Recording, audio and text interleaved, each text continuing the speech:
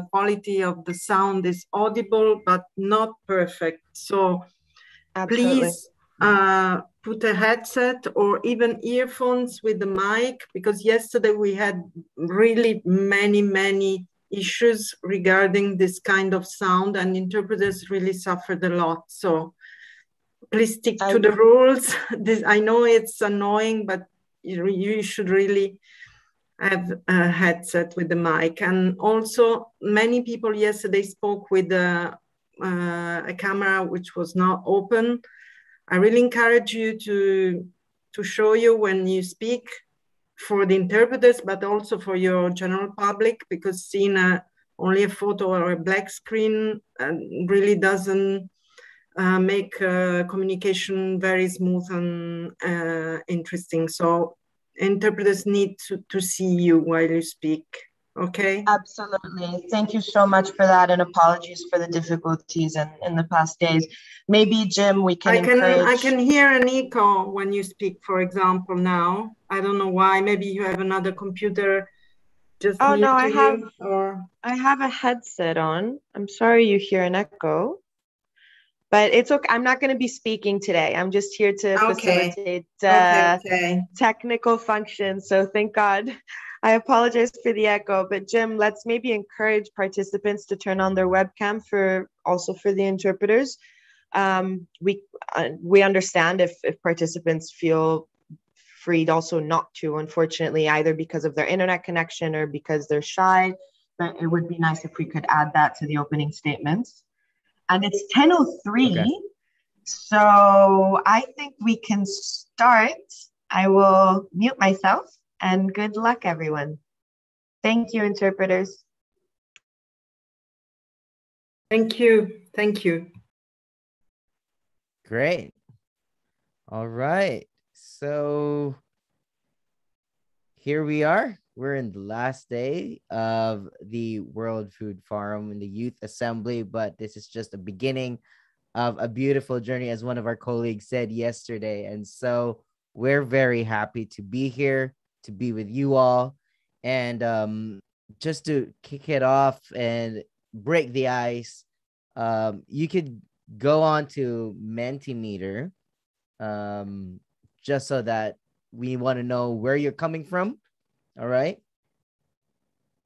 Before we get there, let me just state down the rules of uh, of this uh, meeting of, of this session really and to say that there are going to be um, there is interpretation happening behind the scenes for you guys so if you if you're looking for interpretation go to the interpretation button that you would find down below on your screen and this is interpreted in the six UN languages of, of the UN. All right. So, just to introduce myself quickly, I'm Jim.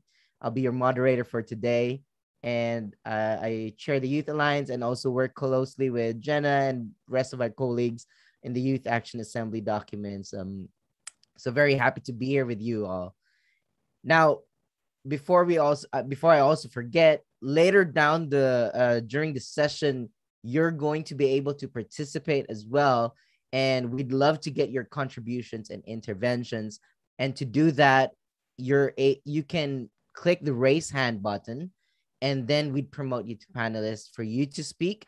We really encourage that you also open your video um, if possible, and if it's okay with you, that when you speak, we can see you as well. So we'd love that. We'd love to get your intervention and we'd love to see you and your beautiful smiles.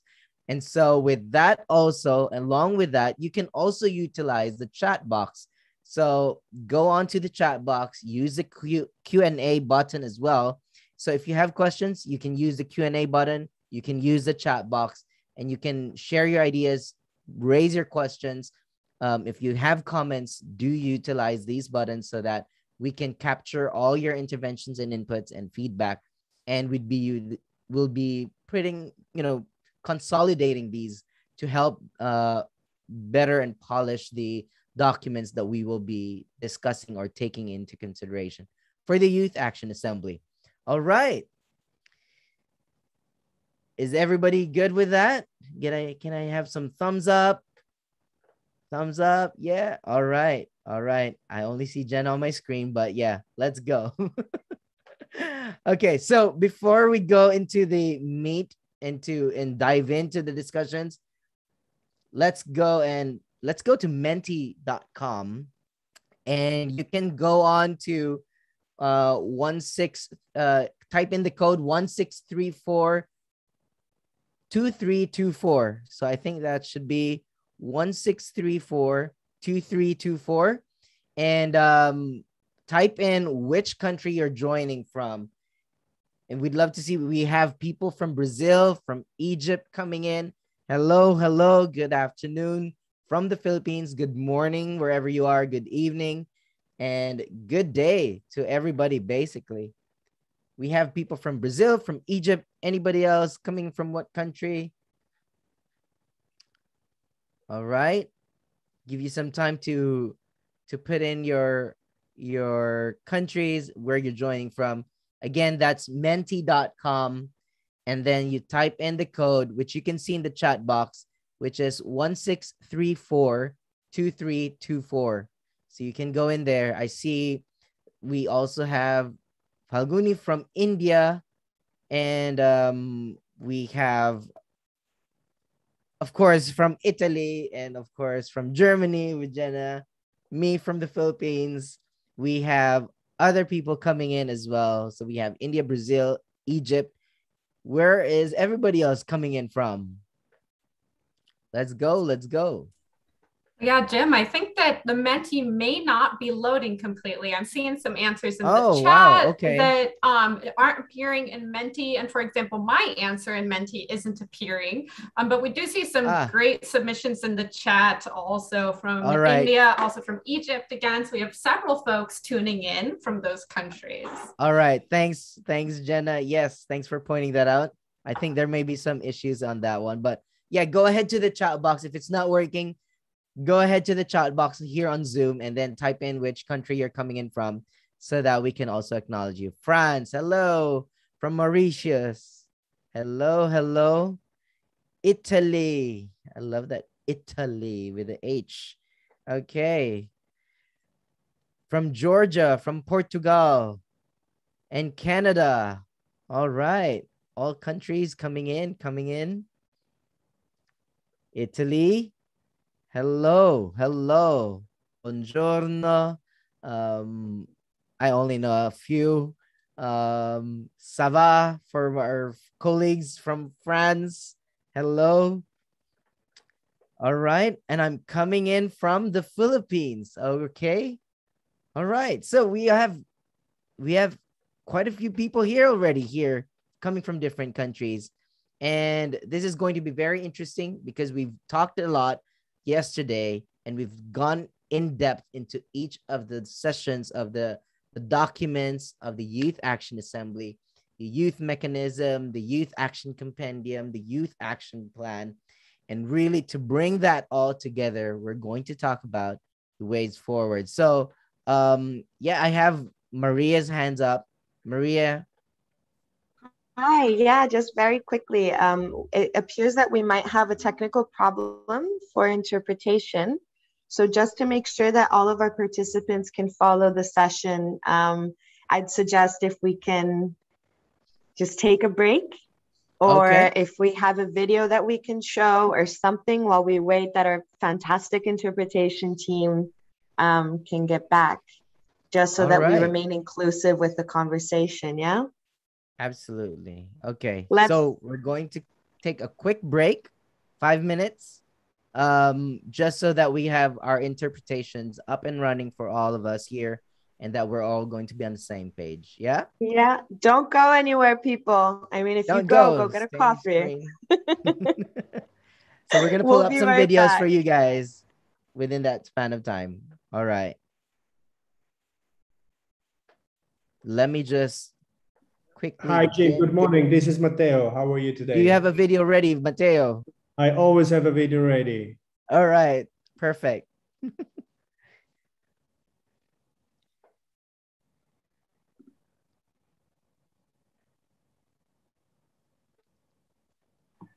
Are you tuning in from Italy, Mateo? Yes, of course. Okay. Of course. Buongiorno. Buongiorno to you. okay. So while we have that, go into the chat oh, also and um, just continue saying where are you coming from?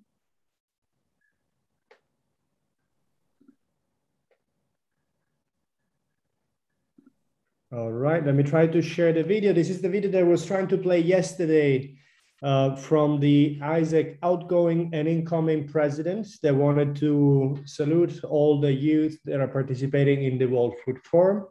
And yesterday when I tried to do my computer crashed, so maybe I can try again and see if I have a better luck this morning. Okay. Let's see. I'm Evan Letty, the Global President at AIESEC. And I'm Louise Kim, Global President-elect at AIESEC for 2022. At AIESEC, we empower young people to become value-driven leaders who positively impact the world around them. And we're grateful to be a part of the World Food Forum that is actively seeking youth participation to transform the agri-food systems. 821 million are even easier for you. One in nine people around the world are undernourished. By the year 2030, we are estimated to meet the Sustainable Development Goal target by a margin of 660 million people, which is why we need to act today, now.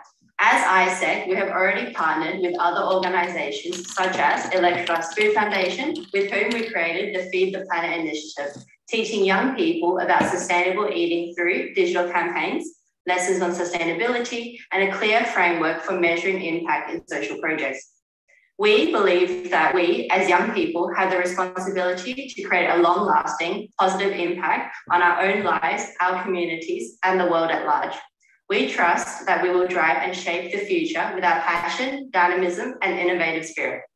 We would like to encourage young people to actively participate in engagements such as the World Food Forum to build and create a better, better, better future and a better food future, more importantly. Be part of the solution, play your part in your communities, and also make sure to participate in events such as this one, where young people can be at the table, bringing their perspective to decision makers and to the people that really matter, that can really make a difference in this problem that matters so much to all of us and that is relevant for all of us.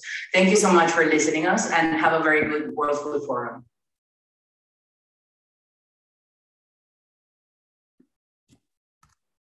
Great. Thanks for that.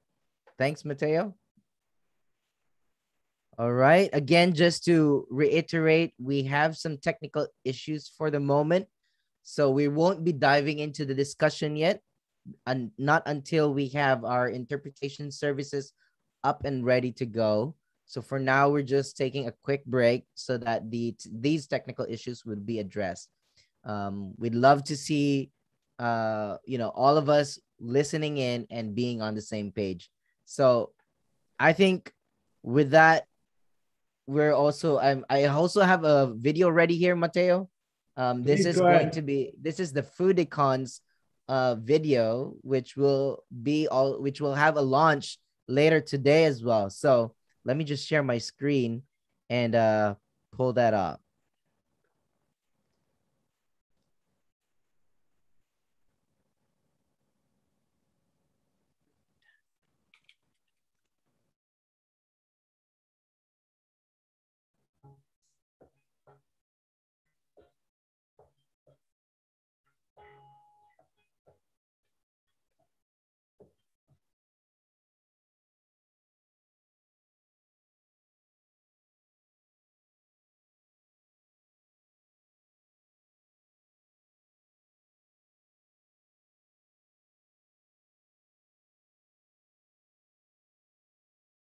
I think that we cannot hear the audio for this video. Yeah, Jim, when, when you sorry. Can you can you yeah, thank you. When you share the screen, also share the audio.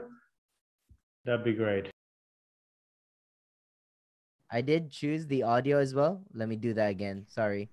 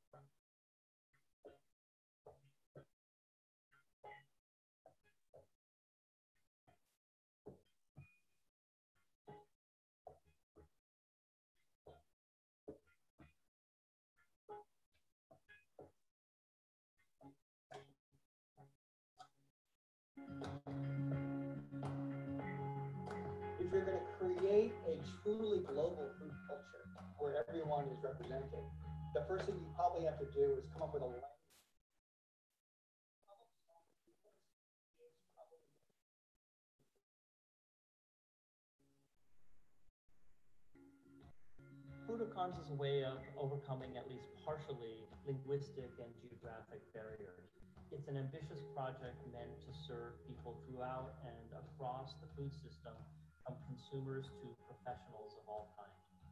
What we decided to do was draft designers and food system experts from all over the world to join us in that journey to create a truly universal language that can be shared by everybody in our food systems. I really like this double uh, mission here. If I speak Hindi, that's my first language, and you speak English, even if you see one particular item, we are literally in that same language. Yo creo que es súper relevante, importante tener una alternativa más de, de un lenguaje, más allá de, del escrito o del hablado, y por eso yo creo que creo que los iconos son una parte importante de la cultura actual. Foodicons has a process where artists and designers create icons, but then go through a series of steps where they receive feedback from design experts, but also food system experts. These designers have done a, a terrific job trying to interpret it in a way that is both simple but yet informative. Not only are we crowdsourcing these icons from people all over the, the world, but they're all going to be open source. There's going to be no limitations on anyone in the world using them for essentially any kind of practice. I think timing is everything. And I think this is that moment where people want to be part of something bigger than themselves and want to contribute to something that has a higher degree of utility. It's really important to me to work for something greater than just myself, my country, or my culture. And in this sense, what we do here um, bring values for everybody in the world. It's clear that there's a visual language evolving that is teaching us how all these terms can relate to each other. And the most exciting part of this project has yet to happen, and that's seeing how people all over the world use them. We expect to see uses we haven't even imagined as people communicate how they work and eat to all kinds of stakeholders. Our mission at the World Food Forum is to support and empower the next generation to create a better food future for the world. And to do that, we need a language that all people can use a visual language like this.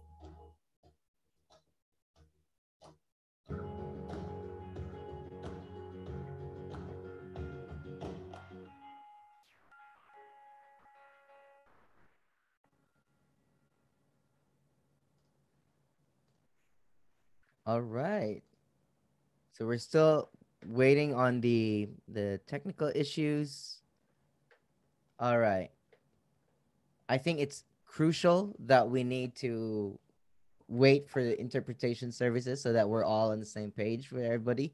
And so we're going to give them enough time. Do we take a break uh, for a few more minutes? Yeah. All right. Yeah, so we would suggest that we break until um, 10:30, just so participants have a idea of a timeline, and then we'll check back in um, to see if the interpretation hub is ready to go and solve their challenges, their technical challenges. So grab a coffee, grab a tea, grab a water, whatever you like, um, and join us back in 10 minutes. Hopefully, we're able to continue with our lovely interpretation. So don't go away. We'll be back in just 10 minutes. Absolutely. And yeah, thank you so much for your patience and understanding. All right. See you all in 10 minutes, guys.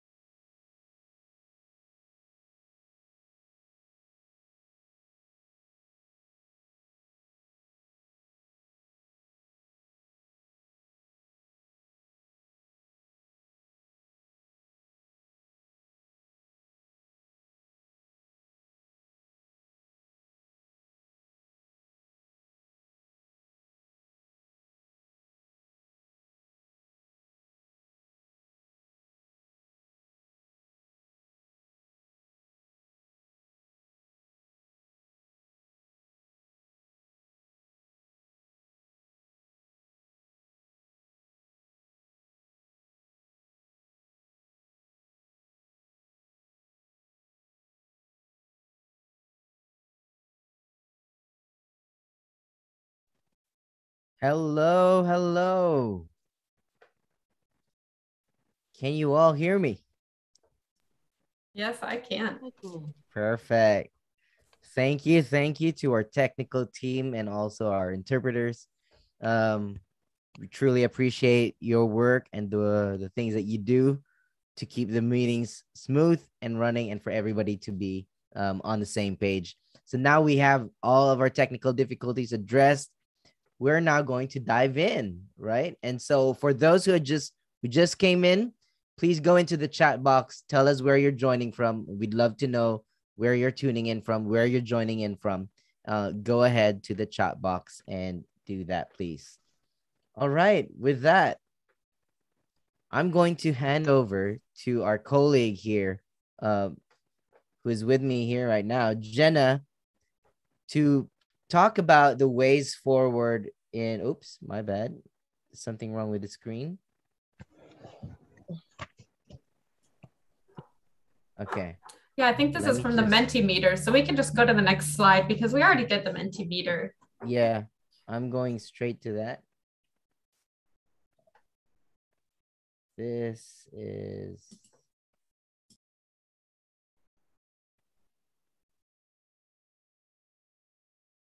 Okay. So we're here. Perfect.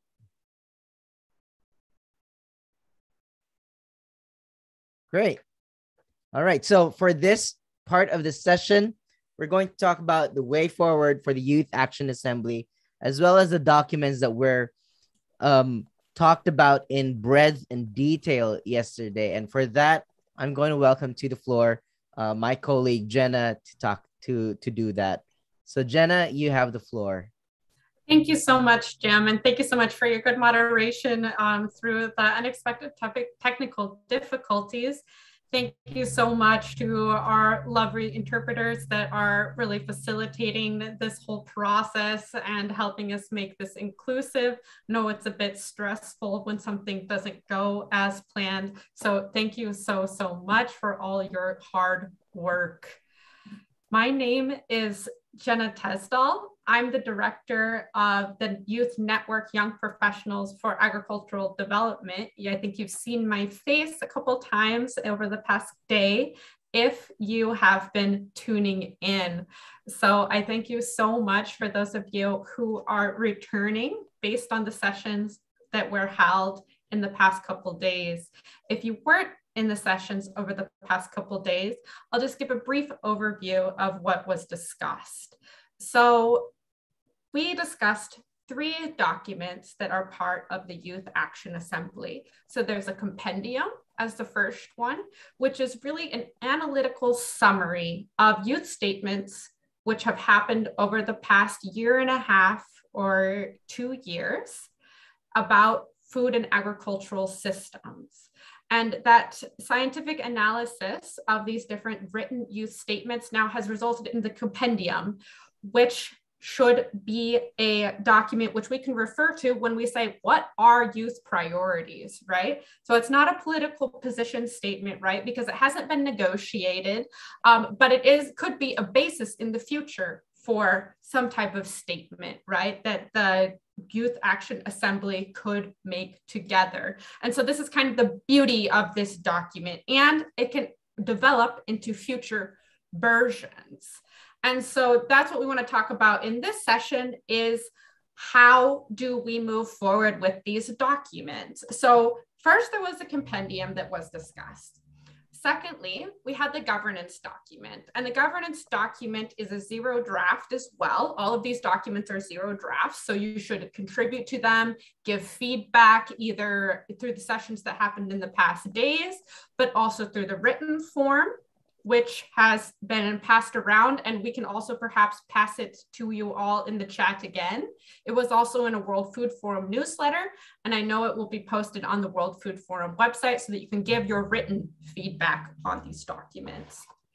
So with that aside, the governance document, the second document, is to really say how this body should work together. What rules govern our teamwork together so that we can work together to be as inclusive as we really are setting out to be, and to really have many eyes on this document so that the intent of including as many youth as want to be involved is really made a reality through that governance document so that we can work together to work on policy issues, et cetera, et cetera, whatever we decided that we're going to put our hands on as a group.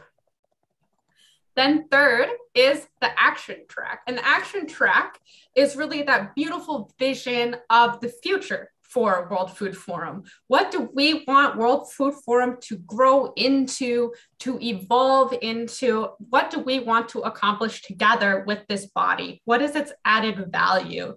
And so this is for all you dreamers out there, all you folks who like to think big, who like to be have your vision in these type of groups this is the spot for you to contribute and to continue working, dreaming, and putting those projects that you have on the ground really into a bigger vision as well. So, this is the action track. And now, the way forward, really, what we will propose is to form working groups to work on each of these three documents to bring them to life, to make them, to bring them out of the zero draft into a, hopefully a first draft, maybe a second draft, and then finally a final draft. Um, and that also these working groups can consult with their constituencies as well. So I know some of us are here today representing maybe an organization or a group of people who are interested in the World Food Forum. And we need to go back and consult with our constituencies as well about what they think about these documents and really have some of those more intimate discussions in our groups that maybe it's more difficult to have over a webinar or over um, an internet connection, for example, or just with people that we don't know as well, right? So take these documents back to your constituencies when you are working in these working groups and after these sessions. That is the invitation that we have for all of you. So We've also said many times throughout the last two days that you are welcome to sign up for these working groups. We want you, all of you here today, if you're interested, if you want to be involved, if you want to give your input, please sign up for working group. And we will put the link to the working group form, sign up form in the chat. Yes, fantastic. And you can also use the QR code on your screen, but you can also get in touch with us via email at you at youthaction at worldfoodforum.org. And so those are all ways in case perhaps Google Forms doesn't work in your locality. Like for example, I know that it, um, Google services are not um, functioning in China, for example, send us an email. We're also super open to that. If we could advance to the next slide, that would be fantastic. And so this is just a brief summary of what could be topics for the working groups. So we really do expect probably that you all are interested in being involved in working groups about one of these three documents, the compendium, the youth mechanism, um, the action track, but perhaps others. Certainly during the discussion yesterday, I heard that folks are interested in certain topic areas. And so that could also be an interesting way to form a working group together with people who are interested in a thematic focus. So all this is open to you it's up to you to create and it can be as much and as big as you can dream it to be.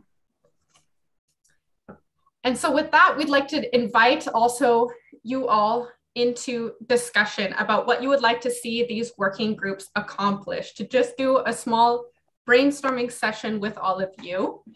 And so if you would like to make an intervention like we have before, please raise your hand. We can promote you to panelist.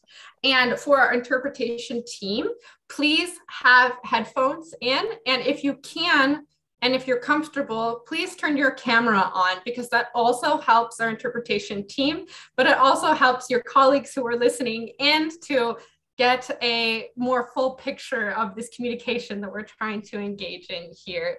So we really encourage you to now come in, express your interest in these working groups and maybe your hopes for what you would like to see these working groups really accomplish.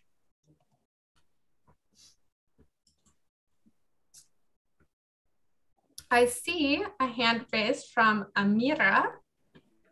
We can promote Hello. her. Yep. Okay, Amira is gonna be promoted to panelist, make an intervention. Yes, definitely. So thank you um, for your patience while we promote you to panelists. And those of you who are also interested, or if you have questions about how you envision these working groups working, definitely chime in. This is like the space for you to say, how do we want to move forward with the World Food Forum and kind of create that together? There she is. Hi, Amira. Hi, Jem.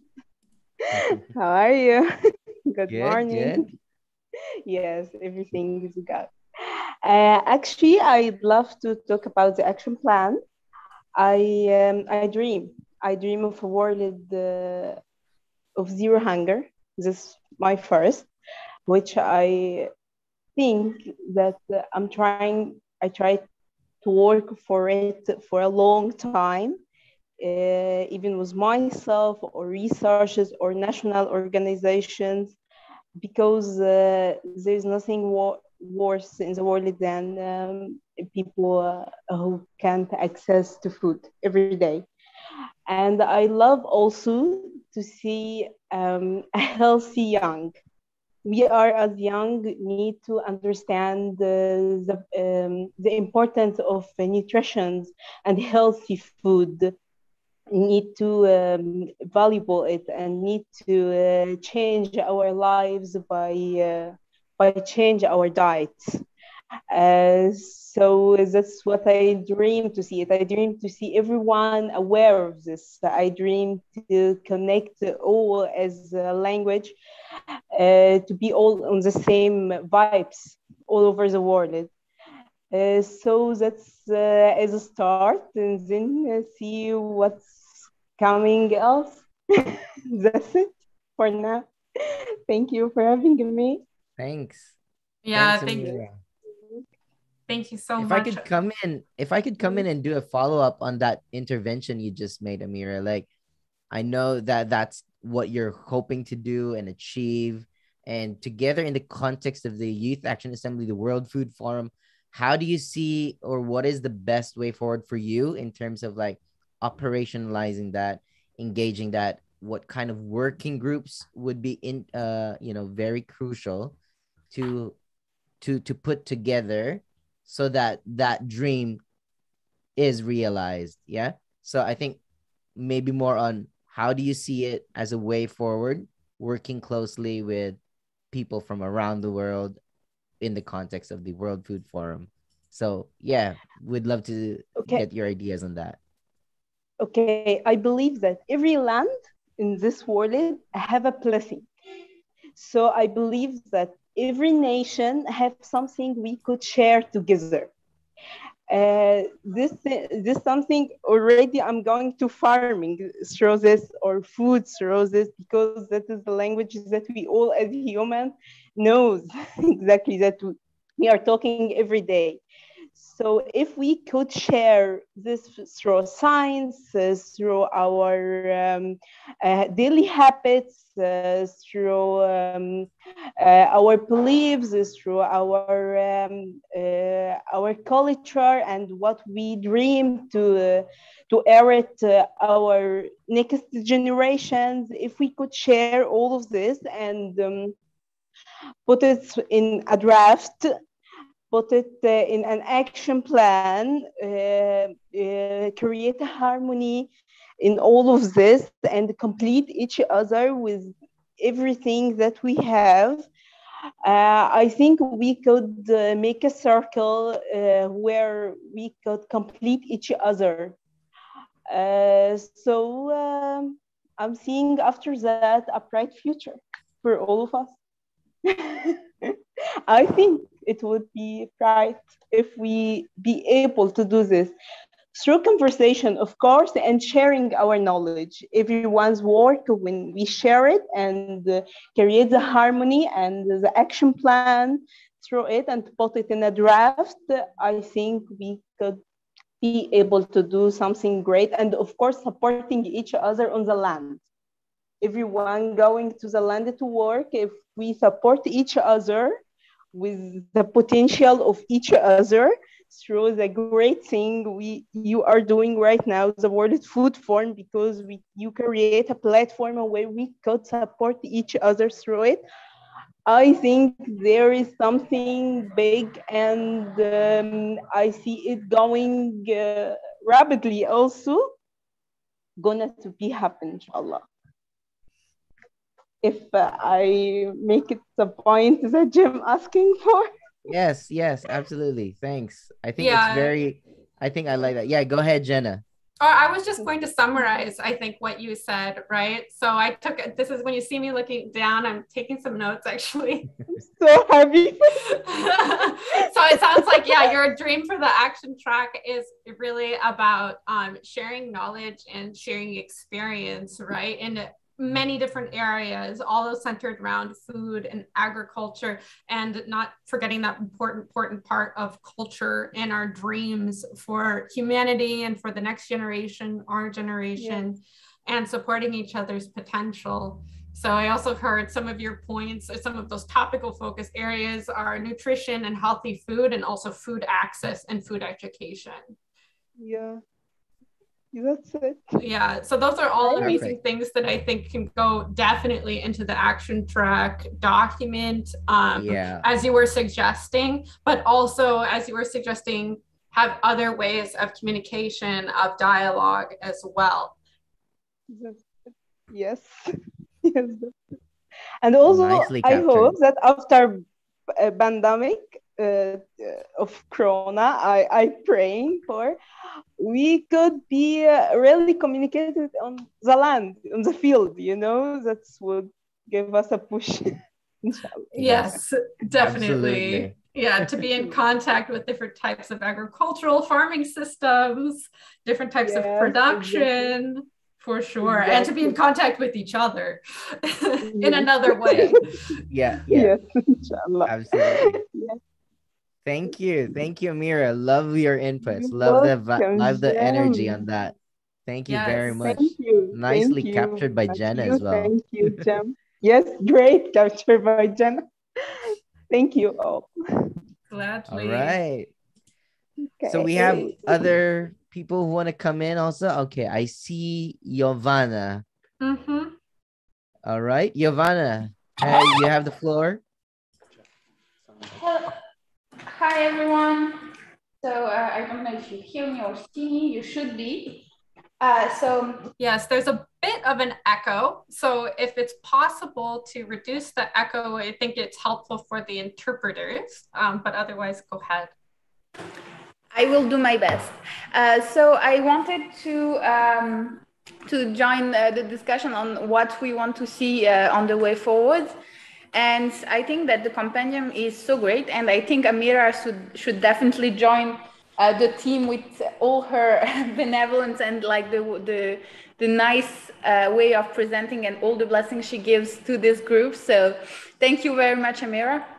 And I was wondering like how we could do, oh, hi. uh, what we could do in order to, um, to continue this discussion and promote it uh, the way forward. Uh, by also getting more discussion done and more platforms wanting more having more accountability uh, also of of this institution for it to be an institution and for not to be just a discussion we're having today.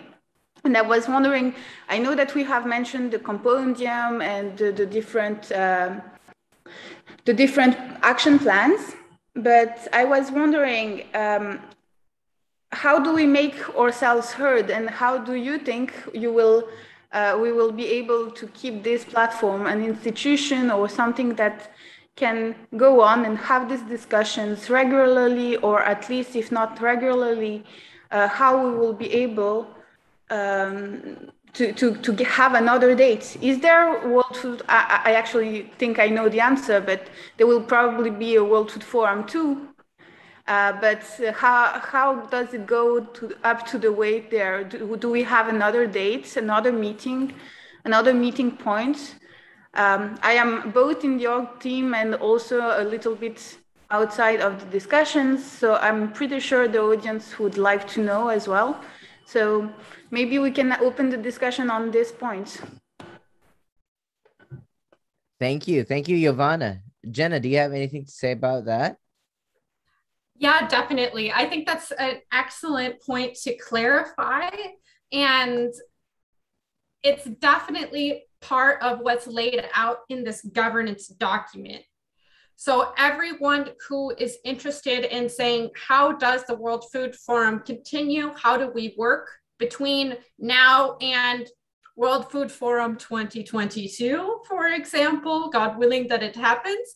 Um, those are really questions for the working group first of the governance document and can definitely imagine that then when a inaugural focal points group can be selected that's their first item of work right? Is to say how do we form the world food forum 22 together?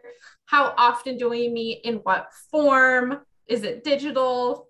Maybe it could be in presence all those type of questions are things that the working groups should form together and that um, working groups really co-lead choose their co-leads from within themselves so they can form that way forward together definitely great um Great. jim yeah. would you have yeah, something to add actually, or to clarify what I said? yeah, yeah. In fact, you know, there so there are ways to approach that question also. So it's more of um in terms of how do we work um hand in hand with everybody from different parts of the world. It's more of what tools are we going to be using? Um, and so for example, just for us to get started with the the youth action compendium we we used a mix of different tools simple as a miro board that lizanne um, put together uh, put she put a lot of effort in that miro board of it's like it's like a digital canvas of like meta cards for ideas to be put and organized together. There was a, a, a platform called taget that is a kind of a, a academic route that would be kind of um, a way for us to identify keywords and documents to to utilize it for the youth action compendium. So these are the tools that we've used initially. And so those are also some things that if you have anything any suggestion from the floor that we'd love to know if there are tools that could help us streamline um you know the the kind of work that we want to do with the working groups and all of that. Um and there was also uh, some discussions or some suggestions coming from the floor yesterday, Jenna, if I remember, where we had a mentee out and people were putting out um, suggestions of using Discord. Um, do we use Slack? Do we use, you know, how do we create that community? And from what I know, there was also a partner organization that offered a platform where they can host like a World Food Forum community. So I think, you know, those are the platforms in which we'd like to explore and, and, and know about that we could use so that this is not going to be a one-off thing. Like you know after today we're just going to wait for another event for us to come together again and discuss. But really how do we build that community around the goals and the aspirations that we put together in the past few you know months that that went into these documents? So again going back to the floor if you have any suggestions and these are just this is just the you know the discussion on tools. The other part to look at it is also the ways forward in terms of how do we engage with other stakeholders right?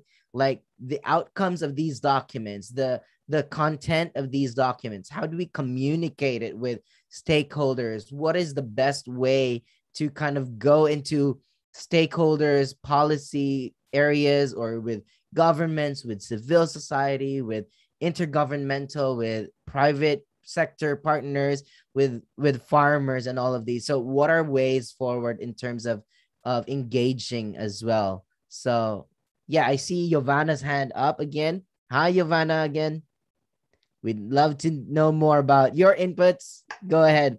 Please make sure your microphone is clear for our interpreters. Okay, I will try my best. The room is as it is. uh, so I um hi again. Uh, so I was wondering also, and I think one of the suggestions I would like to see is to expand, and you, you were just getting there, Jim, I saw that, uh, to expand to the new stakeholders, the, the other ones. I mean, there's many companies having their use involved. There are many uh, political leaders that involve also their use in, in different um, in different places, in different things. We did we did speak to uh, farmers. We did have other stakeholders.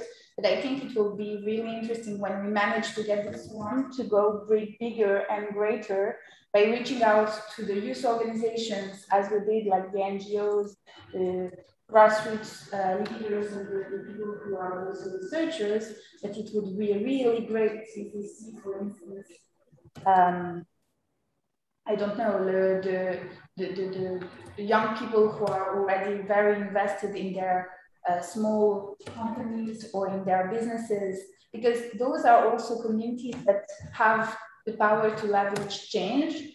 We are not the only one as policymakers, but we spoke about regionalizing and localizing our actions.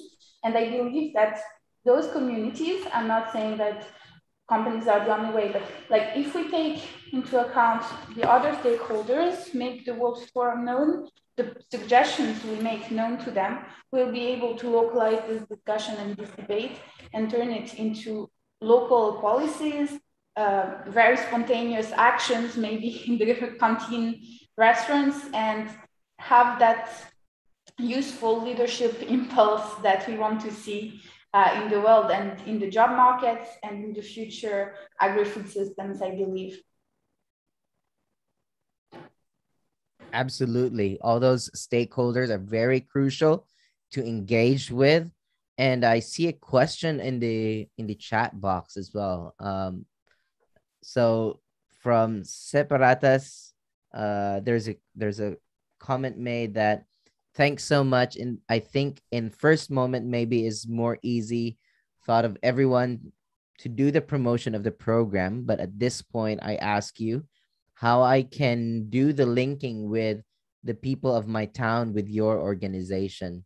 Um, and so this is basically one of those uh, you know scenarios in which we'd love to explore how we can bring it from this global level down to like regional, national, and even local areas.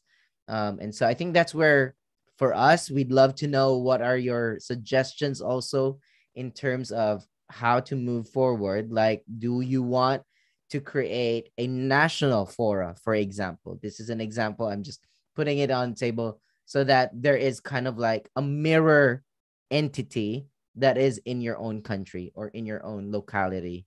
Um, and and that is something that would be uh you know that that would be kind of a way for us to engage with you at the ground level. So yeah definitely jenna just asked would you want to elaborate on that? We'd love to have you speak. Um please do um raise your hand if you want to speak we we can promote you as panelist and we we can have you present your intervention or your question in person. Um at least we can see your face as well. Um would you be happy to do that? Yeah if so raise your hand or respond to us in the chat. And if not that's also fine. I love jim's point about um, thinking about if there's um, some type of national level or um, member state level where that can happen. Um, oh, and I see that we should also remind you, you are welcome to speak in your own language as well, because we have the interpretation in the six UN languages. So feel free, and that invitation goes to everyone as well. So, and to briefly respond to um, your intervention, Giovanna, I think that's excellent what you're suggesting there to also do explicit invitations because yes, we're trying to spread the word as much as possible, but sometimes a direct invitation reaches people better than a general promotion strategy. And I think I definitely agree personally that that's key and that that's something that definitely the working group should take up as one of their first priorities. Yep. Thanks, Jenna. Absolutely. Um, and I see Amin's um, hand raised here. So Amin, hi, nice to see you again. Hi. And we'd love to hear your intervention. Thank you. Uh, actually, I just thought like maybe I want to step in after seeing uh, the comment uh, from Separatas about how we can link the, with the link, let's say, this kind of uh, communications with the people of their own respective local locality, local town or village or organizations to the ones at an upper scale. I I I'm, i think that uh, regardless of any network that we are deciding to create for the World Forum or from the young activists, uh, it, it, needs to be structured. It needs to be structured, but doesn't need, need mean that it has to be a top-down structure. It can be a circular structure, but what we necessarily need for sure is focal points. So if Separatas feels that it's necessary for him to deliver messages to his own, uh, let's say, village or town, bringing from the organization or vice versa to deliver the messages from his own community to us. So he or himself, he or she himself should be uh, responsible for finding the focal point or volunteering as a focal point that they can, uh, let's say, they can uh, in some ways translate, but not by just translating, I mean, by language, by translating the message in all kinds of way that they understand to their own community. So this communication, I mean, it, it's not going to be easy if we look at it at a global scale.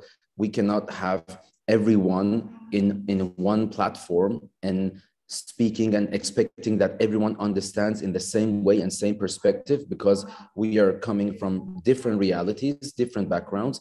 So i think that the role of focal points are very necessary here.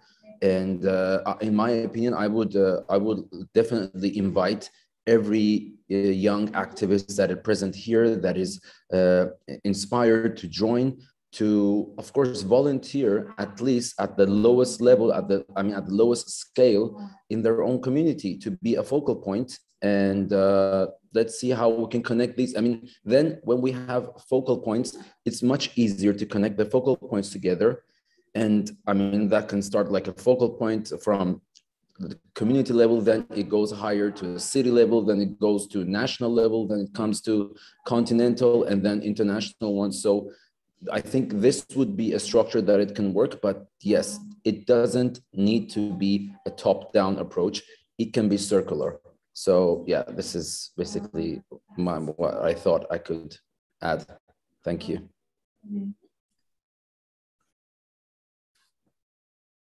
Thank you so much. I mean, maybe Thank I can you.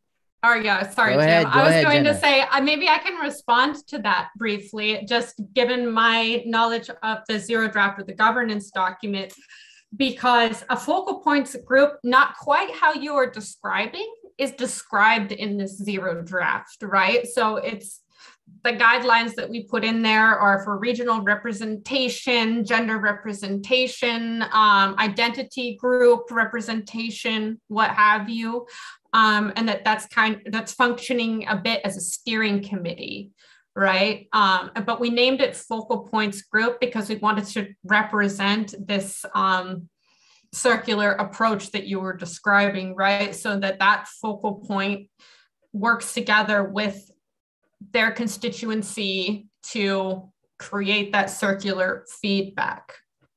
So that's what's envisioned in the zero draft, but that's definitely a call for folks here to take a look at that and see if there's more language, more suggestions in there that really makes that a reality, because that's, I think, kind of the hope in the zero draft. Um, but there can be a wide gap between hopes and intentions and reality. And so that's why we need the feedback, right?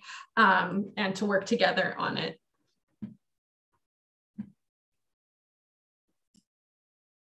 Absolutely. Yeah, yeah. When when Amin was just talking about that, I I remembered right away into the the, the focal points uh, group of the of the governance uh, document and i think um, it's it's very crucial that, that that it also the governance document also looks into you know the different um, i think specific groups was it um, jenna with the young scientists with with these um policymakers or something something to that effect and so there's that way and and, this is something that is not cast in stone um we, and i want to re-emphasize that that it's not final and cannot be moved and cannot be modified but it's open for everybody's feedback.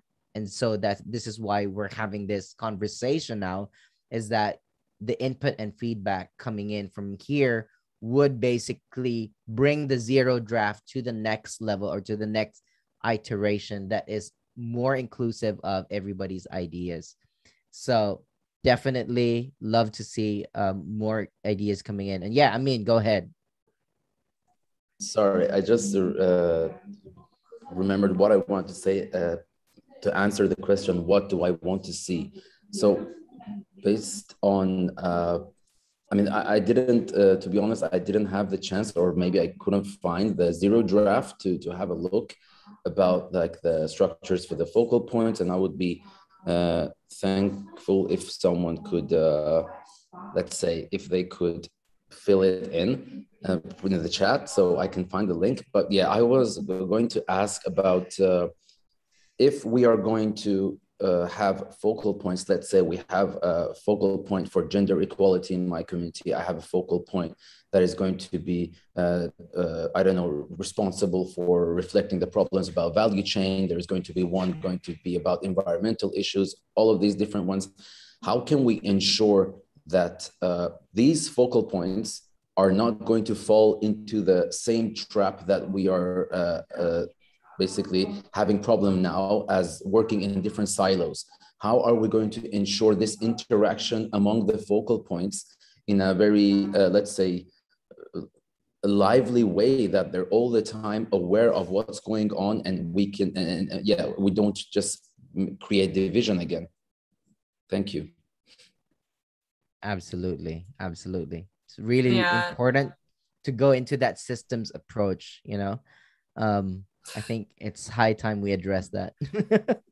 yeah, that was whether it's achieved or not through the zero draft, that was also part of the hope behind naming it um, focal points focal group points. instead yeah. of having it um, steering committee members nominated from particular youth organizations or particular constituencies. So the way that it's written now is that you're maybe not defining solid categories for each focal point. So for example, there's not a gender focal point for Southeast Asia, for example that's written in the focal points group. It would be really based on the composition of the group. So when one person comes in, they then represent um, a multitude of identities, stakeholders, etc. Um, whether that's the best approach is totally open for discussion, right? Um, but that's kind of the suggestion that's made with the focal points group um, and should be discussed further in the working group and with our constituencies, how that should look like. Yeah, yeah. Very, very interesting points. Um, and uh, I mean, I just put the links to the uh, documents in the chat box. So feel free to go and dive into those. Um, and we'd love to get your feedback once you've gone through them. So again, opening it to the floor. Anybody who has, you know, ideas, any idea basically on how to bring this um, session, this youth action assembly forward so that we're not going to be bound to an event. This is not just an event. This is basically from its name, youth in action um, in food systems. Yeah. And so we're going to be working together how do we drive the pro the process how do we how do we go and navigate through the dynamics of of working with different actors and stakeholders across the food system so again The floor is open. Feel free to jump in. Raise hand button is there for you guys. The the chat box is open and the Q&A button is is also there for everybody to come in. So we'd love to see your inputs and your feedback. Uh, go ahead. For those who haven't seen the documents yet or were not able to listen in on yesterday's discussions, the the links to the documents are in the chat box and you can go through them one by one. You could go to the zero draft that summarizes it. You could go to the different documents um, for more in-depth uh, details of the of each part. So yeah, I think Jenna, one of the things that we're, I mean, while waiting for people to come in, right, and also with the discussions that Amin uh, brought in to the table, I think it's also crucial to see how the working groups are kind of like a mix of different sectors, right? So it's not just if it's if it's working on gender, it's not just particularly gender, but it's a blend of like different issues coming together, yeah, with that are related, like gender and land tenure, perhaps, or gender with climate and all these issues being addressed in a more holistic manner instead of just addressing an issue for its own um, you know particular side of it and bringing solutions that address more cross-cutting ma- making it more cross-cutting. Is that something that we could go into? What do you guys think yeah, from my perspective, definitely. And I think this is also something that it was kind of envisioned with the focal points group as well, that there can be different technical expertises that are also brought into the focal points group, depending on who is chosen by the assembly and what um, technical areas also are um, chose to be focused on or are priorities for the group. So I would definitely agree with that. And I see Amira has raised her hand. So I'd love to invite yeah. Hi, Amira. Go ahead. Hi. Um, I just wanted to um, uh, answer Amin with a, a simple question. I know that the World Food Forum answered have answered before, but I wanted to ask it from our inner heart why we are doing this. Why each one of us doing this. Why we are here right now why, why we want to continue this and what com- commitment, high commitment, hours, potentials, lives, uh, uh, effort, energy, why we wanted to do this. If we could unify our why, I think, or our answer on the why question, I think that we could drive the world food forum into the future. And uh, I think that we could afford all the effort that we should do in the future.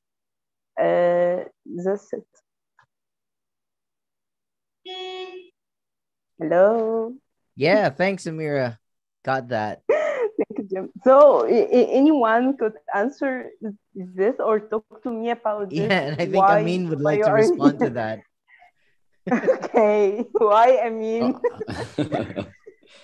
thanks amira i think that that is definitely a fundamental question that uh, it, it depends i mean actually we all have to have a clear answer about that before uh, considering ourselves as an activist or someone that wants to contribute to fixing a global issue because if you don't know this answer to your own heart that what is your individual commitment then how are you going to be able to spread this as in form of a word or a message or an action uh, in your in your surrounding environment? You really need to be uh, sure that you first of all are committed regardless of any other external judgment just your own internal belief and action that you are committed to what you are uh, what are your values what are your beliefs and then start uh, i think yeah sharing this idea sharing this vision with others in your community or the organization that you want to uh, contribute to. And there was something uh, that was, I mean, that is relevant to this. I just had a very quick skim through the documents that Jim shared. Thank you so much for them. And uh, one thing that I was uh, trying to find was uh, to have a clear line uh, in the, I don't know which document was it. Was it the action plan document or the uh, compendium? So basically what I was looking for was to see a clear line that connects the youth with the older generation. Unfortunately, currently this uh, connection is very binary. You're either an adult or old experience, or you are unexperienced and you're young. And you're young, you could be a child, you can be a teenager, you could be, I don't know, below 30s, you're all in one group. And then after that, you're an adult, you're experienced, and you're totally separated. So I think we really miss this intergenerational connection and exchange. And uh, I believe uh, we can solve many issues that are related to understanding between different generations by creating scenarios, by creating some actions that we can involve both well i'm also now saying that as well like doing the same mistake. By involving both generations what i mean by the old whoever considers themselves as old adult experience and whoever uh, uh, considers themselves as young and adult. So i think this issue of identity that is a human made issue again we created this ourselves. I think this has to be fixed by or has to be a little bit more clear by by uh, putting people into action to realize that these are just some uh, these are just some virtual borders. They don't really exist. And the same way a 70 year old farmer can enjoy harvesting and cooking like uh, the, the, products that they have could could could be the same feeling and the same joy for a 10 year old child that wants to do that. But the only way you can feel that is to create a scenario, create a, a, something that you can get them engaged together. So, so many, I mean, there are many activities that are happening around the world in local communities. Uh, for, for instance, uh, for uh, let's say like cooking festivals and such kind of things that brings these generations together. But I think uh, this is something that in, in one of these documents as youth, we need to uh, maybe emphasize because I think, uh, again, based on what Amira said, we need to take this a little bit at a deeper level and to understand that we, we, we need to also, let's say, heal this connection that we have with the past generations. Maybe in many, in many uh, it, depending on the culture, depending on where we are talking about different realities, there should be a stronger bond between different generations. There shouldn't be a separation. And uh, I think this, uh, on my personal view, this does exist. And this separation causes is a main cause of, I mean, not main cause, I mean, it's interrelated with the same way that uh, there is a mistrust between different generations, for example and not having this trust will also not end up to any kind of uh, collaboration will not end up to any kind of action that we want to do with different generations so yeah this is i think something that we can focus on either in terms of action or communication. Thank you. Thank you i mean i'm sorry the mic is on. Thank you i mean so much. And just wanted to add that the World Food Forum is a chance to break this separation and end it. That's it. Exactly, exactly. And before I hand the floor over to uh, Lawrence, who's raised his hand, um, let me just jump in quickly on that note uh, on, on intergenerational um, processes. And I think that's very crucial for us to look into, especially because um, the evidence points a lot to that divide that you were saying. I mean, that you know, there it the way we've approached youth in farming in agriculture has been very binary and so uh so i i'd, I'd love to see uh you know how we can how we can break those barriers and how the world food forum can be the advocate to put to break down those barriers and to create the bridges between between these generations and, and establish that highway i would say highway of knowledge yeah? So now i think um the next uh person i know lawrence has her hand up.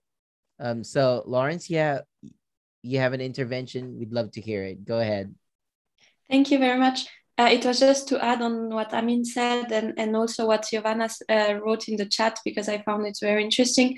Uh, I also totally agree with um, what Amin said about the fact that we need to reconsider what youth mean maybe in relation also to other groups and what are our tasks and our how how do we define youth and how uh, yeah you, we want to to have a um, relation with other uh, stakeholders uh, and why do we do we name ourselves this way? And um, also i had the impression the from yesterday and today there's like a different set of tasks that the world food forum has for example um, support youth groups in their context uh, to act but also to have a sit at the table at the table and to, to be able to to influence uh, decision making. And this is very much context specific so it will need to to be in a way like the, the groups um, the youth groups can decide like can ask to the world food forum specific things that they need in their context um, at the same time i have the impression we talked a lot about reaching out to other groups and uh, to specific um, science for example behavior science etc etc so maybe there can be a working groups trying to reach out to all relevant stakeholders. They could then be linked to the to to youth groups that need some information or that need some um, evidence-based uh, yeah things uh, to act. And then um, we talked a lot about also knowledge and and and how we can create knowledge uh, with the experience of each youth group and and how the, the, they are acting and how they can um, best uh, move their own context and then this would be then the what amin said yesterday for example the the the tasks uh, uh, the the skills mapping of everyone um, um, that is part of the world food forum that could be very useful in this in this endeavor yeah this was what i wanted to add thank you Thank you. Thank you. Very, very, I love the points and I love the energy that's brewing up.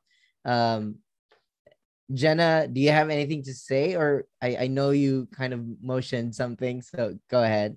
Yeah, I just wanted to comment about this discussion about the intergenerational divide and also about some of um, maybe on Lawrence's points that you just brought up real quick. And then, of course, um, we will give you the floor, um, the next person who has raised your hand. Um, but yeah, so yeah, in the governance document, that's a little bit how we had envisioned this um, open-ended partners working group. So basically anyone who wants to be involved with this group, this is that, yeah, a mechanism for that involvement. Now that said, yeah, definitely it's a little bit of drawing lines. So it's like a, a attempt to structure things and show that clear way for folks to come in and to make this intergenerational bridge and that was the hope and the intent through the working group. And i think there's definitely some great work that we can do together then to refine that or or scrap it all and form it in a different way right? This is just a zero draft and it's just to create some type of suggestion right? So hopefully that can be done together with the governance document. And I will say that this definition of what is youth, that is like the unending challenge, right? Because society loves a age cutoff. Um, and Jim is nodding. He contributed to the HPLE report, and it definitely says there that a conceptual definition of youth is the most productive, right? Which is pretty much, I think, a summary of what you we were talking about here is when are you not you a young farmer? What do all these things mean, right? Um, and so that's definitely, I think, will be a heated discussion going forward. right.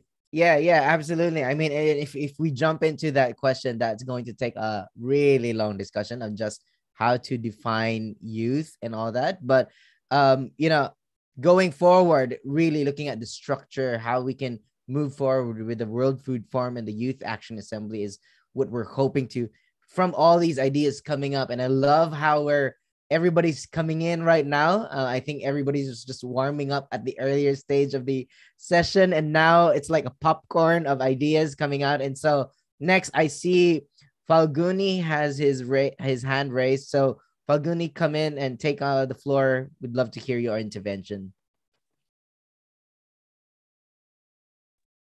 Pranam, Your Excellency. Ladies and gentlemen, it's an honor and privilege for me to speak before this August audience. We have a choice. We can continue to grow our food system in a linear, exploitative, and extractive way, or we can move to a system that promotes biodiversity, regeneration, nutrition, food, equity, and healthy people. We believe the decision is clear. We must choose to work the planet, not against it, for the benefit of the may by following these principles.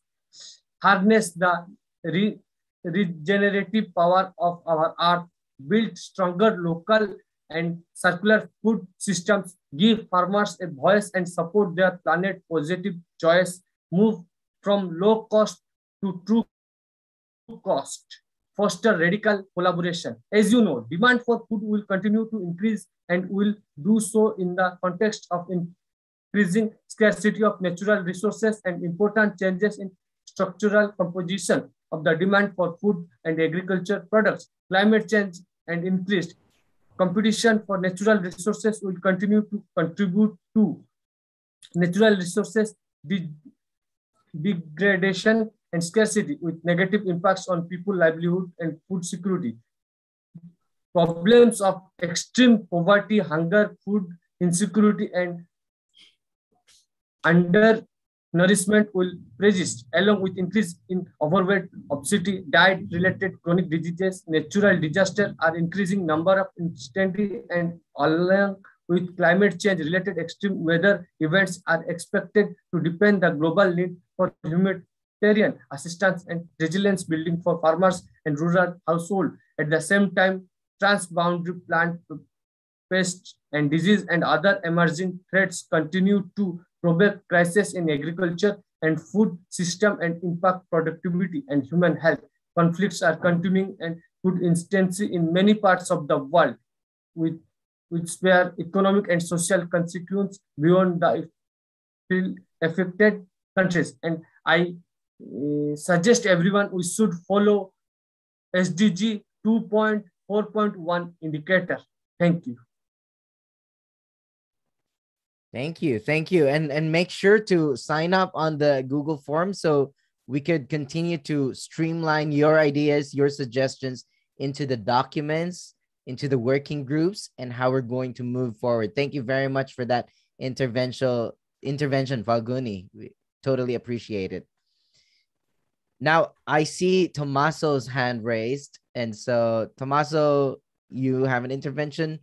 Um, go ahead. Hi, everyone. Good morning, and thank you for being here. I also see that um, uh, Mr. Ambassador, um, uh, Mr. Hoogeveen is online, so uh, I'll be very quick, so I can leave the floor um, for the um, question and answer session. So, um, you know, uh, trying to summarize what have, has been said, and uh, you know, trying also to think in a more uh, practical way. You know, we've understood that um, we have uh, multiple layers of um, complexity here, right? So we have the differentiation of the of the context we are uh, we are talking about when we think of um, agri-food systems, uh, but also we have the complexity which is related to uh, the complexity of the agri-food system itself, which is a very um, complex matter which um, you know intertwines with a, a, lot of other aspects. But uh, you know, I think we uh, as youth here we have uh, an advantage. We can establish um, a unique language. We can establish uh, a stable mechanism and a stable platform. And another advantage is the fact that um, our way of thinking is uh, profoundly action oriented, right? So we have to make sure that uh, we transmit this uh, action oriented thinking, way of thinking to the mechanism and the platform that we are trying to, to establish. And we try to think in a very practical way because this is uh, an opportunity that we've been given to really, uh, you know, make our voice heard and uh, and make our um, our statements here. So uh, we really we really need to make sure that we do not waste this opportunity and that we really establish something really effective uh, and that we can really contribute effectively to the to the agri-food system transformation. Over to you, Jim. Thank you. Thank you very much, Tommaso, for that intervention. And definitely love to see that that this all this would really drive towards action on the ground. It's not just going to be something that's something up there, but really looking at how we can build communities with young people um, to to drive action. And I want to take this opportunity to acknowledge His Excellency Ambassador Hans Hoogeveen, who's just come in and joined us. Hello, Ambassador Hans.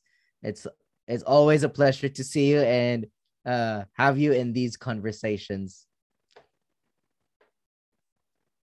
I think um we've we've we've had a lot of contributions already on the floor and and we're still open to con, con um contributions from the floor. You can go to the Google form, make sure to sign up and and join that uh link and be part of the working group, be part of the action on the ground and help us drive forward. And so with that, you know, I think um I would I would say this is a, a pause for now on the contributions from the floor. And now we're going to move into a different segment of this session also, which is a conversation with His Excellency and also the FAO independent chair, uh, the independent chair of the FAO Council. If I got that right, Ambassador Hans. Um, and uh, so again, go ahead, make sure to sign up on the link for now, we're going to transition over with Ambassador Hans and Jenna as well in this conversation. So, good day, Ambassador Hans. Thank you for joining us. Thank you very much, uh, Jim. And it is, an, of course, an honor and a pleasure uh, to be with you. And I must say, you have done a fantastic job. Really, I'm impressed what I've seen the last couple of days. I couldn't be uh, at all the sessions, but I'm impressed. It's fantastic. And the World Food Forum is indeed the first, I would say, of its kind global forum for the youth, where young people come together, where young people support, I would say, the transformation of to a more sustainable and better food system at all levels and coming with great innovative ideas. And besides the fact that it is a moment of celebration of all the work being done and the importance of the youth, I think the, the medium itself was very innovative because what we have seen is technology competition. Uh, we have seen music, festivals, film, culinary uh, arts, supporting videos. It was amazing. And it shows that where sometimes we have quite dull meetings within the UN system, you have spiced up, I would say, our lives and our meetings in the UN system. But moreover, I think what's so important is that there are a few things which in life which can bring people together. And we have seen that food is one of the most powerful issues and themes which can be people all over the world bring together to see what we need to be done to make sure that we get to a better life and a better world and a more healthy diet and a more healthy pl planet. And what you have shown is the power of the youth and the necessity that looking to the future of, I would say, organizations like FAO, but I would say not only the Rome-based agency, but also UN organizations, that we need to involve the youth much more in our processes, listening to their new and innovative ideas and give them a voice also in the formal meetings. And that's what I certainly, as in my new role as independent chair, certainly will do when it comes to council and other meetings. But I will say something more when I listen to your questions. Thank you. Thank you, Ambassador Hans, for the support and for the initiative and for the leadership that you're bringing in, especially in championing the youth, uh, the cause of youth for uh, in agriculture and food systems. And I've seen that in the past three years that I've known you, and I'm very happy to see how we're moving forward together with the different agencies coming together and different stakeholders, really um, coming from young people at the back seat and now giving them the the capacity to really drive the the direction of of development in the way that they see it well to kick off uh the the this conversation with ambassador hans um i know that uh there you have that the, the leadership and, and you have the youth in your heart in, in the policies that you push for. And so in line with that as the independent chair of the fao council how can we ensure that the World Food Forum youth mechanism is recognized and given access to working closely with with FAO and the even the Rome-based agencies for policies and or projects or or anything else for that matter. So, Ambassador Hans, how how do we do that?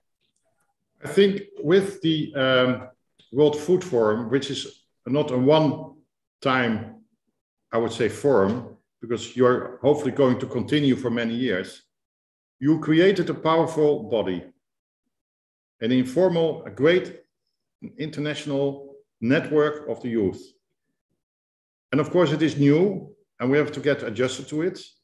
I think what we have to do is now the next to take the next step. As I said when I was uh, Perm Rep, I organized that the, the youth could have a voice uh, in the uh, council.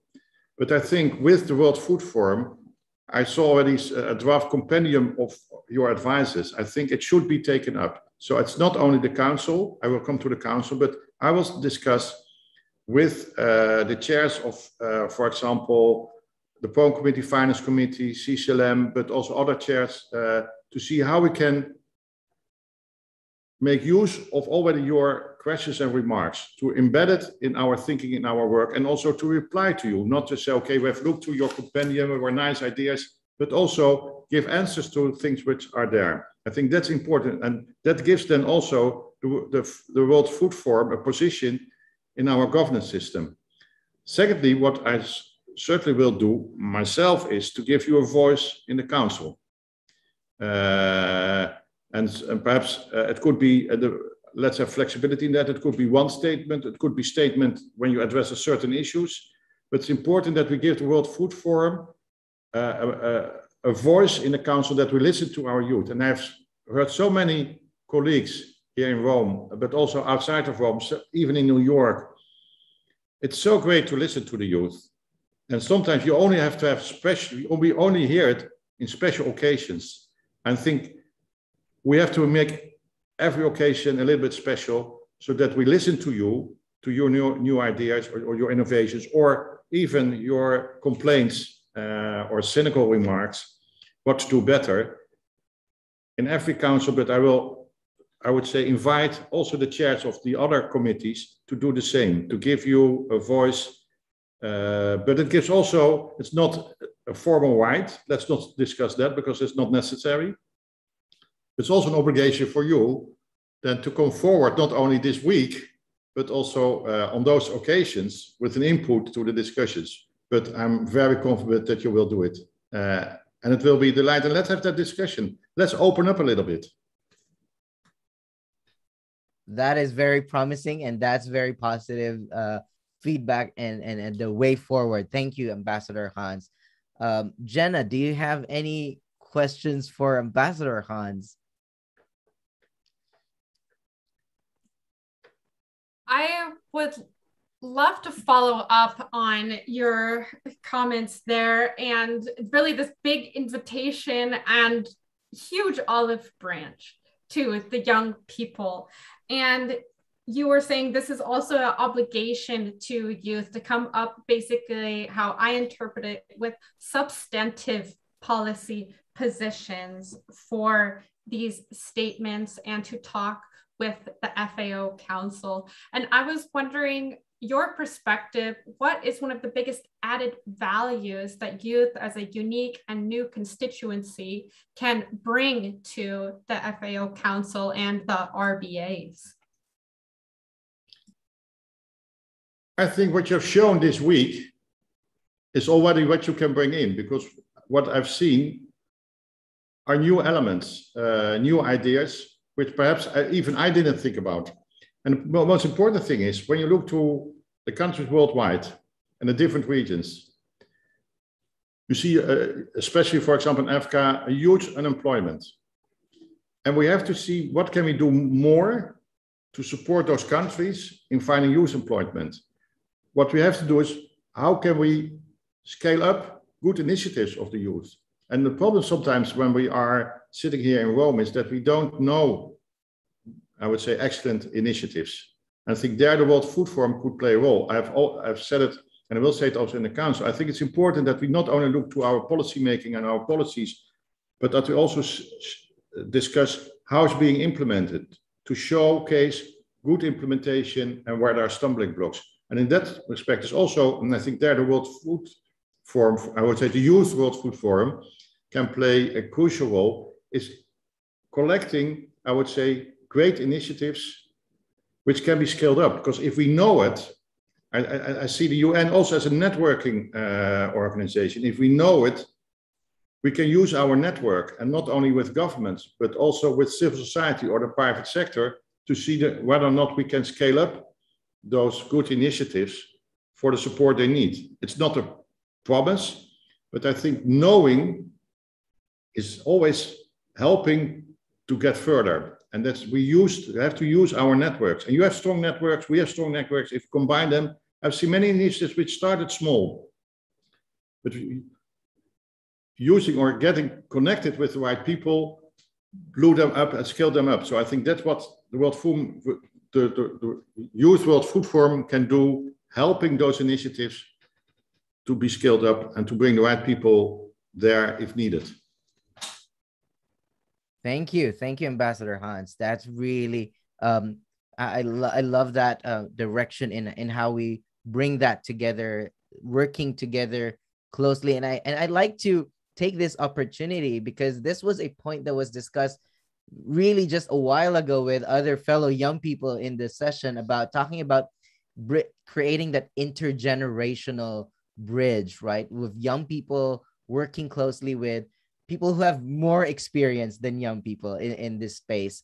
And um and to that note, I would like to ask this question of um during all of your years within the FAO or the UN system, what has been the most important lesson learned which young people can keep in mind as we progress with the World Food Forum and the Youth Action Assembly? For me, I would say the most important lesson, and I'm still learning that lesson, by the way, uh, although I'm quite old, is believe in yourself. I think that's the most important lesson I've learned. There are many setbacks in your life and even working with the UN. I always say, sometimes I'm giving lectures to also classes. I say the UN is always two steps forward and one step backwards. But I think you, the strength of the UN is the only forum where, on an equal basis, one country, one vote, we discuss the most important issues together. And of course, we are not always finding the right solutions. But think about a world without UN. Then we are lost because it will be then the survivor of the fittest or the richest. We have more conflicts. We don't discuss issues like food security or climate change. And that's the strength of the UN. But at the same time, if you believe in yourself, if you believe in your inspiration, you can inspire others. And sometimes in difficult situations in negotiations where you think you have achieved, uh, it was in 2007, when we had the uh, UN Forum, of Forests, where we had an instrument. We were almost there, and then one country said, "I cannot support it." Then you're devastated. I was devastated because I was chairing that meeting. But I thought, come on, don't show your disappointment. Go for it. Take that last step. Try to inspire that country as well. Show that you have support. And always think, and that's the second lesson I always learned think in solutions instead of problems. What I've learned over the last couple of years with believing in yourself, with inspiration, for every problem, a solution can be found.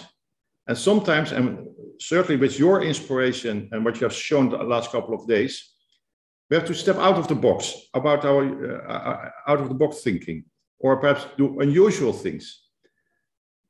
But with creativity, solutions can always be found. I've never found a problem for which we could not find a solution. Perhaps that does not solve the whole problem, but we can make a step forward. I think with that and using your network, but think about your network, you have so much power in yourself to be an inspiration for the people around you and get things done. I love that. Believe in yourself. That's a that's a powerful um, lesson that I think many of us can take forward and bring in to the work that we're going to be we're going to be doing together. Um, Jenna, do you have anything um, on your mind. I see you nodding and all that. yeah, I definitely love this statement. Think in solutions instead of problems as well, because I think that can really drive action forward.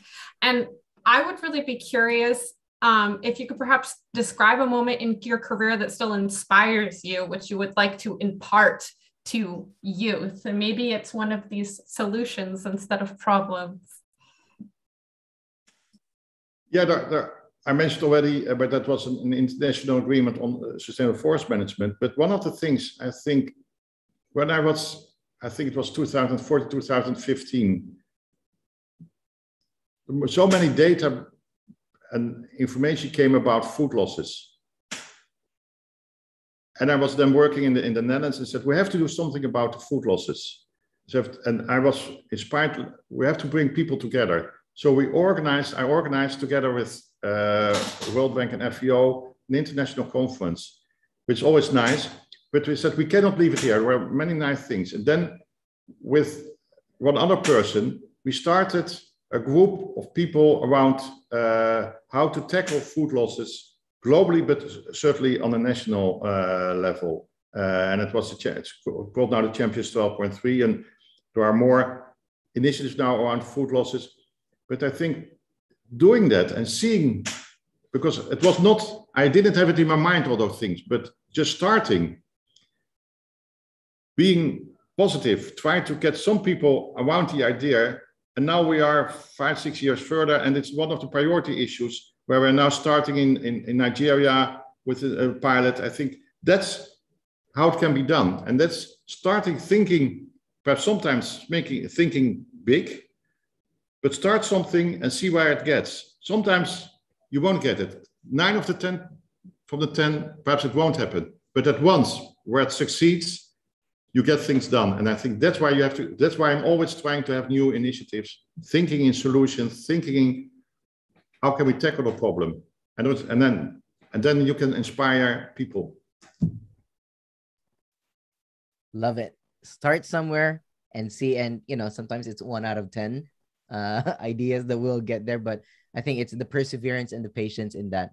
And now I want to take a different spin on this, uh, Your Excellency. If if you would uh, oblige, uh, this is this is always the context. Us young people asking you the questions. Um, and I we want to take a different spin to this, like you said, take thinking out of the box. We'll put a different twist to it somehow where maybe you have some questions for us young people and we'd love to know what you want to know from us or what you want to posit to us as a question. So ambassador please do go ahead. Yeah please call me hans because with all those ambassadors excellencies we create so much distance uh, okay. uh, and that's not needed because i think all right. the more we just meet each other and see each other as young and older people with a name uh, brings people much more together. But my question, of course, is you have had an amazing success the last couple of days. What will be your two, uh, two lessons learned, main lessons learned, and what will be your two demands, and not requests, but demands, I would say, to uh, uh, the, the Council uh, of FAO happening? Jenna, do you want to take one each of those? Definitely. I would love to. Thank you for giving me the chance to respond, of course. I Go think ahead. that one of the main um, lessons learned is that there is, of course, a lot of power with youth and there's a lot of interest. And so there is the potential for this to move forward and that this is going to be something that can sustain itself from the energy. And so that couples my lesson learned to a demand, which is something that has been discussed over the past day and a half, is that young people often lack resources. And so this World Food Forum, of course, needs the ongoing, especially financial, intellectual support of the Rome based agencies. Great. And I'm gonna come in on that after, and then let Hans um, respond to it. And uh, for me, I think the lesson learned really is that this is um, basically the past uh, five days of the World Food Forum has been just really a tip of the iceberg of what young people can bring into the food systems. And I really hope that that's something that the the agencies, the stakeholders, the member states have seen and see the value that young young people bring in. Um, the creativity and innovation that young people have is just right there, and it's just waiting to be tapped and discovered and unlocked. And I think that's something that the food systems really need. Um, the uh, the demand I think on on the on my end would be really to look at how um, you know aside from of course the budgets that would necessarily um, enable the the sustainability of these kinds of platforms so that young people can be engaged without having to you know there there's always this this struggle between with, with young people having to have that, that day job just so that they can get by on a daily basis as well as doing the advocacy work that they love because they have a passion for food systems and issues around food systems that they feel and they see in their communities. And so the, the the the demand really would be more how do we enable that these structures are cascaded down um, and that the the Rome based agencies can create that policy environment that allows member states to provide these spaces for their young people at the country level and that they are empowered at that level so that they can be heard and then those voices can be brought to the global level where also most of the policies are created. So it's really on that note. And I see our colleague from India, Falguni, also has an intervention. And Falguni, you have the opportunity to present what you have in your mind and intervention to um, Hans as well. Go ahead, Falguni. Thank you, Chair, and Namaste. Namaste, Hans. Actually, we have to work like the whole world is one family we have to work like one family, not like uh, jealousy, not like ego. And we have to work from local level to globalization. We have to focus from local to vocal as a globalization. And as a young, we are the powerhouse of nation. And as you know, Hans and many other director and delegates, they already done. They, they are our senior. We have to inspire from them and we have to do something. Actually, as you know, we are in midway of SDG 2030 achievable. We are in 2021. We have nine years to achieve 2030 agenda. In, in 2030, if we will not achieve, then it will be a shock for us. Those things um, our senior and our elder done. If we will not achieve 2030 agenda in 2030, we have to wait 2063. So we have to be work together and we have to be focused on local level. And another thing, we have to believe in trust deficit and green finance. And we have to be promised that we have to focus our local SDG. If we will easily achieve local SDG, then easily whole world will achieve SDG. And another thing, we have to be corporate as a friend in need, a friend in need. And another thing, we have to be create development cooperation, bilateral development cooperation, and gender and equality and self-realization and traditional donor. And we have to be a like a friend in need, a friend in need. Thank you. Thank you. Thank you, Falguni. Lots of concepts there that young people want to see uh, working as a family. And again, thank you again, Falguni, for that intervention. Hans, over to you to respond to to what we've just said. Yeah, I think always you get the question of uh, funding on the table. Uh, not nothing uh, will happen uh, on its mostly nothing will happen on its own. But I think with what you have done, the fantastic job you have done, an amazing job you have done with the first World Food Forum, I think you have created something which cannot be denied anymore. So you created a position for yourself. But I think that's what you can expect from from uh, FAO management, but also from, from me as independent chair, that we bring you to the governing bodies. But also important, I think, when it comes to funding, uh, to come forward with two or three concrete initiatives which need to be funded at country level, not at global level, because at global level we can think be creative. But at the end, and I, I agree what was said by Falguni, at the end of the day, it has to be done at the national or local level. But if you can develop two or three concrete ideas where you say, okay, this can be done, but we need this kind of funding and don't come directly with millions. Uh, I think with the network we have, with the network we have also with the World Business Council Sustainable Development, with some uh, with the NGOs, we should show you that we are listening to you to help you finding the funding for those three, two or three proposals. Because I think that's a mechanism that we have to start to working on. That's how I worked in my past without having much funding, but created with an idea and see if it's a good idea, it will get funding. I'm working now with an amazing uh, young woman about a, a cookbook uh, with zero or almost uh, less carbon. It will be launched later uh, this month or she started with an idea and now she has funded, she got funding because of the idea. And I think I've worked also with Kiran Sethi from, from India, from your country. Uh, she started the Riverside School and a movement for young children to show the idea, yes, we can. And two years ago, she had an, a youth summit for children around between 10 and 13 years. 2,500 children from 40 countries were here in Rome, showing their ideas, showing their movement, yes, we can. It started from scratch, see where she got with the funding. I think that are that's leadership and it shows where you can get with good ideas.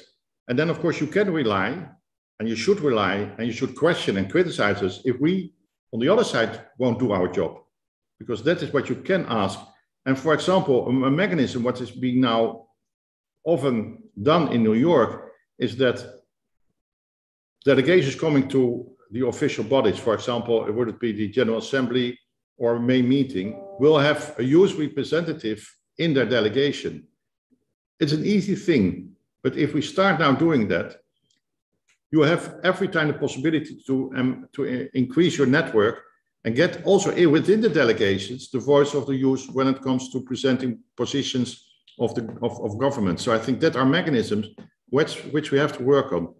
But you have to, I say, count on us. We count on you because you have to deliver as well. And I think that's important. Come with those ideas, and you will get that positive spiral to hopefully much more success in the future. Thank you. And I think that's a low hanging fruit for the World Food Forum and the Youth Action Assembly.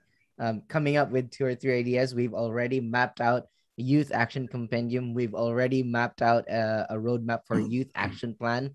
And I think definitely there will be two or three ideas from there that we can definitely develop and evolve and bring forward to you and also the rest of the uh, agencies who'd be willing to help us out.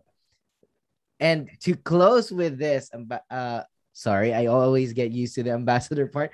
Um, um, Hans, you know, this is just a, you know, with with the SDGs um, right there. Uh, it's already around the corner, really, to say that uh, the SDGs are there already. Um, the the the question now for us young people is, of course, one is how do we explicitly become part of that uh, uh, agenda, and the the la- the second one is to um, how do we how, how what at least can you impart to young people that that inspired you through all these years that young people can bring with them to stay inspired in the in the cause for the sustainable development goals? Yeah i i i, th- I think i already said it. I think if you believe in yourself and you're believing in yourself otherwise you wouldn't have created this world food forum so now take the next step this is an, amazing and great success so take the next step, if you have a success story, to take the next step and make it concrete. Not only to have a voice here in Rome, but make sure that you can support younger people at country level to find support at the country level. And, uh, and I, I know uh, Maximo um, did a great job within FAO uh, by supporting you. Uh, and he uh, broke down silos within the, within the organization to make this, this happen. But Maximo knows, and, and, and perhaps Jim also know, the great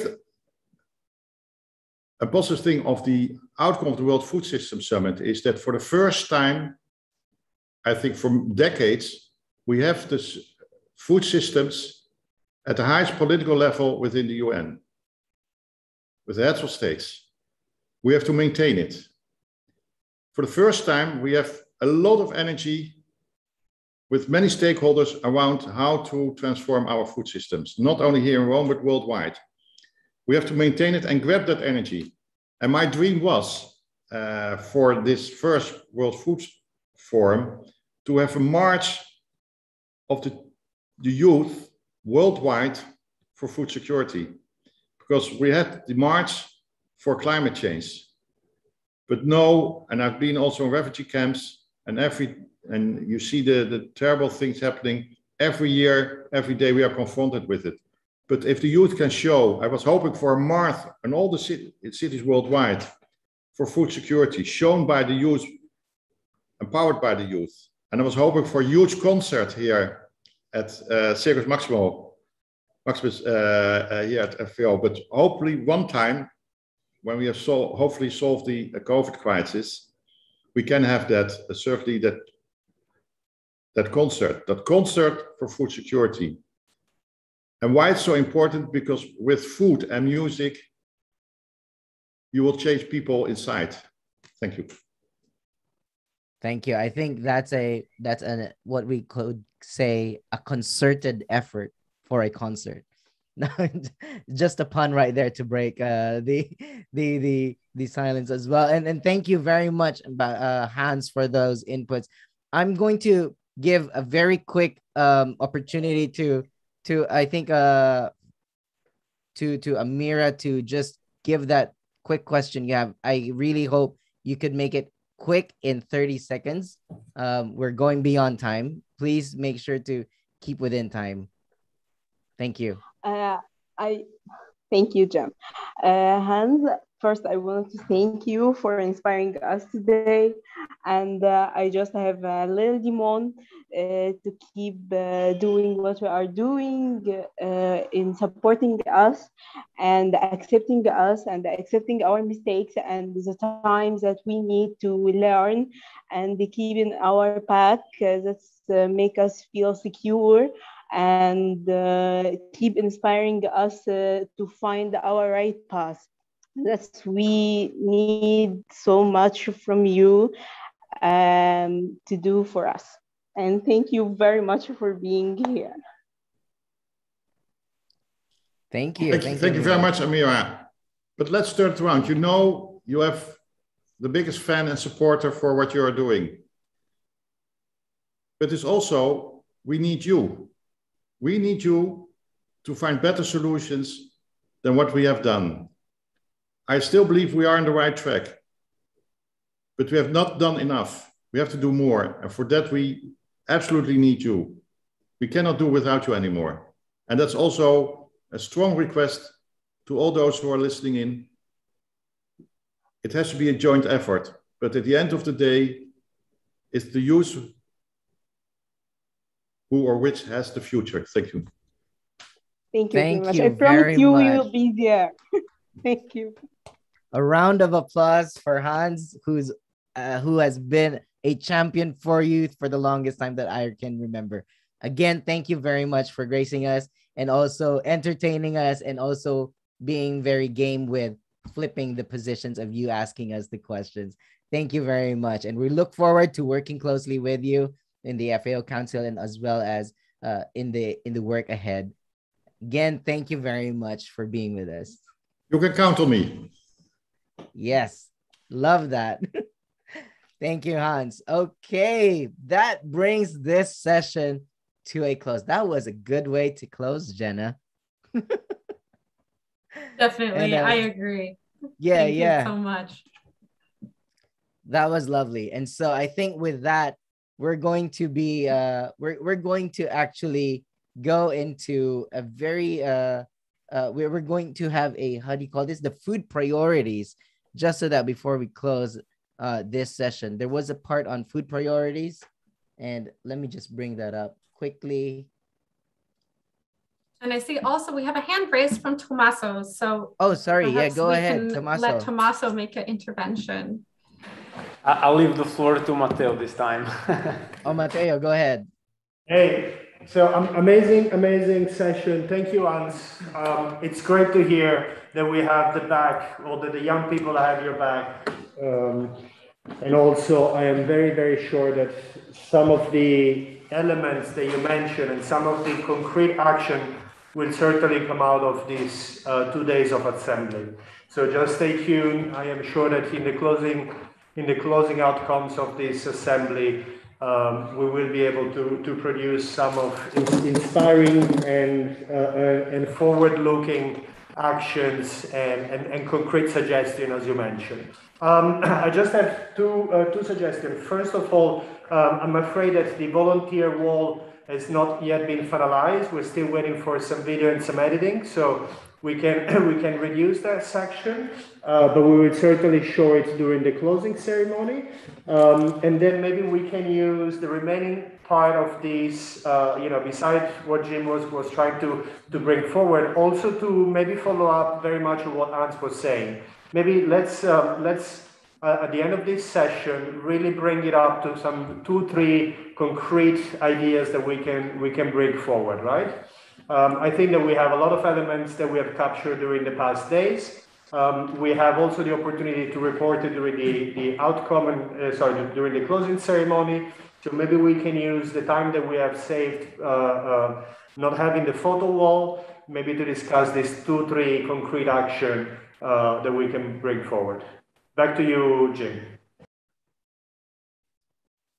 Thanks, thanks, Matteo. Uh, before we jump into that, and this is basically what I was talking about, um, and and so that we continue engagement also, and of course, this will go into also the kind of work that that we have uh, prepared for you know the working groups and the action compendium, and it's really about we want to know what you think are your food priorities what you think should be prioritized. It could be challenges it could be solutions it could be issues anything around foods that you think should be prioritized um, so we we encourage you to go take a picture or use a picture that you visualizes that post it on social media and use the hashtag uh, food priority and hashtag food for future so go ahead and do that as well and and just uh, show us and tell us also what you think should be prioritized around food. All right, with that, I think um, we can go. Oh, we've done that. And Matteo, how do you how do you propose Jenna? How do we do you want to jump into that? Definitely. I mean, I would like to just read a quick would you like list of thank yous uh, for the youth volunteers. I know our photo wall will be at the closing ceremony now. Um, and I just wanted to acknowledge all of the hard, hard work that went into the preparation of this World Food Forum here, especially at the Youth Action Assembly, because we have a lot of dedicated participants here who have tuned in over many hours. For a lot of folks, it's been at bizarre times of the day that we don't normally sit in front of the computer just to make this virtual event and gathering happen, right? And so that's like a huge sacrifice that everyone has put forward from their personal time. The majority of this, or a lot of this, has been volunteer hours that have gone into this. Um, and so it's a huge thank you. And it's a huge thank you to those volunteers, to the participants, to the FAO staff who has been working tirelessly, staying up late, waking up very early. I know it's a huge thank you. I see Kazuki just posted in the chat. Thank you all. Kazuki has been working tirelessly and also with the GERT FAO teammates, right? So Matteo, Maria Teresa, Tommaso, Tomas, Emma, um, Giovanna, this and also Maximo Torero, thank you so much for the support that we've gotten through the World Food Forum. We've also had great volunteers here. So you see Jim, he's been dedicated, tuning in all the time. We've been having Friday meetings to help prepare this. Ugratna, you saw yesterday, has done a lot of the brain work behind this governance document. We also had Lisane, she has been so dedicated, really being a leader in this group um, just out of her own goodwill and her dedication to this. Um, Lana, she helped co-lead the action track document. Um, we also had Pramisha, who you saw yesterday, co-moderating a session. She's also been fantastic from Major Group of Children and Youth. And then I hope I'm not forgetting anyone on my list here. We've also had Lawrence, who was um, co-moderating a session, and we've also had fantastic presentations, for example, from Amin, who is also participating dedicatedly. And thank you to the participants, right? So Amira, Falguni, um, Amin, and also our lovely interpreters. Thank you so, so much. And that's all for my thank you list. I know that I definitely forgot someone, um, and it's not because I don't value your contributions. It's because I um, quickly put together this list because the photo wall is moved to the evening session. yeah, thank you. Thank you. Thank you for going through that list, Jenna. And I really uh, appreciate you as well. Thank you very much, Jenna, also for the time that you've put in along with everybody else um, this has been something that we've done in the past two months and it's just like meetings after meetings and um, and sometimes it's been you know at very um, uh, t- times of the day that you don't normally have a meeting. But yeah it's re- it's just really to see this go through and, and pull through and we're really happy to see it come to fruition and we're hoping to see and we're very excited to see how it's going to move forward. Um, and with that, um, I, I see Amin has his hand up. Uh, quick shout out there or an intervention. Go ahead. Sorry, Jim. I thought that uh, I could uh, maybe uh, because I just saw Matteo's intervention that was asking that we can fill the time or like talk. So I just was thinking like, is it a short time that we have or no? Because I just wanted to comment uh, on uh, what some some of the things that Hans mentioned. So do we have time for that? No. I would say, I mean, I would say we have about like up to half past. So there's probably like 17 minutes, I think. Um, just for the very reason that I'm going to be moderating another session right after this. Mm-hmm. So I mm-hmm. need a quick break between these two. Sure. So go ahead. No, no, and I think I just want to say something minutes, very short. Yeah. Thank you. And, and first of all, I think it's very important that we had this appreciation of all of us to once again, uh, I mean, to, to, have this feeling of, of togetherness and, and thanking, which maybe does not uh, exist in, in many other environments, and always to have this uh, vibe with us. This is this is a true youth action that we're actually doing now to appreciating each other and, and, and recognizing what we are doing and being grateful for where we are. And uh, relevant to that, about what Hans was, uh, let's say, uh, about the comments about Hans and, and what he was saying about the youth. I think uh, when when we give uh, let's say some inspirational talks to the youth that come on go believe in yourself this would be maybe for uh, a bunch of youth that the majority of them are not confident enough in what they're doing. But I think us as the team that we are working here now in the World Food Forum or participating, we are confident enough. We know we're doing an awesome job. And I think this is a kind of a reminder for, uh, let's say, older age-wise generation that we, the reason that we are having an event that is called the World Food Forum and it's being uh, presented or powered by the global youth is that because this youth is out of the scene in, in, in high levels and has been not there. So we are really looking forward to a future that we will be recognized and this includes this will be included uh, in, in, in all of the uh, in all of the scenes that we don't need to bring the youth like very bold out there. So we are already working in the process.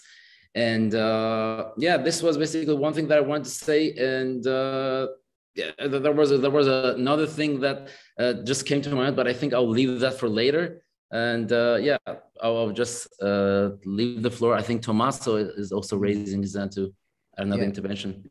Well, thank you, thank you, and definitely, yeah. Uh, we I think we certainly agree on that same note that young people are here. We've already presented ourselves. We've see we've done the work, and we just need that push.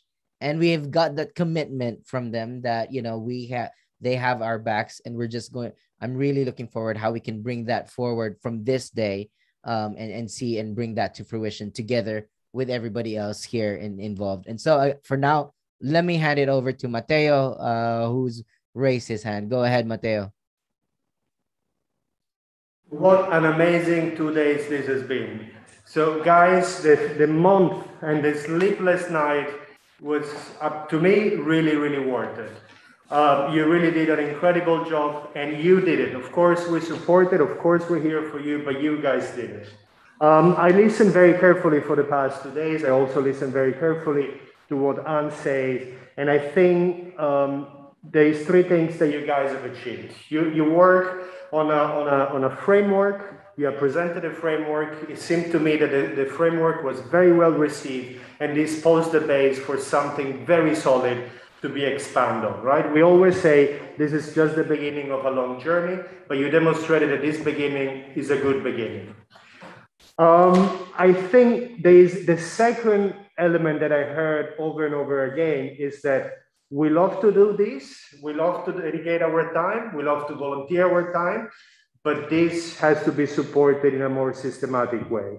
And I mean that for all the volunteers' time that you guys have put, the sleepless night beside your work, I think that that has to be recognized, but it has to be supported in a more structured and possibly long lasting way. If the World Food Forum is there to stay, is there to stay because you are not just volunteering all your all, all your free time because I think that you deserve also some some good quality time beside the World Food Forum, but you dedicate and you are recognized for the dedication that you put in a, in a number of different ways.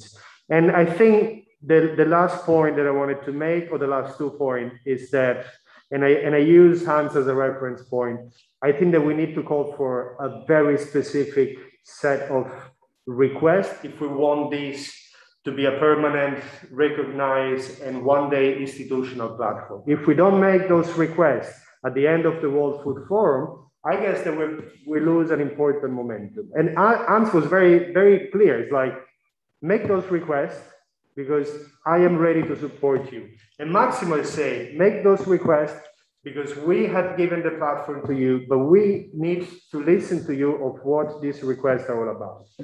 So I I, I, took the opportunity to reflect on when, when Hans was, was uh, uh, talking, and he said, you know, we, you build a momentum, an incredible momentum, a global momentum, but now we have to keep it. And to, and to keep it, you need a structure, you need support, and you need also recognition. So I think that that is one of the elements that I would like you to reflect on.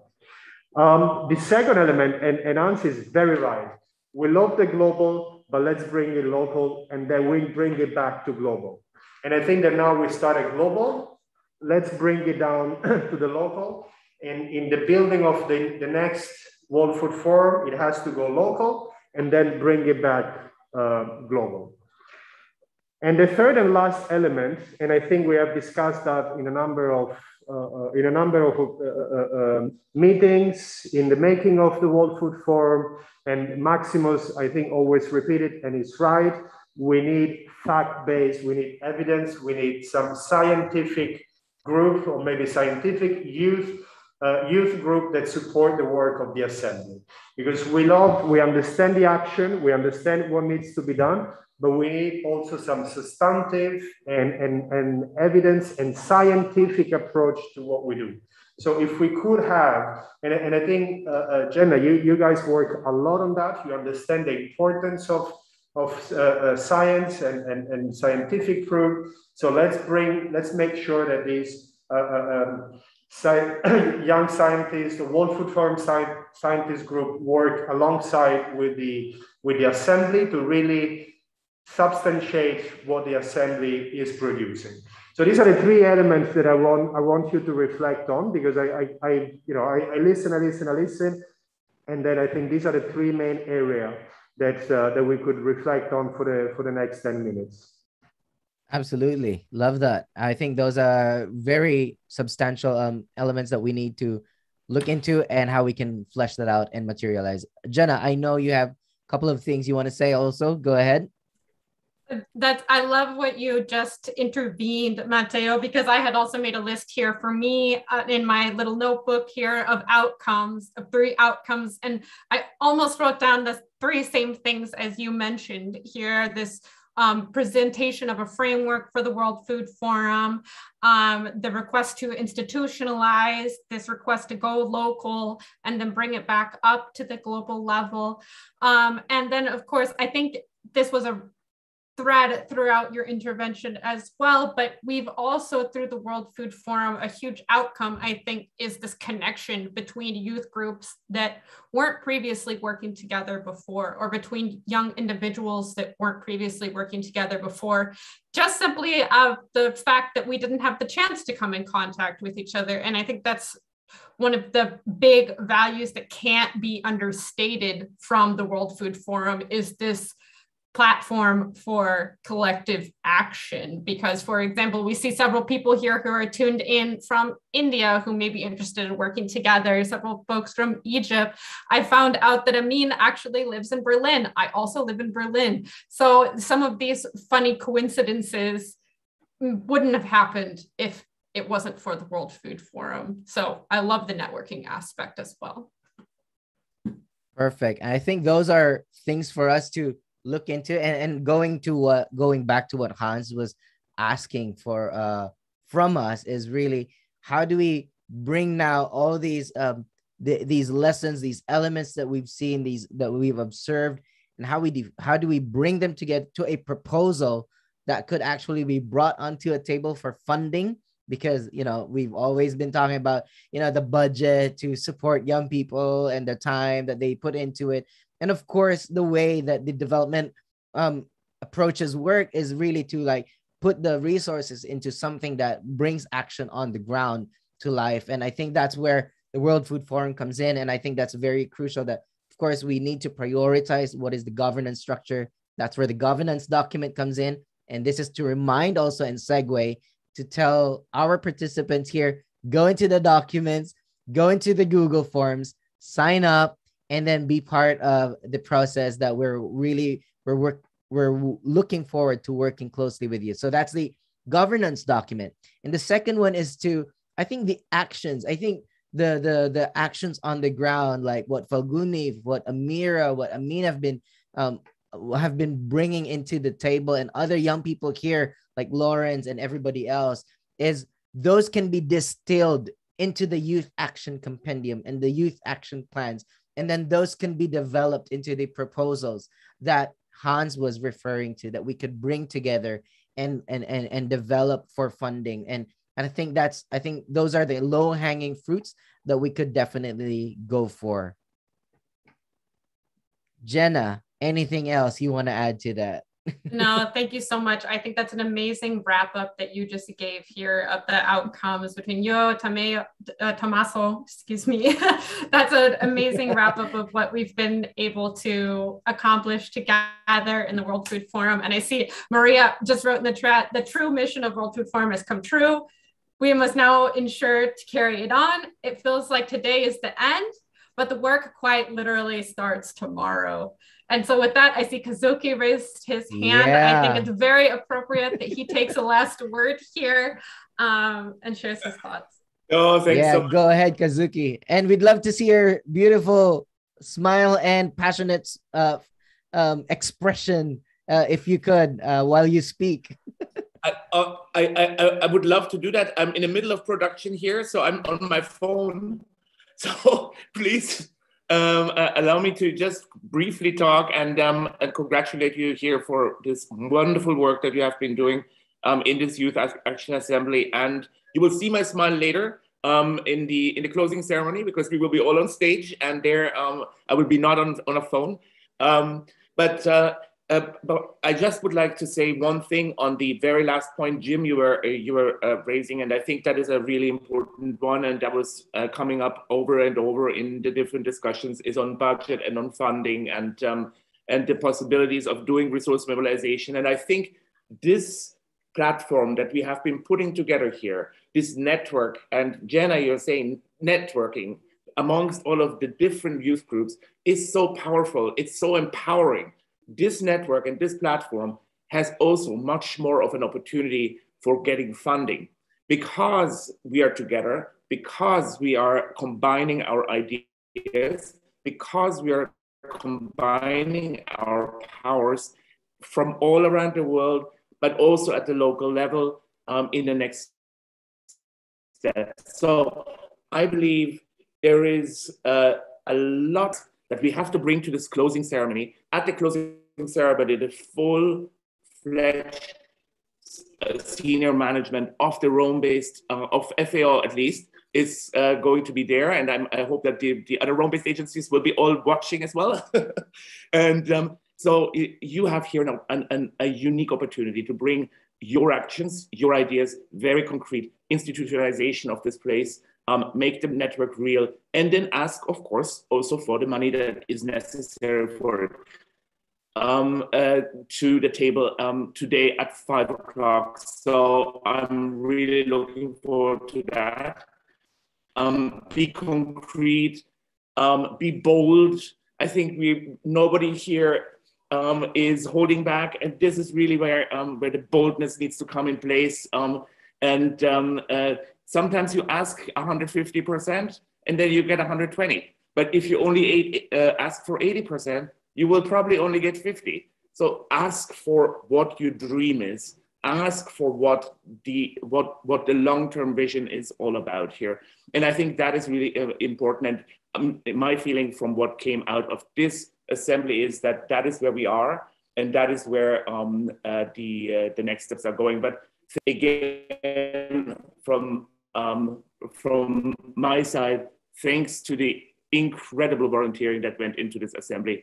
And um, uh, uh, Jim, you will see my face later and I will smile, I promise. Back to you. Thank you. And that's a wrap. Uh, absolutely lovely way to end it and cap it off from the World Food Forum coordinator. Um, again, a round of applause to everybody whose work uh, from the FAO team, from the volunteers, uh, from the from the people leading and w- people working behind the scenes. An amazing uh, thank you also to our interpreters who, through the technical issues a while ago, we've gone through that and we've achieved this and we and we've we've reached this point. So to close, this is not the ending. This is just the beginning. And, and we do have a closing ceremony. We also have the launch of the Foodicons coming up um, at, at 1300 uh, Central European time. That's also an amazing um, initiative. And so, again, go and attend the closing ceremony also. And that's where we're going to do a lot of our, uh, put at least our our calls, our demands, and also share that um, that that passion with everybody else. So uh with that, oh, is there something that you wanted to say, Matteo? Yeah, I would like everyone, all the members, let, let's bring everybody up. Put your camera on. Let's make a beautiful and uh, and smiley picture. We will take off the mask for a couple of seconds just for the picture. no, no, I, the, the, the, Roman police say no. But let's bring let's bring everybody up. Let everybody put on the, the camera and let's make a proper World Food Forum smile for this beautiful, beautiful end of the morning. And please, as while we're doing that, yes, let me join uh, Jim by calling all of you to attend the Foodicons meeting. This is where we're going to discuss icons that are related to the food system they're going to help us better communicating across cultural languages and uh, ge geographies. Uh, but also do join us for the closing ceremony at 5 p.m., where our young leaders are going to make some proper, proper requests to all the FAO management and to the all the, the people that are listening to the World Food Forum. So bring your camera up. Uh, so you take the picture?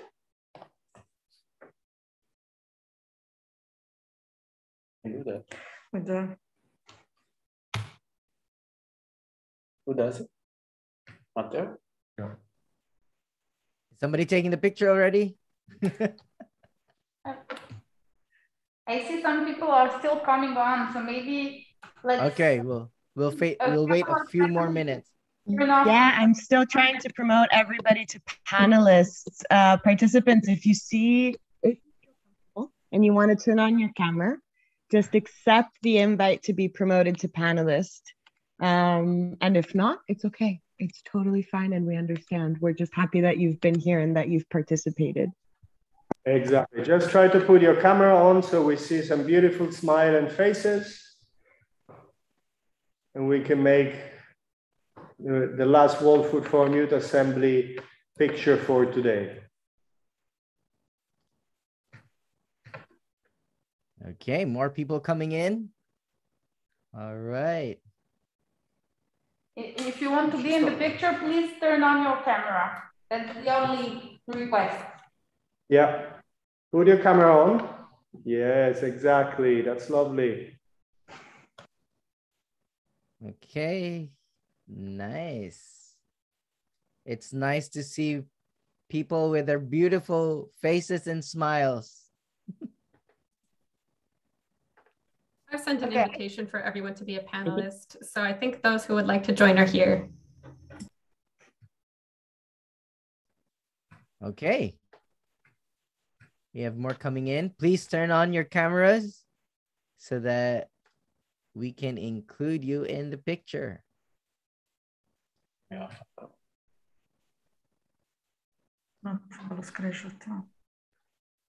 All right. All right, three, two, one, smile. Fantastic. Gorgeous. See you all at five, people. Thank you so much. It's a wrap for the Youth Action Assembly. Thank you, Jim. Thank you, Jenna. Thank you, every single person in this room. Tune in at five. Pleasure. See you. Thank all. you so much. Ciao. Bye. Ciao. Bye. Thank you. Bye bye. Thank you, everyone.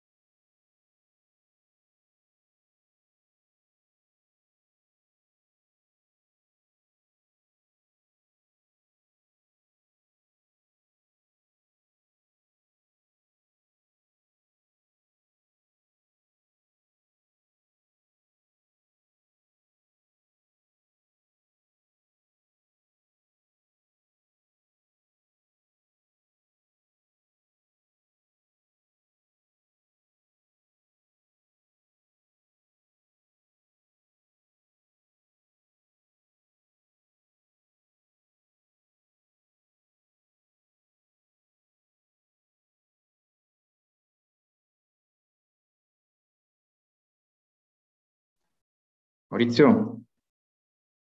Ciao Ivan, buongiorno. Ciao Sì. Maurizio, tutto bene? Bene, tu? Bene, bene, grazie. Posso provare a mandarti il video? Mi dici come si vede, come si sente? Sì, mandalo, dai. Vado, eh, che non c'è nessuno ancora. Mi sono scordato pure il telefono oggi. Mhm. Che, fe- che genio. Vado, eh. Vai. Allora, metto full screen.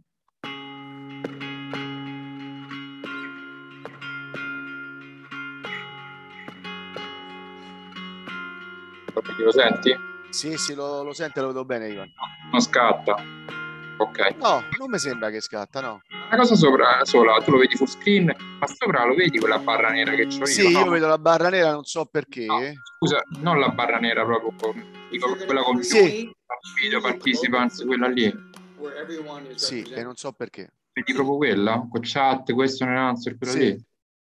Eh, quella come faccio a togliere? Se faccio così la vedi che si sposta giù, giusto? Sì. Non te lo so dire perché, Ivan. Eh, tu c'hai pure la camera off. Ah, ecco, hide floating meeting controls, mi sa. Ecco. Così non lo vedi più. La vedo in mezzo. La vedi in mezzo. Sì, la vedo in mezzo, in mezzo. Adesso se n'è andata. Non vedi perché, Ivan. Non lo so, a volte fa... Non lo so perché a volte fa così, però lo fa. Ah. Vabbè, vabbè, non è un grosso problema, no? Cioè, No, no, no. Ma sta riunione com'è? eh? Però se faccio hide, adesso non lo vedi, è andato via, no? No, no, adesso sta sempre in mezzo Mezzo e poi dopo un po' va via, mi sa. e dovrebbe andare via. Dopo un po' mi sembra che... Sì, adesso è andata via, dai. Allora, allora faccio così, guarda come faccio, aspetta, eh, allora stop un attimo. Allora faccio così, faccio share. Aspetta, stop. Allora, faccio share, ehm, questo, Ah, io chi? Aspetta, aspetta, questo non sei. Vai. E quest'altro che c'ho. Hide, così non li dovresti più vedere e, e poi parto col video, giusto? Io la vedo un attimo e mezzo e poi dovrebbe and- è andata via, dai.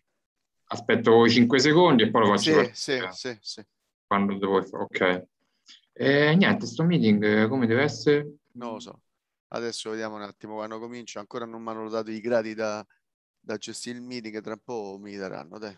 Ok, va bene. A dopo. Grazie, Ciao, ciao. Ivan, ciao, ciao.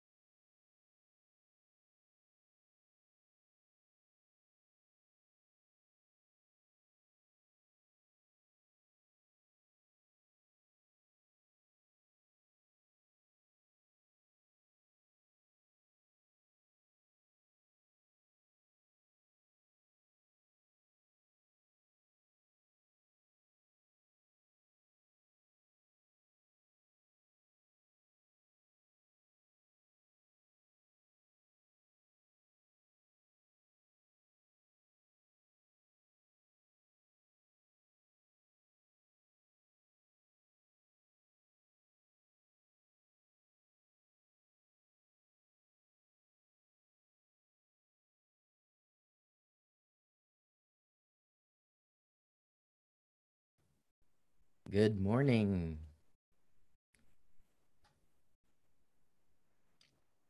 Hey Nathan, is um uh you mentioned Ali would be introducing some of the designers? Yes, or... Ellie will.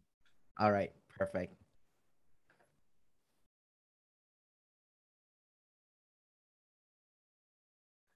Good morning, Robin. How awesome to see that you could make it. For whatever pain you're in, it's four o'clock in the morning here. and yesterday, Jim had us do it at 2 a.m. because they had to start really early. I didn't even go back to bed. I just Hi, stayed Douglas. up. How are you? Hey, Maximo. Hi, Maximo. Hi. Why you are not sleeping, Douglas? I am I am on my feet sleeping. Maximo, I want to introduce you to Robin Metcalf, who's been an inspiration to. Hi, Robin. Uh, I have seen her in all the videos. Yes. Hi, how are you? Nice to meet you. And also Nathan. Uh, I have seen all of you. Thank you so much. Oh, you never met, uh, Maximo, you never met Nathan until just now? Yeah. Um, yeah, virtually only. We're legendary to each other. Yeah. you see, Maximo, Nathan is like the guy that got the invitation to the dinner party and wore the proper clothing. He has the right background. See that? Everyone else is just like, we just made it. Somehow we got here. Ellie and I, yeah, both. Yeah, Ellie also. well, Ellie has a background too. Yes. Interesting how they kind of uh, work together as a team, those two. So.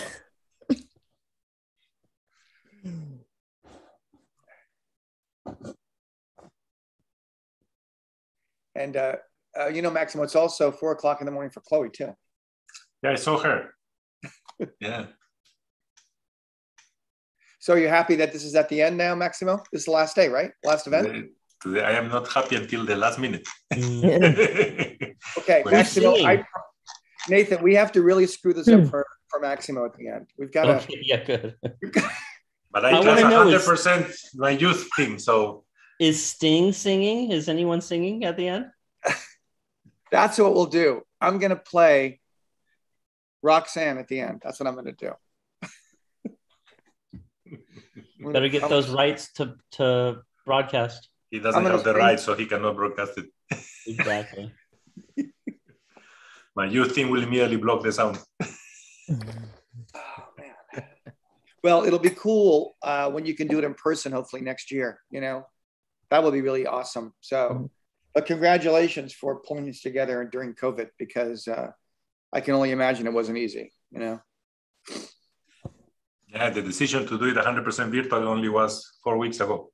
I know that. I know that. I remember you were you were I was in I was in meetings where people talked about live and not live and how they were going to organize that. So, but ultimately, probably was the right decision, right? So.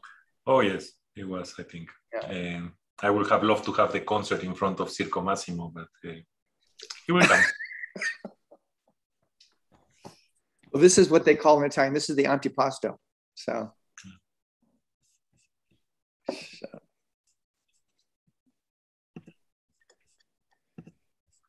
Perfect. Okay.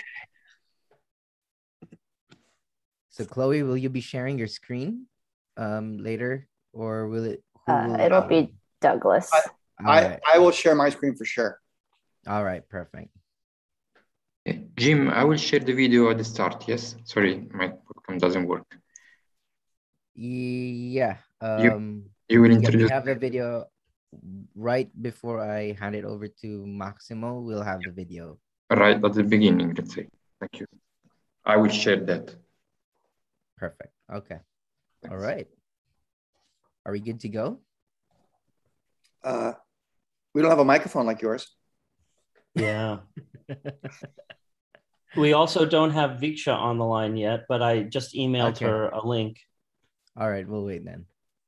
you might have to pull her out of the crowd, right? Because she won't have the right present. She won't have a participant link. Uh, I just sent her the link I use, so maybe that'll work. Should. Ciao, Matteo. Siamo al Siamo arrivata alla frutta. There's a phrase, uh, Robin, in Italian, which is you say, We have arrived at the fruit, which means it's the last thing that's served at the dinner. And when I did a book about Tuscany, the very last image of the book was an image of uh, two men at a table peeling an orange at the end of their meal. Siamo arrivato alla frutta. Do you still use that term, Matteo? Some days, when, when appropriate, absolutely yes. well, it would be appropriate right it, now, right? It would be appropriate right now, very much so. How has the how has the rest of the summit been? It, it has been great. I, I think that we start to have people connecting. Um, and the registration has started. Maybe maybe we can have a, a, a, chat after after this session. I would love to bring you up to speed. Fantastic. Got it. Jim, the floor is yours. All right, I see Viksha here already as a panelist, and we're good to go. All right. So, good evening from the Philippines. Good afternoon to those in uh, Italy and Central European time, and uh, and everybody else in the middle of the world. And good morning to those in the earlier part of the world uh, with uh, Douglas and everybody else, Chloe and everybody here. Good morning to you all, and um, good day to a- anybody who's here in the in this call right now. And so, my name is Jim, and I'm working closely with World Food Forum, uh, specifically in the Youth Action Assembly. And I'm very happy and privileged to be here with the Foodicons Lounge. This is a very exciting session that's up for you guys. So to introduce quickly, uh, just an overview of what the Foodicons is. Foodicons is a global challenge sponsored by Adobe, the Lexicon, AIGA, and the Noun Project to create a visual language of food. An iconic iconographic language can help communicate more universally across borders, languages, and backgrounds farmers, food producers, retailers, and consumers will be able to use the open source icons as a shared language to depict everything from basic elements like water and peanuts to more complex concepts like no-till farming and buffer strips. Today, we'll share how designers have come together to design these icons in collaboration with food experts from around the world and showcase examples of how they can be used. Finally, learn how you can join us in creating this visual language of food in a new partnership between Foodicons and the World Food Forum. And with that, there we're going to have a video just to introduce the Foodicons.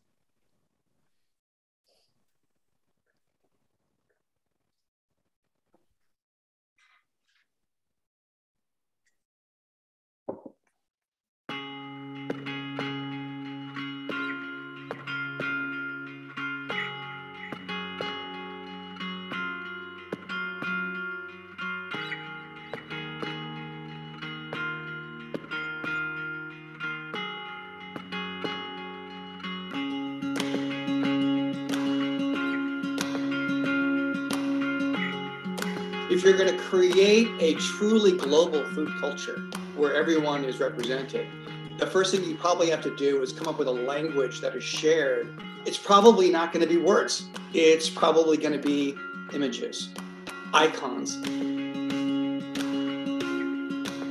Foodicons is a way of overcoming at least partially linguistic and geographic barriers. It's an ambitious project meant to serve people throughout and across the food system from consumers to professionals of all kind.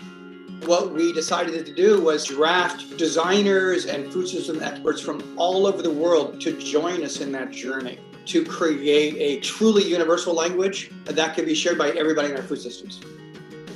I really like this double uh, mission here if I speak Hindi, that's my first language, and you speak English, even if you see one particular icon, we are literate in that same language. Yo creo que es súper relevante e importante tener una alternativa más de, de un lenguaje, más allá de, del escrito o del hablado, y por eso yo creo que creo que los iconos son una parte importante de la cultura actual.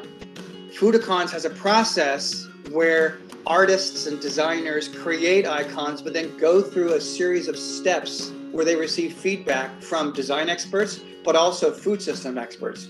And these designers have done a, a terrific job trying to interpret it in a way that is both simple but yet informative. Not only are we crowdsourcing these icons from people all over the, the world, but they're all going to be open source. There's going to be no limitations on anyone in the world using them for essentially any kind of practice. I think timing is everything. And I think this is that moment where people want to be part of something bigger than themselves and want to contribute to something that has a high degree of utility. It's really important to me to work for something greater than just myself, my country, or my culture, and be certain what we do here um, bring values for everybody in the world. It's clear that there's a visual language evolving that is teaching us how all these terms can relate to each other. And the most exciting part of this project has yet to happen, and that's seeing how people all over the world use them. We expect to see uses we haven't even imagined as people communicate how they work and eat to all kinds of stakeholders. Our mission at the World Food Forum is to support and empower the next generation to create a better food future for the world. And to do that, we need a language that all people can use a visual language like this.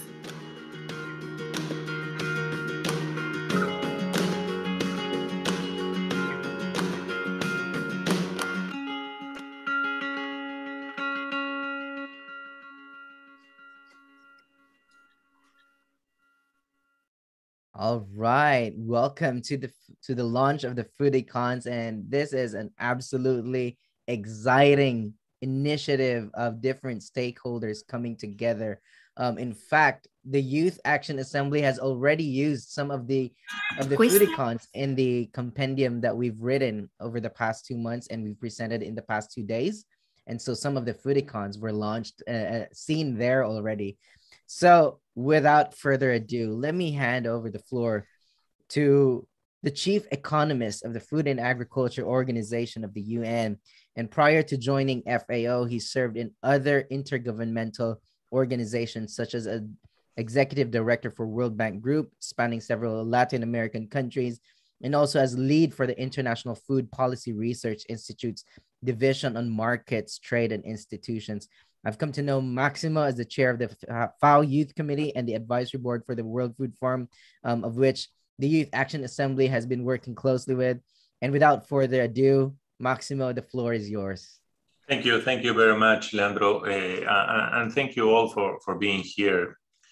Uh, several months ago, I think, several now, I met uh, Douglas more than a year uh, when the summit started. And, and I started to learn a lot, many things uh, they were doing with his team. And, and I was really, really impressed. And we started working together in many topics but these food icons, which which they have uh, been working so much, and, and, which now we are we are launching here with the with the youth uh, group with the World Food Forum, I think it's something amazing. It's something completely different, uh, and it's something that that for me uh, brings a solution to a huge problem that we face.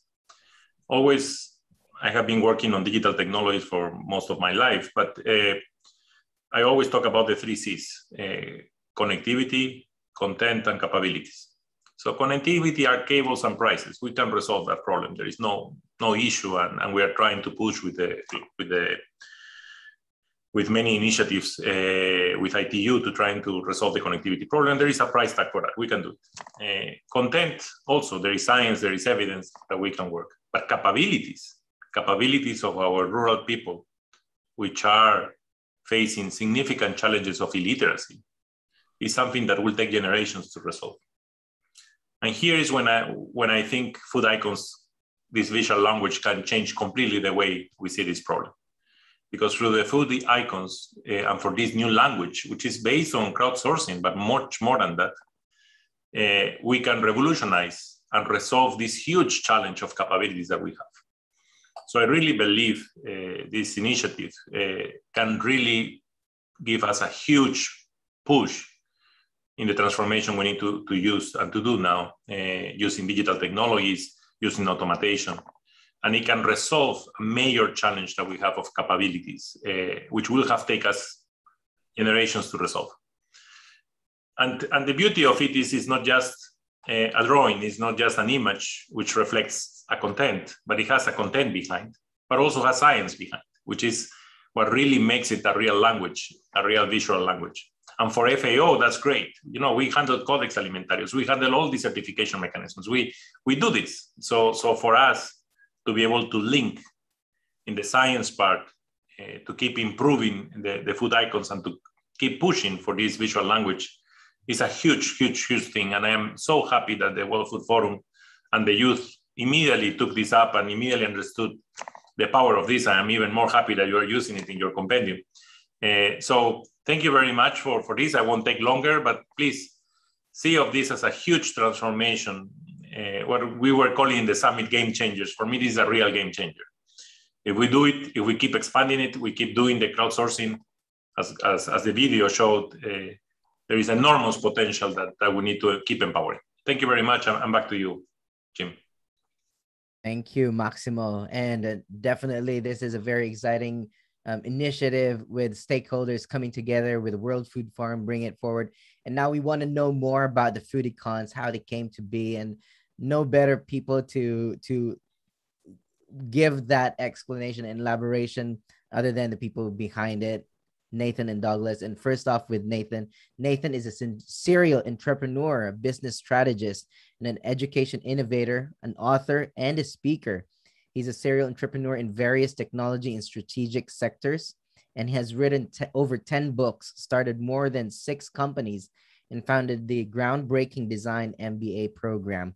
He's focused on building new tools for strategy and communication and leads the Foodicons Challenge, an initiative for building a global open source iconographic system for food systems. Nathan, over to you. Thank you.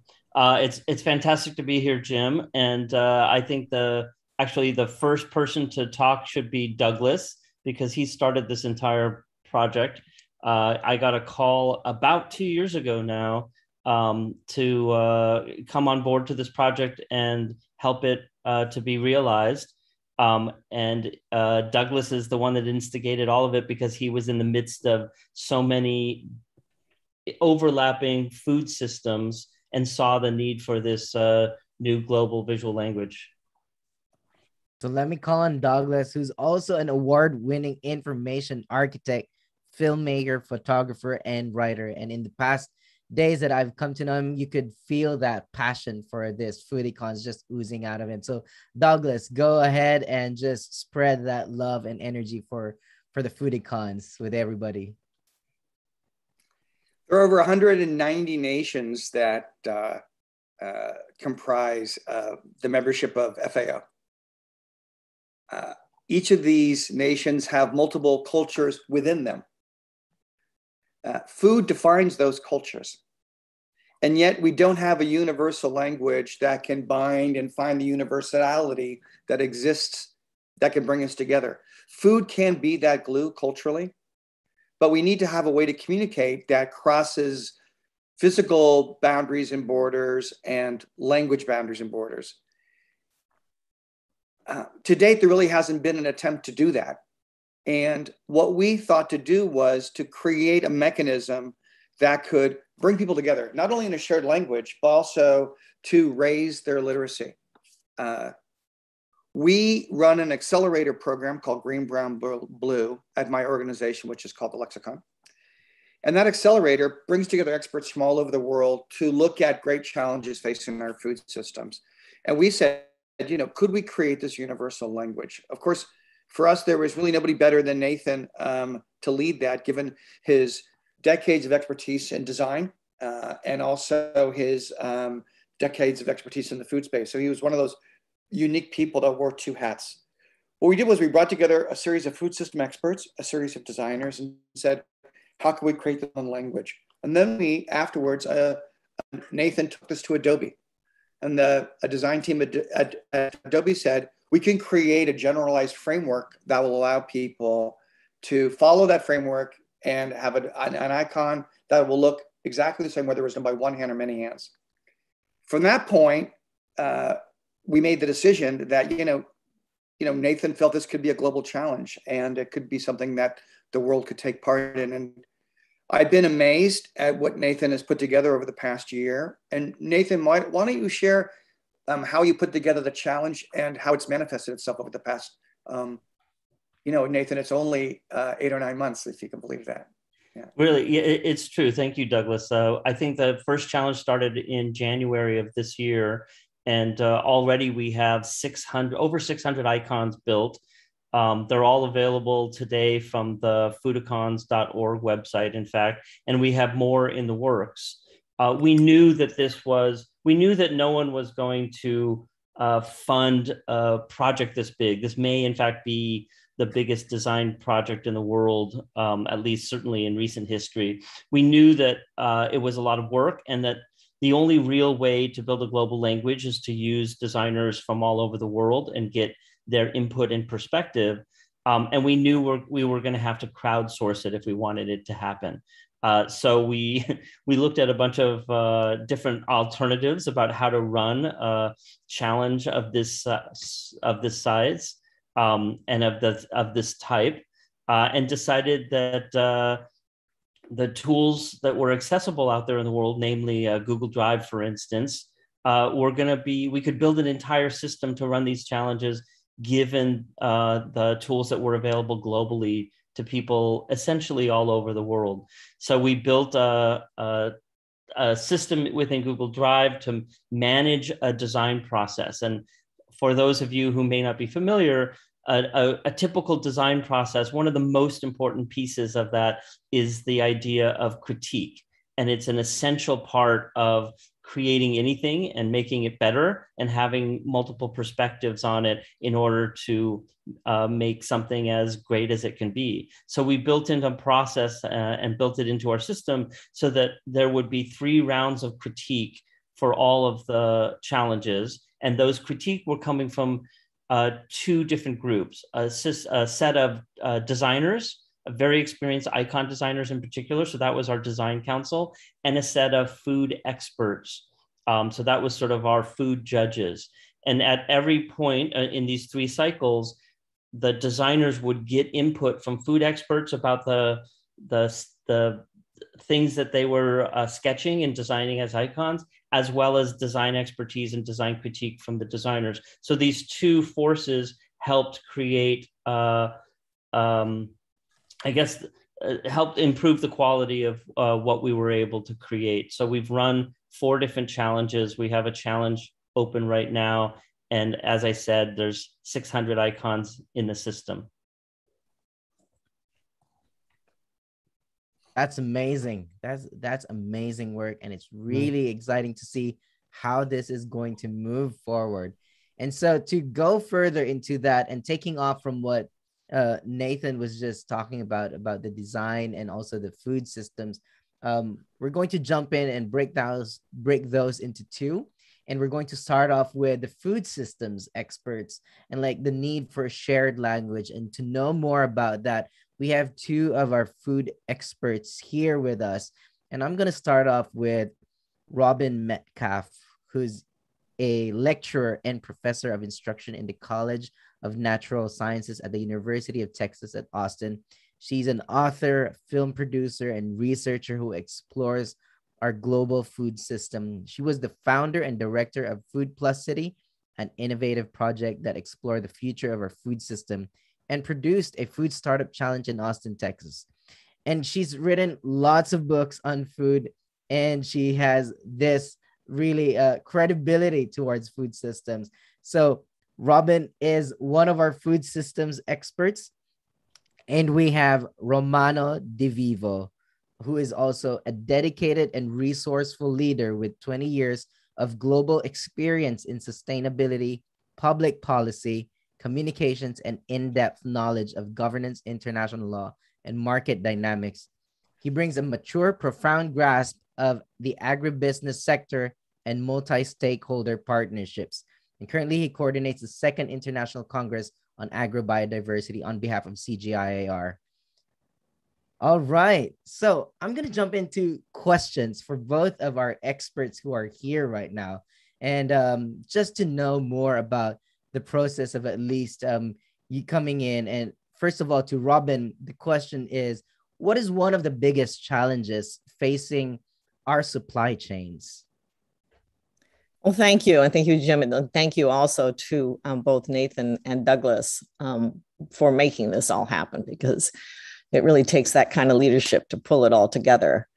Um, this food supply chain has been invisible to, to most everybody, uh, really up to this point. This is the this is this is as as Douglas pointed out in the video. This is its moment uh, to be to you know be something that we can really all engage in.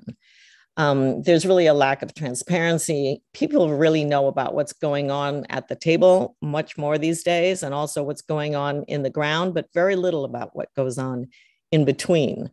And unless we can have a conversation where we can we can really talk across the whole landscape of the food system, we're never really going to reach a point where we really can solve the the all the friction points and, and the key problems in the food system. So um, I I think I, this is this project will really open the the gates to um, a much broader and much more textured conversation about the food system, um, and um, and it's in much need of, of attention. So this is this is a great moment.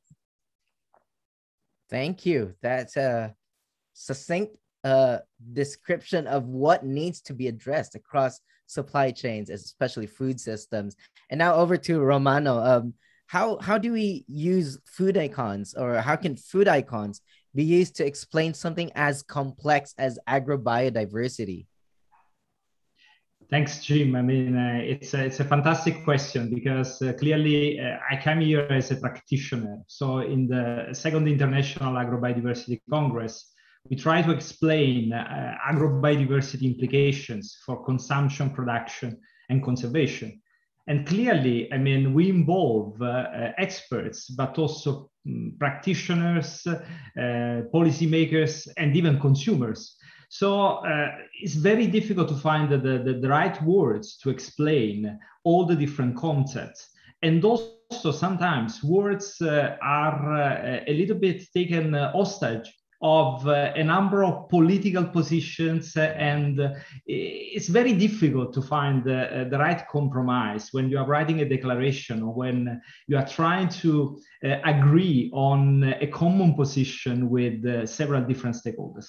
So to have an icon that explains the practice, that shows the next level, that tells everybody what it means, the implications, the impact, this is a fantastic way of communicating and uh, also bridging uh, from science to policy uh, to consumers. And this is really powerful. I never really experienced something so exciting. Uh, and I'm very, uh, really uh, grateful to Douglas and Nathan for this great opportunity of using their icons in, in our Congress. Thanks. Thank you for that um, elaboration. And um, I think um, at this point, I also want to do a quick follow up on maybe each one of you very quickly before we go on to the next segment. And um, going back to Robyn about the, you know, across food supply chains and having this kind of visual language. Um, in your years of expertise or at least your experience, is this something that could definitely in, you know change consumer awareness you know as as we talk about supply chains it's really in between from the production to consumption. But when it gets down to the line of consumption is it something that could really enhance that understanding through the transparency of a language across what the issues are how food is being produced and all is all of these things? What, what do you think about that well, I'm hopeful. Um, I think this is a tool that people haven't had um, up to this point to sort of bridge differences because, um, as we already mentioned, food is a, a deeply cultural and emotional um, uh, conversation, and people have been sort of standing over in their corners, uh, defending their their own points of view, and and really haven't been able to, to cross the barriers into a really shared conversation. So I'm I'm hopeful. Um, here at the University of Texas, we're teaching a course called Global Food Systems Design, and I look forward to introducing this language to the students. Um, and so I think beginning there um, is a bright light in the possibilities of, of reaching um, consumer awareness. So very optimistic. Lovely. That's lovely to hear. And just thinking about the potential is immense. Going to Romano, you know, talking about agro biodiversity being explained through food icons, and you know, something when we talk about um, food production systems, you know, sometimes it can be very complex for people to to grasp um, over just a cup of coffee, perhaps. But um, and, and, you know people have also different beliefs in coming into the way they produce their food and so how do you think visual language like this can also be a, a, a way to bridge between people's beliefs and understanding of what food production systems are fit for their context absolutely i think we we are talking about uh, food systems transformation and clearly, a transformation implies uh, collaboration from all stakeholders. And clearly, they, they need to understand immediately, visualize immediately what is the idea. And uh, uh clearly, if uh, um, we align uh, production to certain values, to the values of the SDGs, I mean, we still need then to, to align consumption to the same values and make sure that things can really work together. So uh, icons for the very first time, I believe, are giving this sort of opportunity.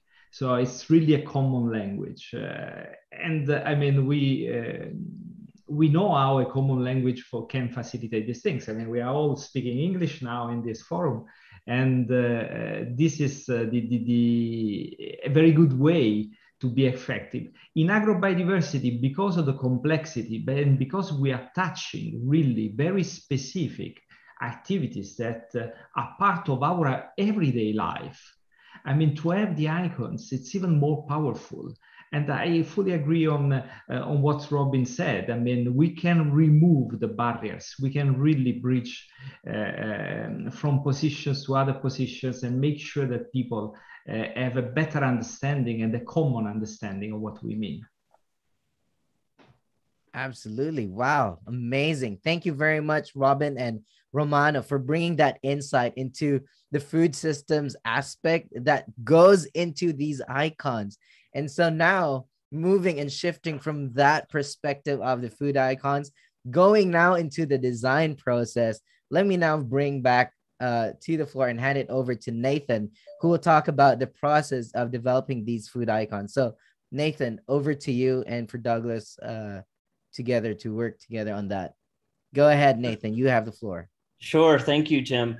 Uh, I wanted to step people through how the, the Foodicons design system works, um, a little bit about uh, how uh, designers design the icons themselves, and then show some of the work because that's why we're here. We also have one of our star designers online, um, and uh, Ellie, uh, who's one of our volunteers who's just been incredible. She's an incredible designer here in San Francisco. Will interview Viksha uh, about her process as well.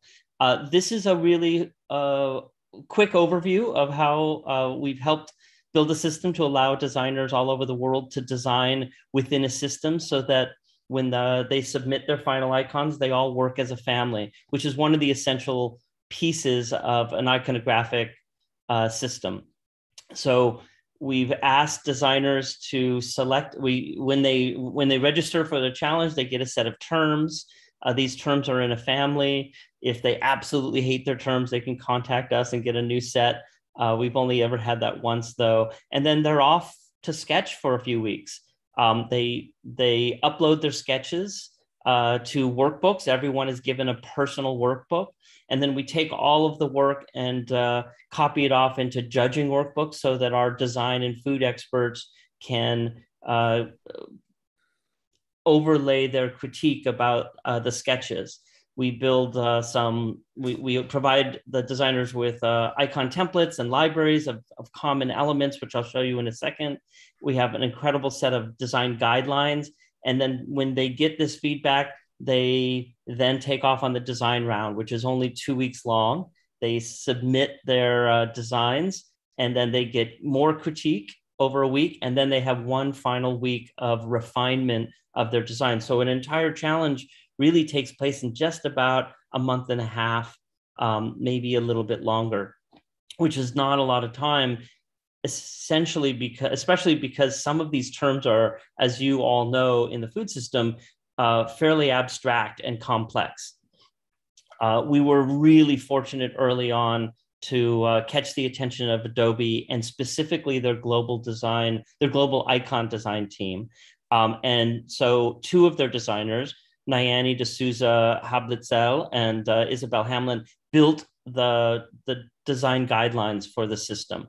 Um, it's an incredibly versatile set of uh, design tools and design attributes so that when you have 150 250 designers working independently when their work comes together it fits as a system and so they developed all of the guidelines here um, and i'm stepping through some of these you can see these all on the Foodicons site they specified um, things like corner radiuses and how to use negative and positive space and then they built a uh, icon template so all of our designers even though they didn't have to work in Adobe Illustrator, for instance. They could download a icon template with a lot of these attributes built in. Um, they also built this uh, fantastic um, library of elements, including modifiers. And I'll get to that in a second because the modifiers over time became part of this evolving language. How the modifiers apply to an icon really slightly changes the meaning and allowed us to create an extensive system. Um, we also in, in this uh, library have lots of common elements. Certainly the first icons that Adobe developed as they were developing uh, the guidelines and the system itself. And these elements then became instrumental in helping our uh, designers all over the world um, explain the, the difficult or the complex terms that they were given. Many of these elements came to mean um, specific things and really were the basis of the language that is developing now. Um, and it is a language. Uh, at the heart, many of these icons really clearly describe complex things. These are some of my favorite icons from, from the last challenge the, the difference between a genotype and a phenotype is something that you know maybe scientists and, and, and enthusiasts know but is a pretty complex very subtle thing but incredibly important right in conservation of food um, and and the designer of these i think this was kathleen foster in australia i thought did just an, a brilliant job differentiating these.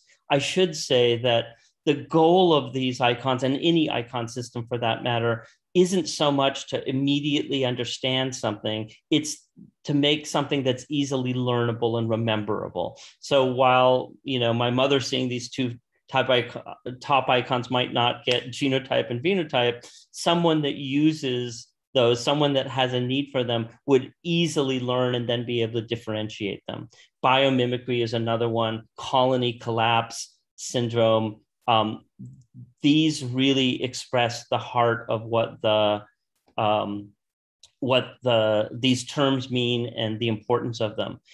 Here's an example that emerged during the challenges where the icon for a hand out holding something has become um, has has now taken on the meaning of care or maintenance or management. And so a bird sitting in the hand is bird friendly. A water drop above it becomes water management, fire management, manure management, etc. And this is really the crux of what happens when, when you have iconographic languages.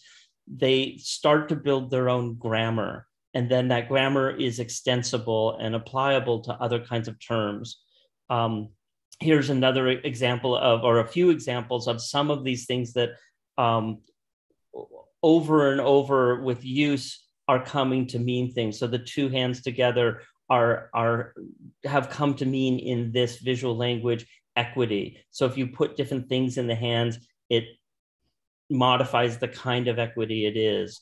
Or in the second row, this idea of uh, ownership of a farm, these two piece elements, the, the deed element, um, the farm element, and then replacing the person helps people understand the differences. And, and when we show you the uses that are already being used, um, you'll see why it's important to have some of these icons. The last one I like because um, it's a system that these icons work together with each other to help differentiate the different kinds of uh, cases of where they might be used. Uh, I should introduce Ellie here. Um, Ellie is one of our volunteers, one, one of our very few uh, volunteers. She has done an incredible amount of work. She's a fantastic designer here in San Francisco as well. And she has helped us manage this process, communicating with the judges, communicating with all these designers, um, uploading designs and, and refining them, et cetera. We could not have done this without her.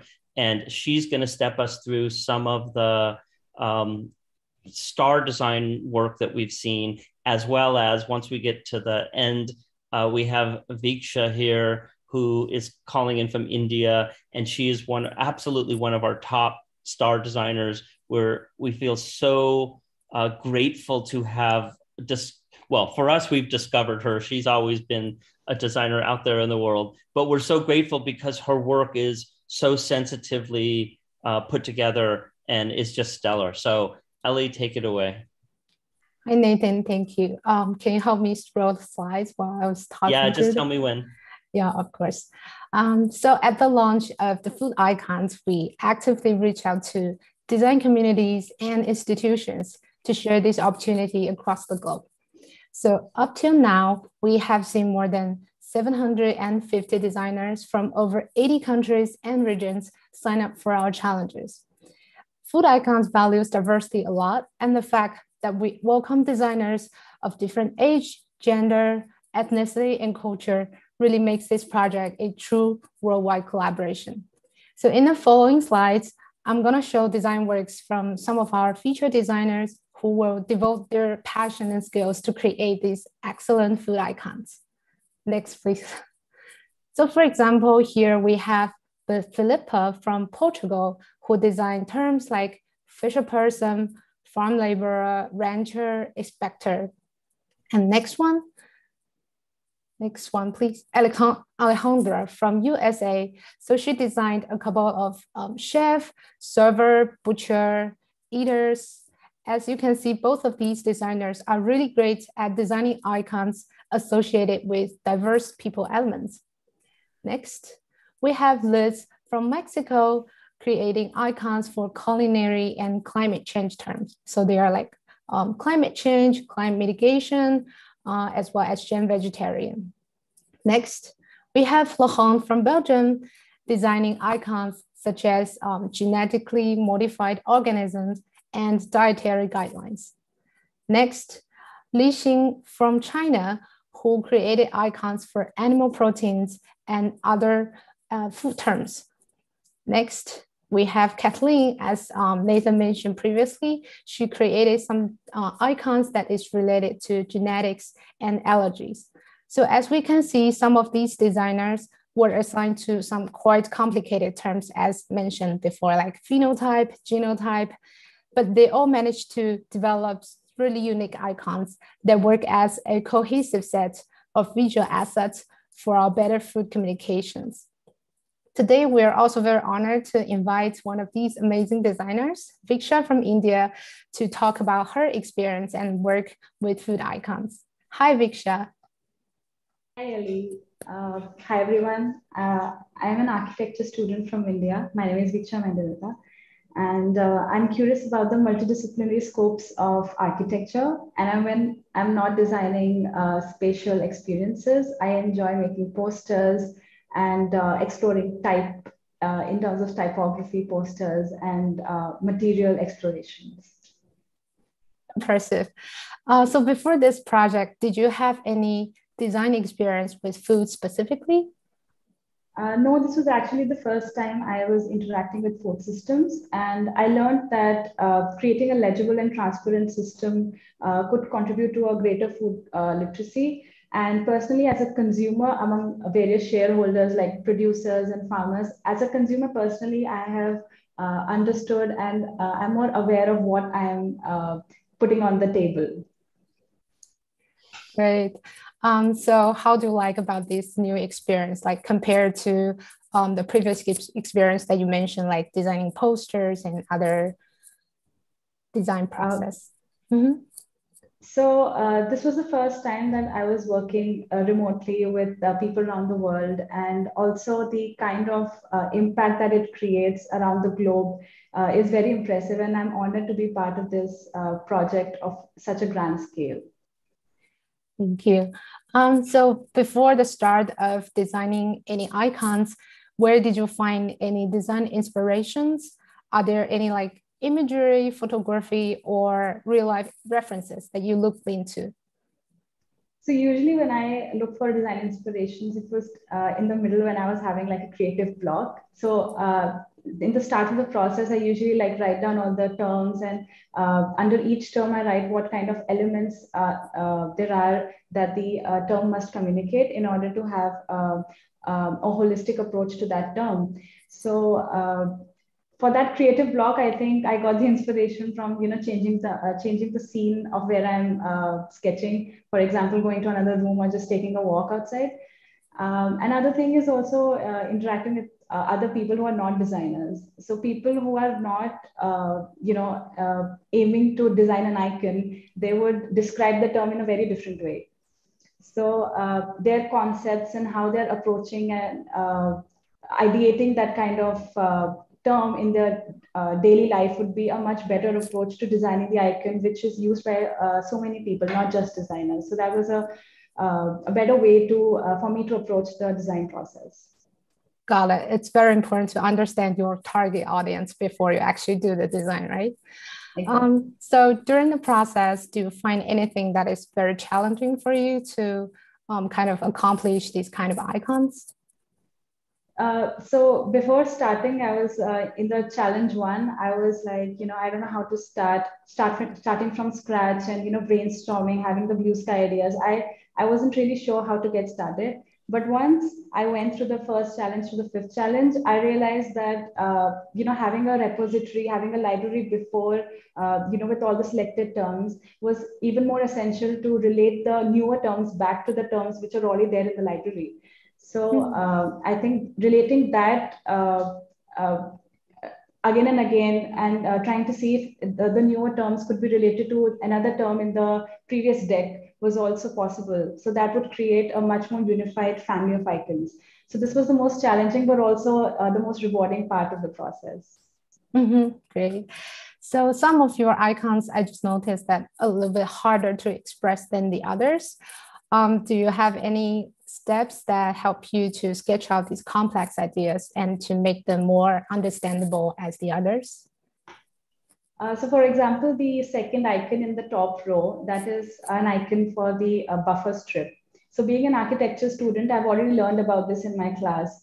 And I realized that having too much information and uh, too much background about the term was also, uh, you know, really hindering because uh, I was trying to put all the uh, you know concerned uh, elements into it but it was getting too abstract. And especially for this uh, icon it was challenging because uh, for the first and the second round i realized that uh, you know the critique i was getting was like uh, the first one is better than the second one. So um, i understood that it was important to not keep the icons more abstract and busy but rather create a much more minimalistic and simple icon. So for example, uh, for this uh, buffer strip, I remember I was uh, sketching for the last day till the end of the submission round. I was just like, I need to get this term. I was least concerned about this. And this was the term which was getting to me. I was like, how am I not able to express this clearly? So that was the fun part about this. Yeah, so there's a lot of like back and forth. And when you kind of uh, look at the critiques and see where the improvement can be. Exactly. Okay, um, so is there a particular favorite icon here on the slide that you can talk about and why do you like it so much? I think it's again the buffer strip. I I just said everything that I wanted to for that. But then the reason why I liked it is because um, it changed my design process. I understood that uh, for this particular, like the previous design projects, I understood that I need to do a little more of research, a little more background study. But for something which is so minimalistic and uh, which needs to be, uh, there should be uh, subtractive elements rather than adding everything into it. I uh, learned a lot from this icon. I think that is why it's my uh, favorite. And also looking at all the icons, this is the most aesthetic and, you know, it looks very unified. So I like it the most. Mm-hmm. Your icons are amazingly designed. Can you Thank share you. with us some tips that will help create successful food icons? Um, I think uh, you would also agree, Ellie, that as designers, we all have a design process. And uh, for each project, we need to uh, learn, unlearn, and then relearn again how to best fit our process into that particular project. So I think uh, understanding your own design process and uh, understanding how you can uh, perform the best in that particular deadline, so to say, and also what is expected out of that icon. I think that's the most important part about this project, but also uh, having subtractive elements, just uh, trying to keep it more minimalistic and not making it too busy or abstract. So I think uh, that's what I learned from this. Got it. It's super important to make these icons as a cohesive set so that people can understand them as they see them. So thank you so much for sharing today. Um, I believe that your experience will definitely inspire more emerging designers to help advance our global food system. So I'm going to pass it off to Douglas again to talk about uses for food icons.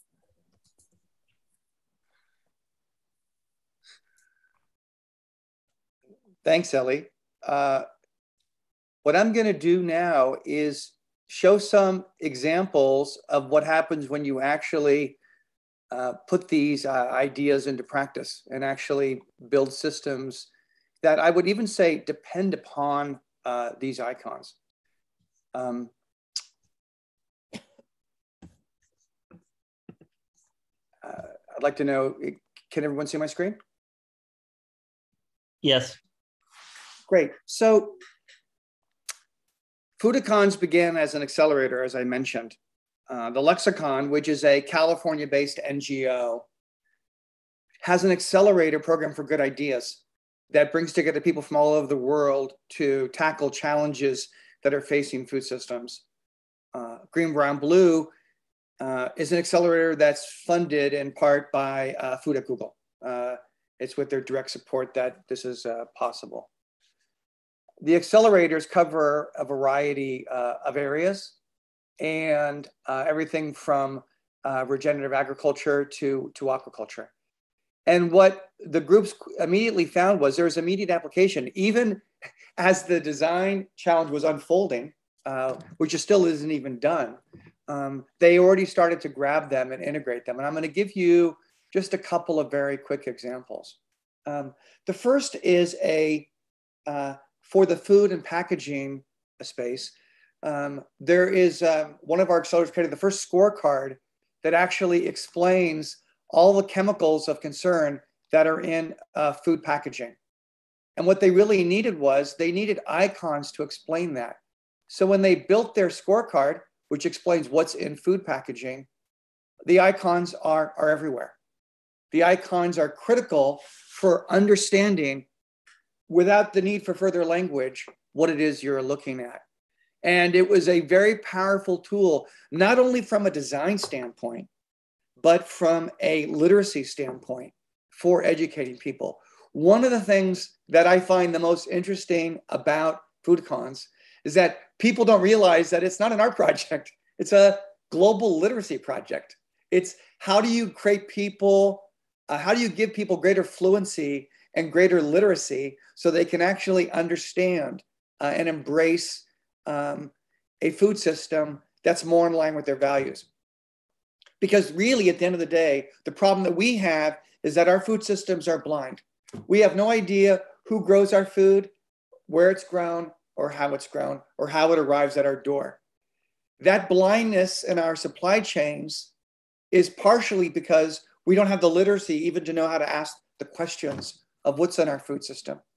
This was a, a core challenge that confronted our other accelerator that wanted to bring more agrobiodiversity into supply chains. So, what this group said is we need to figure out a way to understand from a supplier or a grower what they're doing so we can support those growers who are more in line with our values. Because we have missions as companies that we want to support.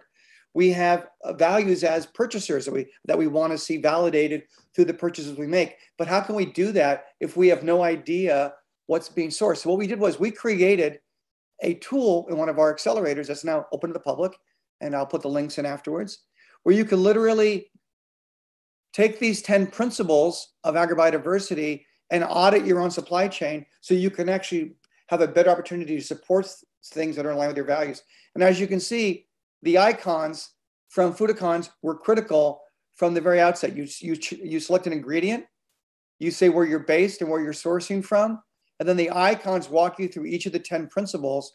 And then you literally use the tool to actually look at every principle and then see what practices are being supported by your, by your purchases.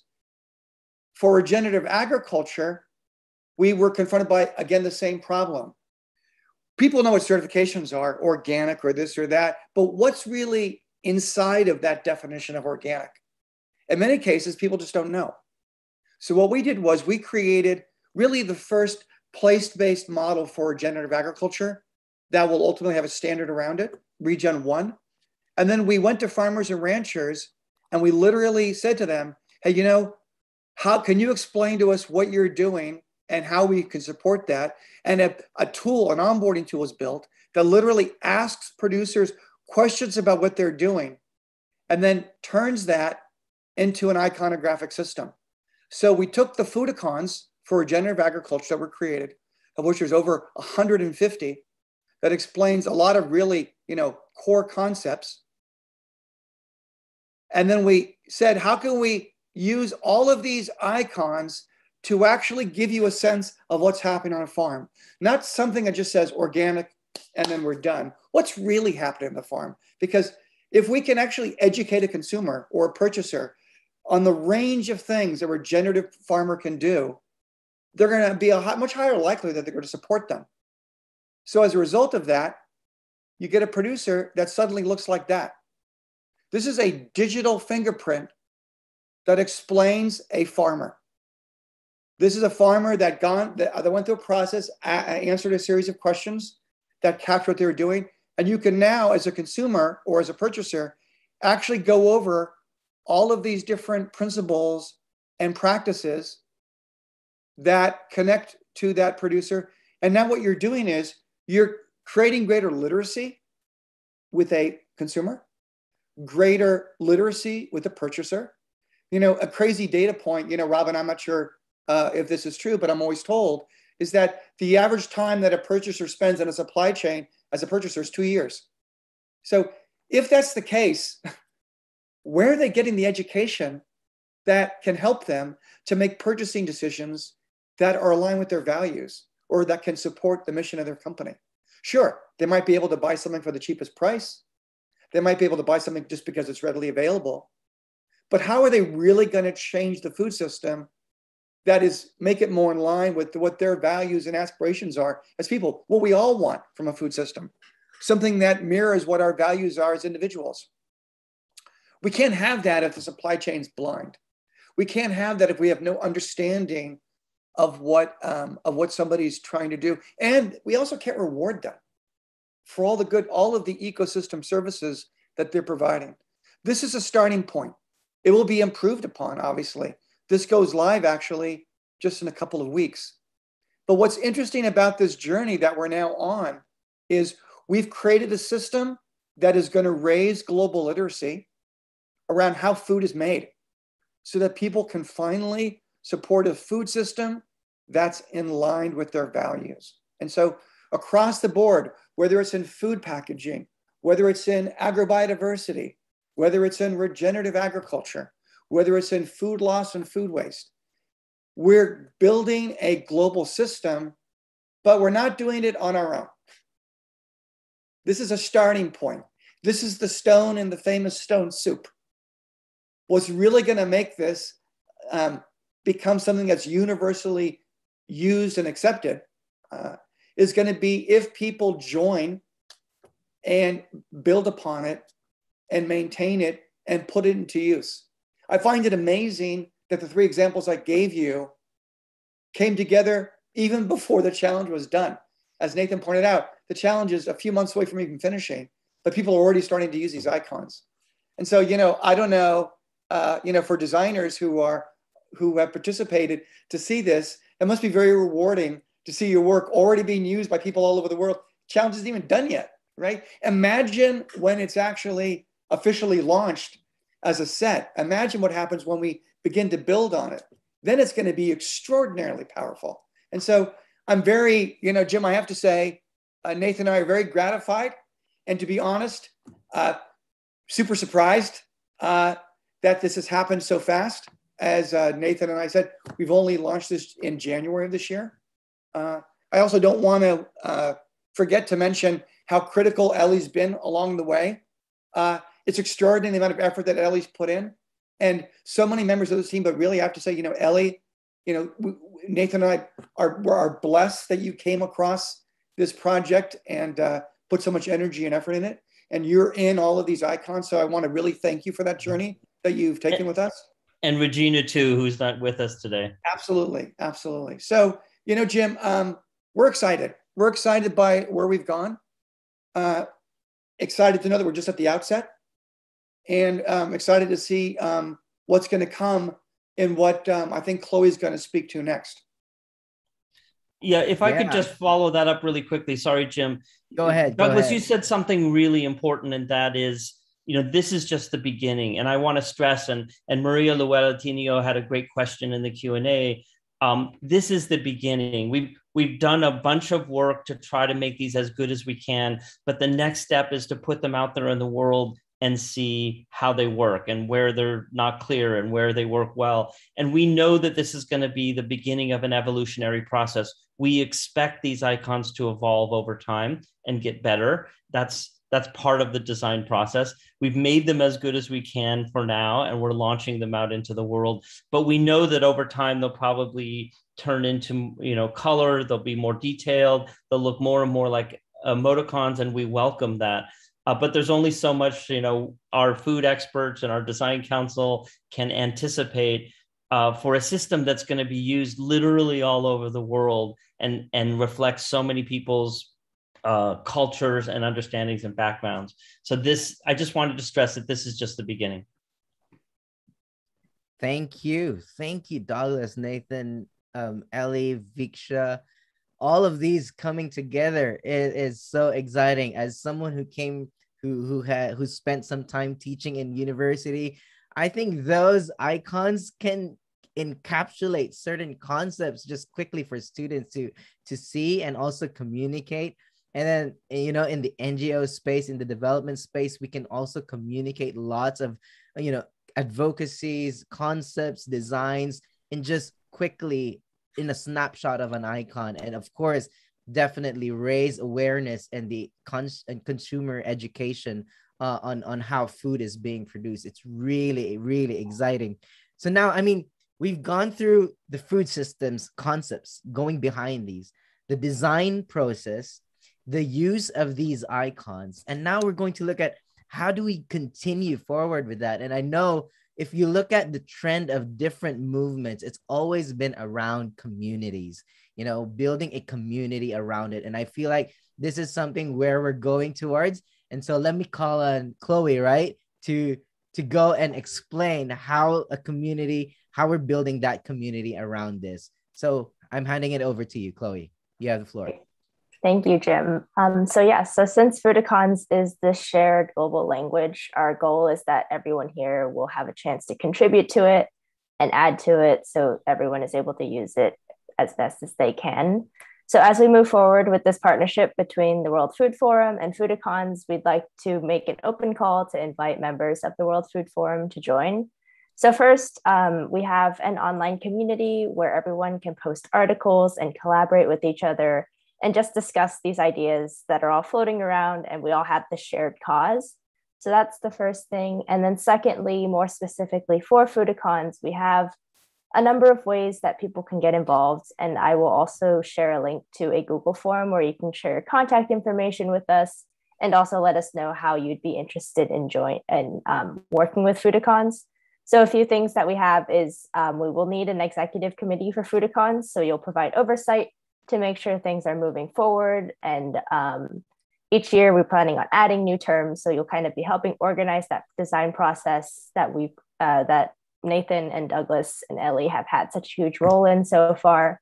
Also, we're making a call for food system uh, food systems experts to suggest needs for new icons and to explain to help explain these concepts and terms and provide expert feedback on the designs throughout the review process since as you saw earlier it's an iterative process. So making sure we get that feedback step by step. Also um, we're obviously looking for more designers to join our designer collective and to join the team of designers creating new foodicons and finally, NGOs, government agencies, startups, and food companies to continue creating partnerships to showcase ways that foodicons can be used for marketing and packaging, like some of the ways that Douglas shared earlier. And so, again, to drop a link to a Google form in the chat. And then it looks like Douglas just put in a link for the online community. So we welcome everyone to join, to get involved, and we would love to collaborate with you all. And I'll send it back over to you, Jim. Thanks. Thanks, Chloe. And uh, this is really exciting. You know, in fact, when Douglas and Alberto uh, promoted the launch yesterday during the uh, the Youth Action Assembly, I went on ahead onto the Google form. Even if I was moderating this, I was like, I'm gonna jump in on that Google form already. Put I put I put my name already in there. So go ahead for those listening in, go into that link and join the, the the community because this is something that we're all going to be sharing and we're all going to be benefiting from and i think it's something that's really crucial for all of us that that the food systems becomes more transparent it becomes us and it becomes like a manifestation of who we are who our cultures are and the t- the kind of food that we produce and we consume it, this is really really exciting and so um I'm gonna ask Douglas or Nathan if you have anything else to add to that, um, or anything last uh, messages you wanna share with everybody here. Yeah, I'll let Douglas have the last word, but uh, I, I just okay. wanted to reiterate that this is an ongoing process. You know, we uh, when when the collection, you can go to, to download all of the icons to date uh, from the Foodicons website in another week or so. You'll be able to go to the Noun project and see and see and download most of them. We've we've covered in depth just a fraction of the categories that we know are going to be needed and we're working on the rest. So we have a good set of icons for climate change and farming and regenerative agriculture and agrobiodiversity soil and nutrition um, even alternative proteins right now.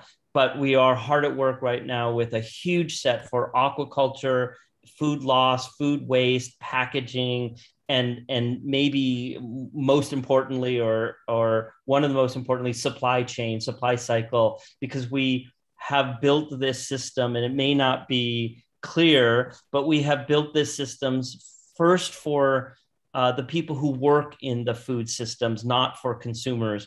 Um, many people see the allergens and the diet icons, et cetera, and think consumer uses. And by all means, we expect these to show up in front of uh, eaters. But really, what we're trying to do is create a language for people in the industries around food to better communicate with each other. And so we have we have a good long list of categories and icons and terms that we're still working on. So by all means, if you see um, holes, uh, icons that are missing, terms that are missing for your work, please get in touch. Um, perhaps they're already in development, but very likely they may not be. And we would, you know, we're here to serve those, you know, those actors in the food system. So we need input into what you need to do your work. Thanks, thanks. Uh, that's a, that's really exciting. Thanks, Nathan. Douglas, over to you.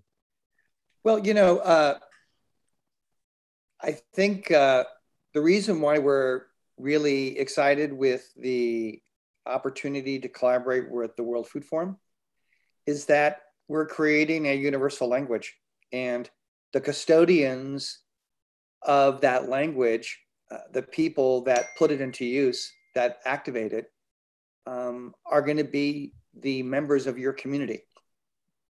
And so what we're doing, Jim, as, as Chloe, I think really clearly articulated, is we're inviting you to join with us to form four, four, four core areas, an executive committee of governance. How do we manage this, this language? The importance of, of of building that out and controlling how it's used and and and leading to its greater dissemination. How do we bring designers from all over the world together um, to continue to add to it? How do we bring food system experts in to help decide what areas and what core and, and what core thematic buckets needed and like need to be added? Because you know it's crazy, Jim. We added a hundred and something terms for aquaculture. Not enough, not enough, but enough to get started, right? Uh, that's why we're so excited to bring this to this group, right? Regenerative agriculture. I don't know, Nathan, 125 terms.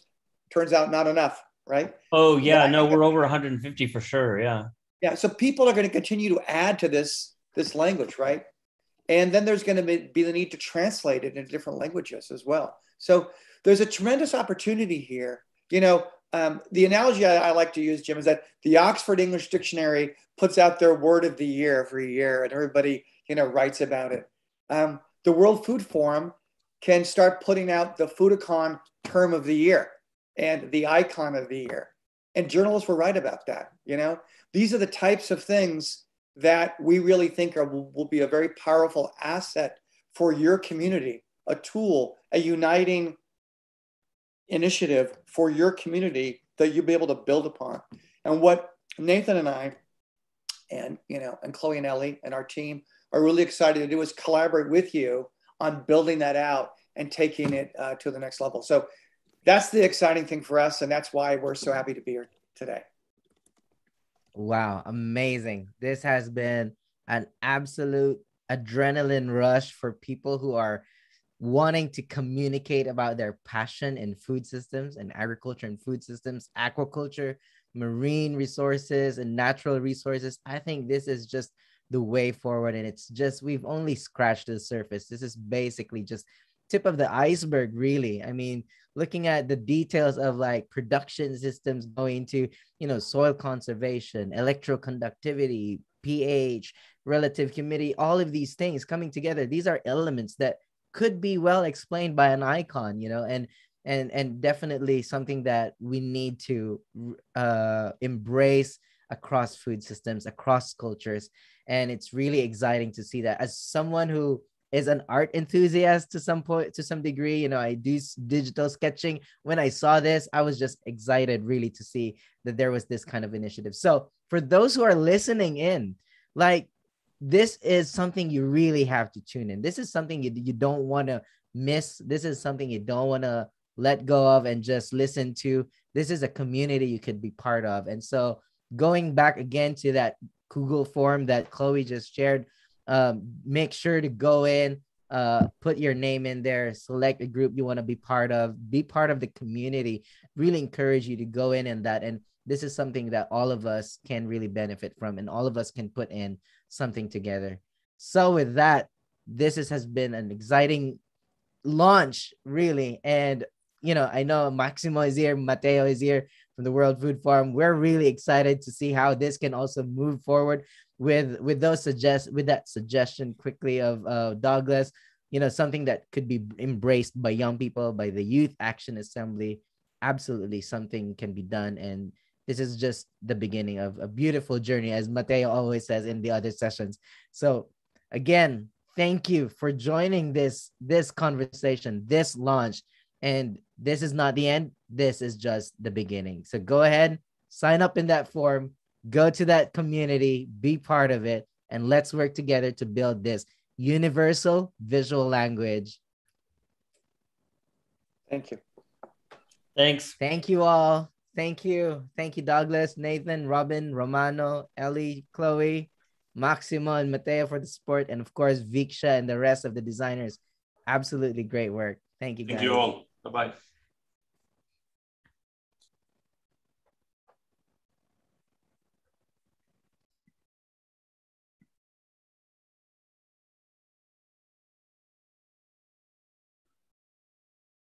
What an amazing session.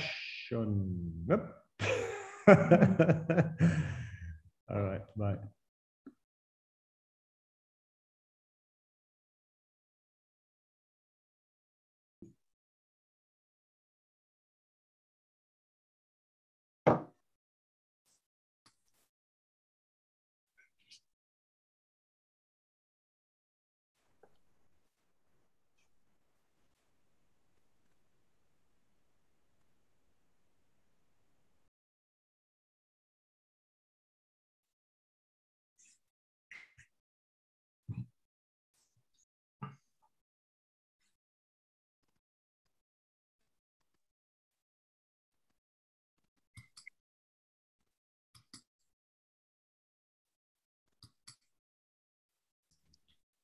Is anyone from the audiovisual services connected? Just one moment, please. Yes, okay.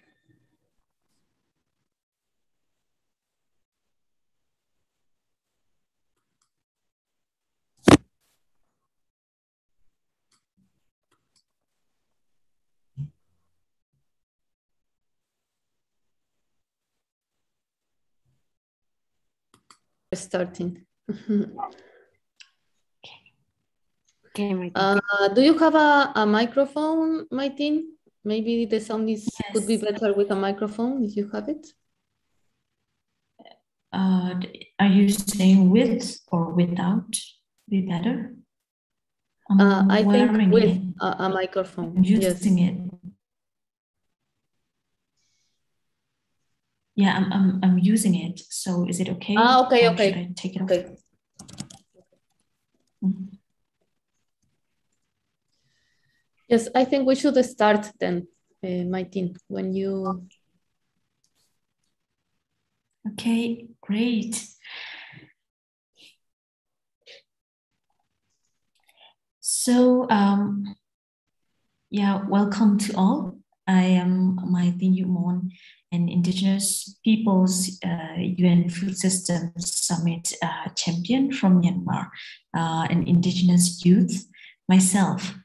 Uh, it's a great honor for me to be moderating today's special session. It's a great pleasure to welcome you to this World Food Forum session entitled Indigenous Youth Contribution to Food Systems Transformation. Before we start, I would like to share a few housekeeping rules. My colleagues will copy paste these rules in the chat too. Uh, we encourage speakers to edit your Zoom name to include in this order, organization or indigenous people, and then your name. This event will have interpretation available in English, French, Russian, Spanish, Arabic, and Chinese. We will have the honor to have Yana Tannagasheva performing a spiritual ceremony. During the brainstorming session, for questions to the panel panelists, uh, we encourage you to use the chat and please write question before writing it. And if it's a comment, you can write comment before uh, your sentence. And please be specific, concise, and direct the question towards the person you wish to ask. I think that we are all set now to start our discussion. So uh, we have the honor to receive the blessings of Yana Tannagasheva, representative of the Shor Indigenous people. Yana, the floor is yours. Thank you. Thank you, my team. Dear all, dear Indigenous brothers and sisters, I'm honored to host the spiritual opening ceremony today as I said in the preview ceremony last week, each of us is the seed. Children, years are growing. What we all sow today, it will germinate tomorrow, and we will pass it on to our descendants. Let our spirits help us. I wish you all health, prosperity, and fill your soul with the power of positive energy and spiritual harmony.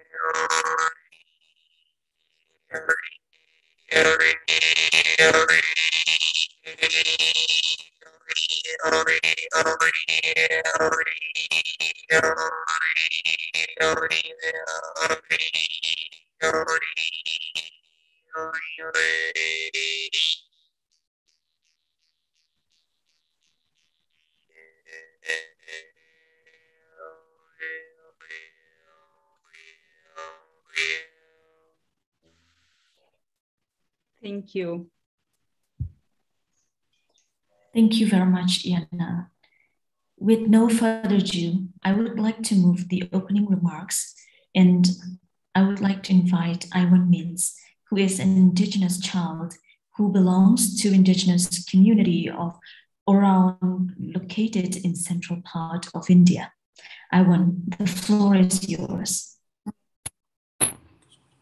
Thank you so much. Johar everyone. Johar everyone. I extend my thanks to the organizers who have provided me this platform to express my thoughts. Hi, I am Ivan Abemins, an indigenous boy from the land of forest Jharkhand, located in the central part of India. I offer my prayers to the ancestors and Lord Almighty. I call upon my traditional faith to bless the deceased whom we lost during pandemic. Johar, Johar, Johar. A couple of days ago, the publication Indigenous Peoples Food System received the Best 2021 Sustainability Report Award from Halbars and the Alfred Nobel House. It is indeed a matter of great pride for the indigenous communities across the globe. This is an important achievement. This kind of recognition adds on the voice of indigenous peoples who have their own unique food system. Second, it will draw the attention of other relevant stakeholders who will now look at the indigenous food system with an entire new outlook. I have been strongly advocating for the preservation and promotion of indigenous food system and indigenous knowledge system. The more I have been interacting with my community elders, I discover more and more about the rich indigenous food system. Indigenous traditional farming methods are highly dependent, rich in nutrients, have high medic- medicinal values, and resistance to adverse weather conditions. In many of our Adivasi communities in India, we practice multi crop farming this ensures survival of either of the crop that will keep the community alive. Second, the multi-crop are such designed that it keeps the soil content rich. On contrary, Pacific focus on the cash crop production largely compromises with the health of Mother Earth. Indigenous elders consider us as their hope we are honored to have gained their belief in us. The indigenous youths are well aware with the recent technological advancement and the traditional indigenous knowledge, both. This can be put to best practices.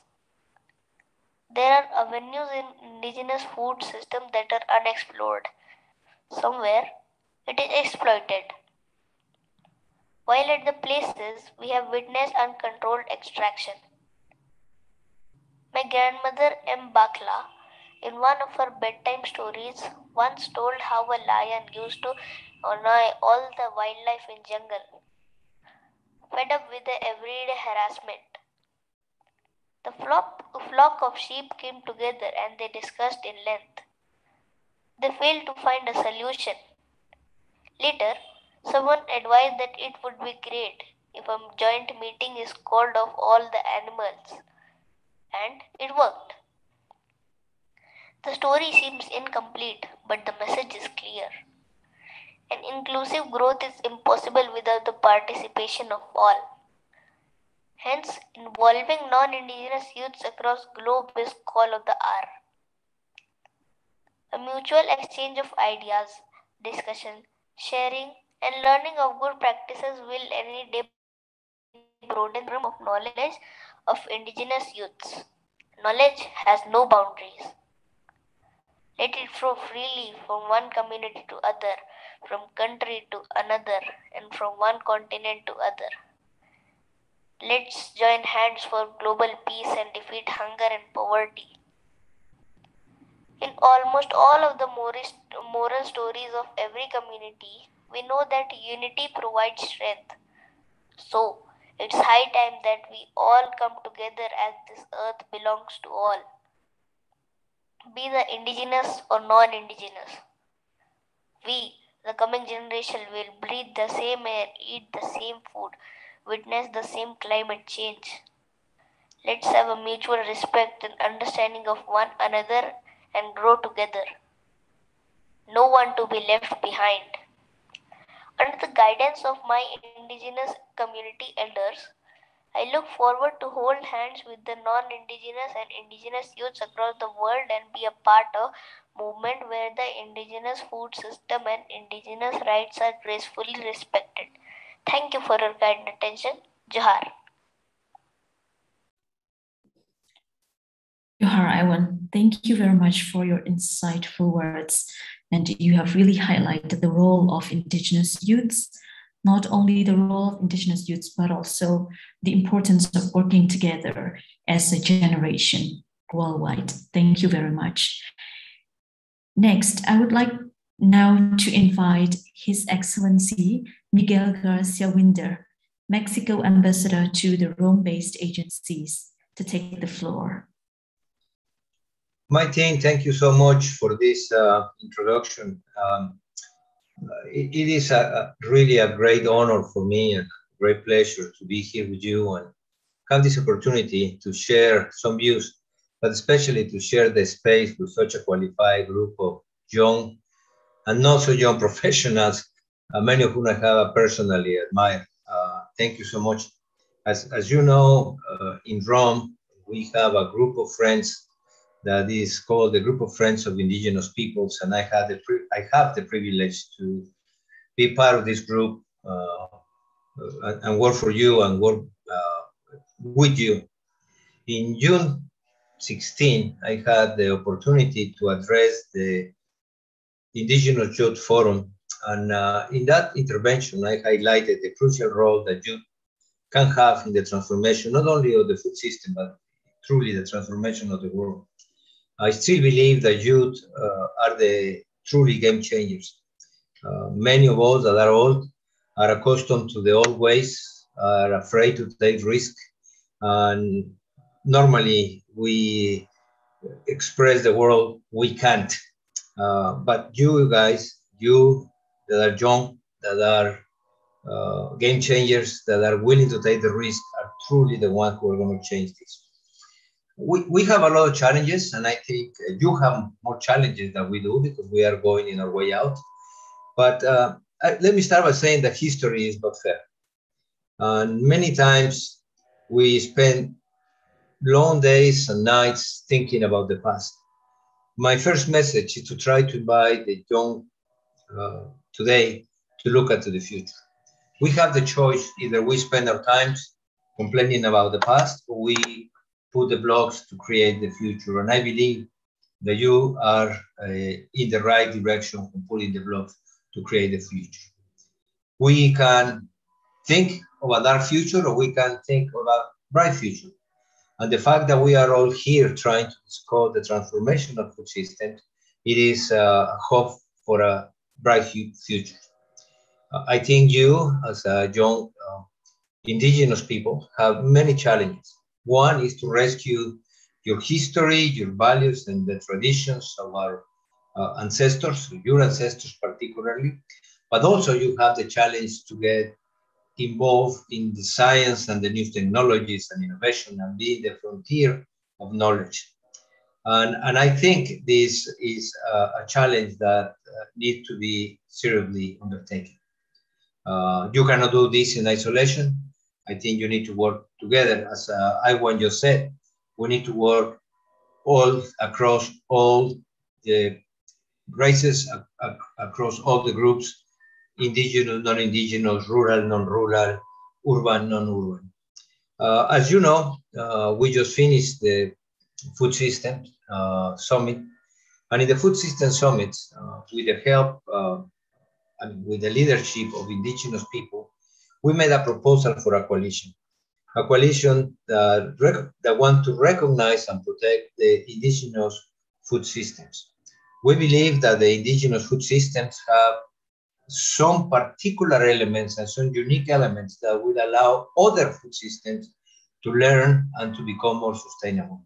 So this coalition is a coalition that really embraced these two, those two points.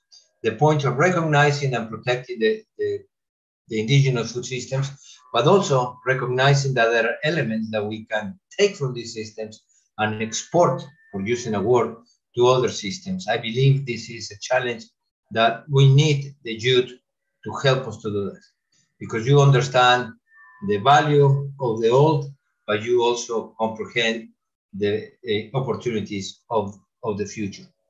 And I just want to finish, because we have very few minutes, with a message of unity. I really believe that we live in a world that is totally polarized, polarized. In a, in a world that sometimes has so much negative views. You know, uh, we get up in the mornings and we talk about wars, famine, disaster, climate change.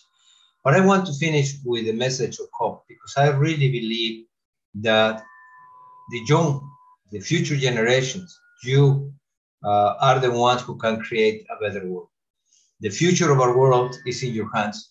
We, uh, as part of the group of friends in Rome, just want to reiterate our uh, commitment to try to find better ways and to try to find ways to support your uh, transit in this uh, complex period or this complex scenario that we call life. So uh, thank you so much. Thank you, Iwan, for your message of unity. I think that's a message that we need to resonate across this forum. You can create the unity across all people, across all colors, across all genders. Thank you so much, Maitai, for um, for um, your opportunity and reiterate my friendship to all of you. Thank you.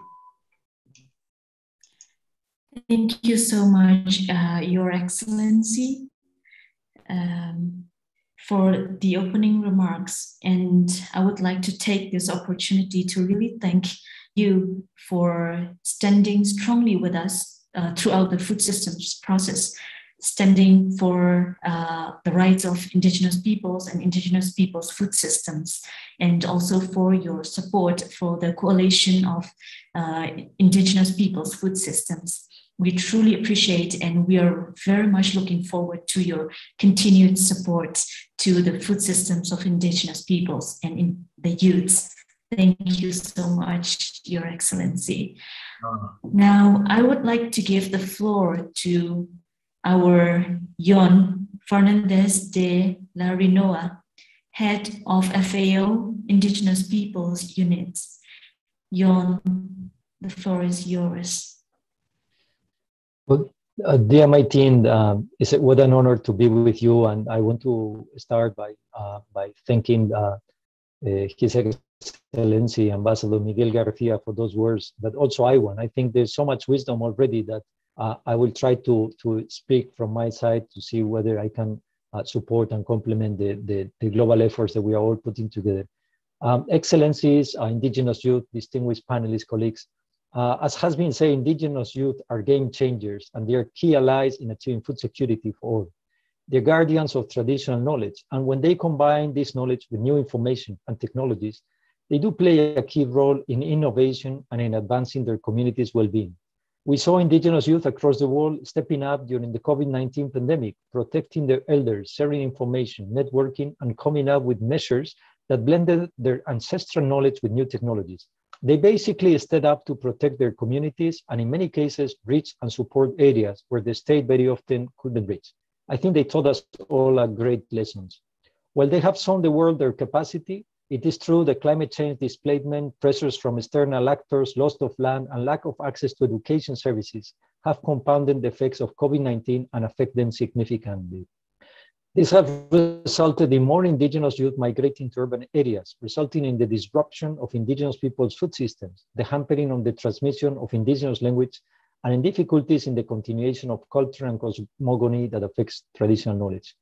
The Wipala paper on indigenous people's food systems by the Global Hub and the FAO publications on indigenous people's food systems, they both reveal an alarming decline in the transmission of indigenous people's traditional knowledge and a threat to the continuation of indigenous people's food systems. Losing indigenous languages means losing knowledge and food systems. This will be an irreversible loss of biocultural diversity for the world that will compromise the biodiversity conservation that is happening in indigenous people's territories at planetary level. Evidence shows that we urgently need intercultural education and dedicated mechanisms to strengthen the continuity of indigenous people's traditional knowledge and languages before it's too late. Evidence shows that indigenous youth are fundamental in this process as today's youth and tomorrow's leaders. FAO is aware of the many challenges faced by indigenous peoples and specifically indigenous youth. FAO is also aware of how critical their participation is to develop strategies and policies to eradicate hunger and to make global food systems sustainable and resilient. This is why the work on indigenous people's food systems started in FAO already in 2009. Since 2014, the FAO Indigenous Peoples Unit has been responsible for implementing the FAO policy on indigenous peoples, including indigenous youth in the seven pillars of work, but more important, in one of their main focus areas. In 2016, indigenous youth presented in UN New York a report with data about their prevalence of suicide and self-inflicted harm. Their lack of hope and external pressures over their livelihoods and territories force them into situations of despair that resolve tragically. FAO, moved by this data, called in 2017 a meeting in Rome to convey the Global Indigenous Youth Caucus, to meet with the Director General, with senior management, and to discuss how our organization could support the indigenous youth. Resulting from this meeting, indigenous youth suggested a new pillar of work on traditional knowledge and climate change that was incorporated then, and they requested an internship program dedicated to indigenous youth that was addressed by FAO and is still today running. The Rome Declaration on Indigenous Youth, released then, became a cornerstone for indigenous youth and FAO's work together, but looking into the future. And one of their requests then was to have a dedicated indigenous youth forum hosted in FAO. The UN Permanent Forum on Indigenous Issues picked up on this request and officially recommended FAO to host this forum. And let me tell you that only after plenty of work, Indigenous Youth and FAO co-organized in June this year, 2021, the first Indigenous Youth Forum. Our thanks to the Global Indigenous Youth Caucus and to the Indigenous champions of the UN Food Systems Summit for making this forum possible. Special thanks to you, Mai Thin, because you were a key player in making this forum a reality. The forum's endorsement of the Indigenous Youth Global Declaration on Sustainable and Resilient Food Systems spoke loud and put forward three requests to member states, civil society, private sector, and academia. First, to recognize indigenous people's food systems as game-changing solution for the world that must be preserved and respected. Second, to create intercultural education programs. Third, to create a fund for indigenous peoples that supports youth-led innovation initiatives, combining technology with traditional knowledge. In this regard, FAO and the Global Hub are committed to continue working hand in hand with indigenous youth to ensure their full participation in policy decision-making processes. The recently created Indigenous Peoples Food Systems Coalition is a unique opportunity for indigenous youth to participate in policymaking. Our thanks to Mexico and to Ambassador uh, Miguel Garcia Winder for his leadership in forging this Indigenous Peoples Food Systems Coalition, and our thanks as well to New Zealand and the other five countries that are supporting this coalition. In closing, two points.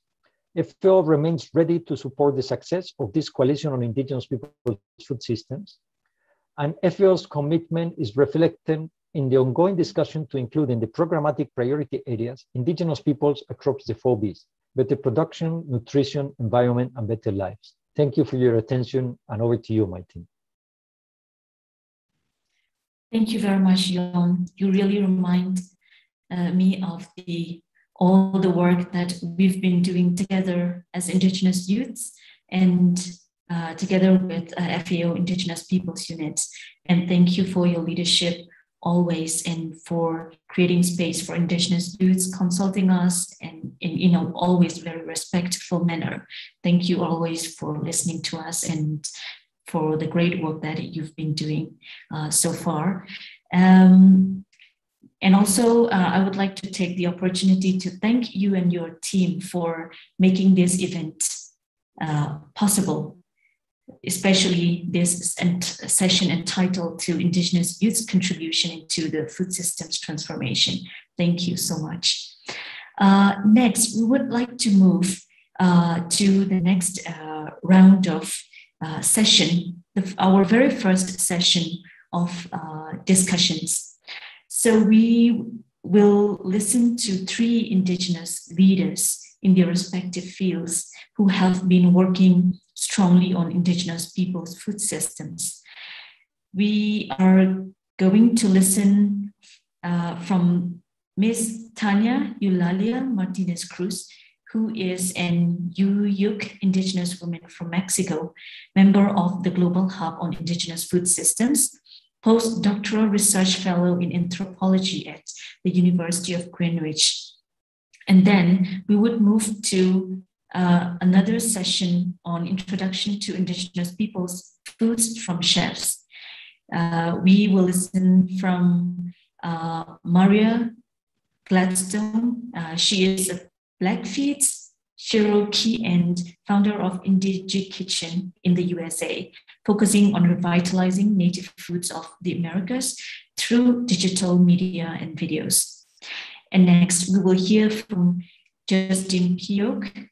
Uh, he is an Ashihi Dini who is born in the Bitani people, indigenous chef and owner of the Pioche Food Group USA, Unfortunately, he could not be with us today, but he sent us a video message. So we will listen to all these uh, three great uh, Indigenous leaders. And first, I would like to invite Ms. Tania Eulalia Martinez Cruz to talk to us about the characteristics of Indigenous peoples' food systems. Ms. Tania, the floor is yours. Thank you very much for the invitation. Um, and I'm also uh, happy to be in this session that uh, highlights the key role of youth in relation to Indigenous food systems and Indigenous knowledge. So to answer the question uh, of what characterizes Indigenous people's food systems, I will also make a reference to the white paper that Yon has mentioned before, a of the that was written a by 60 actors or with contributions of 60 actors around the world a coming from six different regions um, which actually i'm gonna just a place here in the chat in case any of you is interested um, in reading it. You haven't done that yet. Um, so we usually are asked why should we care about indigenous people's food systems? Why should we care about indigenous knowledge? What are the key features? So um, I think the first characteristic that I would like to highlight is the multifunctionality and the holistic uh, nature of indigenous people's food systems. And what do I mean by that? Well, the natural environment, it's not separated uh, from people, from where uh, in nature people gets food, medicine, shelter, energy, and it also uh, plays a key role in the identity, culture, social, and spiritual life of Indigenous peoples. It's quite common, for example, that my people, before we are going to start the cropping season and planting maize within this Milpa traditional system, that we pour some mescal to the Mother Earth because we want to ask Mother Earth for a fruitful harvest at the end of this, the cycle. Also, for example, the Zapotecan peoples in uh, Oaxaca, Mexico, uh, perform many rituals, um, thinking of the river and forest as something interlinked with life. Water is life, so therefore we need to take care of the forest if we want to keep water.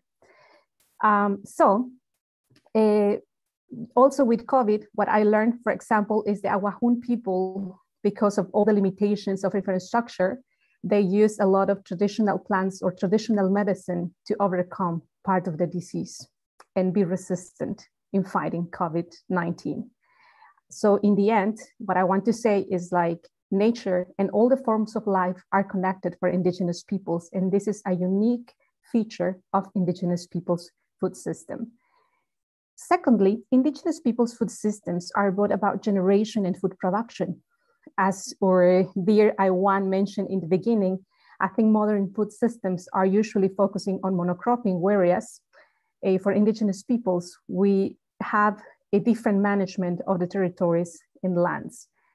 And that's what has kept our people resilient for centuries. We have adapted seeds to a specific environments, to our living patterns, and our practices have kept us alive um, through centuries because we learned to adapt uh, to, to our environment. So another thing is like indigenous peoples, a indigenous peoples innovations do not deplete natural resources or increase carbon emissions. On the contrary, they have a different management that is low in carbon emission. We also use many ways or sources of renewable energy within our territory. And this is why we also tend, or our people tends to have a different management because depleting the resources means we would be depleting the, the, the, sources that keep us alive and provide basic inputs for our ways of living. It's quite common, for example, and I love these narratives when I talk to a, my brothers and sisters from different regions, how they say, we need to protect rivers, we need to protect our forests because they are the source of our life. And if we want to continue enjoying the virtues of nature, we need to preserve it. Another thing, it's linked to the respect for the ecosystem that leads also respecting the seasonality and natural cycles of ecosystems. For example, in my region, yes, we rely on agriculture, but also gathering. Many of these practices um, have allowed that indigenous peoples preserve the 80% of the biodiversity in less than the 25% of the lands in the earth. So some other examples I can give you is a, um, that people when you have harvest all the crops in some fields, it might seem that there's no food left, but people actually can go and use some of the roots that are available in those uh, fields, and still you have access to food. But that's a knowledge that sometimes modern science neglects because they do not have a clear understanding on how people is managing the complexity of these systems. Or another example is how the Tohono people in the Arizonan desert in the driest season of the year when you would believe there's nothing in the desert, they can harvest the saguaro fruits and live from the sugar they can uh, get from these fruits. Um, another example, it's also the Inuit people. Sometimes the researchers or modern science has asked, how is that these people can survive only eating fish? And one of the secrets is like the richness of the diets. It's not only on the foods, but also the different combinations on how you cook it and prepare it. And that's only a knowledge embedded a, in indigenous populations. And that's something, again, that we many times tend to neglect as scientists and researchers. So a, indigenous people's food systems are highly self-sufficient and nutrition, nutritious, as I mentioned. Um, another example I also love providing is a, in terms of Mesoamerica, when maize was, was taken to Africa, people expected that maize would have the same effect in, in, in terms of food provision for the African population. But what happened was like the, one of the secrets of the maize in Mexico and Mesoamerica was the 1600 different ways of cooking it, which also was embedded in the culture and identity of indigenous populations. So again, why is it important and crucial to preserve indigenous people's food systems? Because all the knowledge that it's embedded on it. If we want to protect, just to finalize, a, these indigenous food systems, we also need to acknowledge that they are embedded within a territory, that they are embedded in a value system and a governance system. And therefore, we need to ensure that indigenous peoples can preserve or enact the right to self-determination, but also the right to their territories. Linking this to youth, what is that the youth has to contribute? I think Yon said it rightly, how with COVID we learned that youth are not passive actors, we are active. And um, we say that every two weeks a language is dying. When a language dies, it also, a lot of this knowledge is dying. So we need to come up with intercultural policies that allow that the youth also plays a crucial role when these decisions are made and that they come up front in protecting not only the knowledge of our people and the resilience of indigenous peoples, but for the planet, just because, as I said, or we have said many times, indigenous peoples are the keepers of a great number of the biodiversity of this planet. Thank you.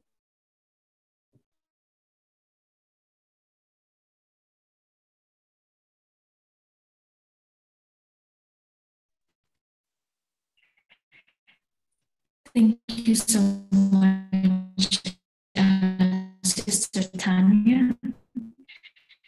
Uh,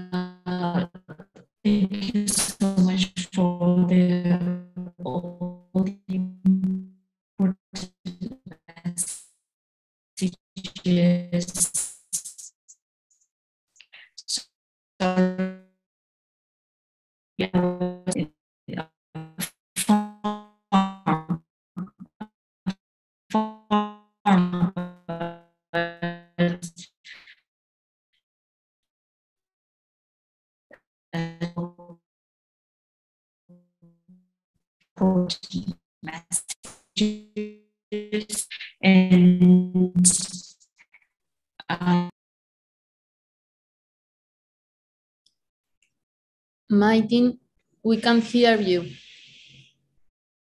Maybe we can we can all um, close our videos. So maybe the the audio is going to be better.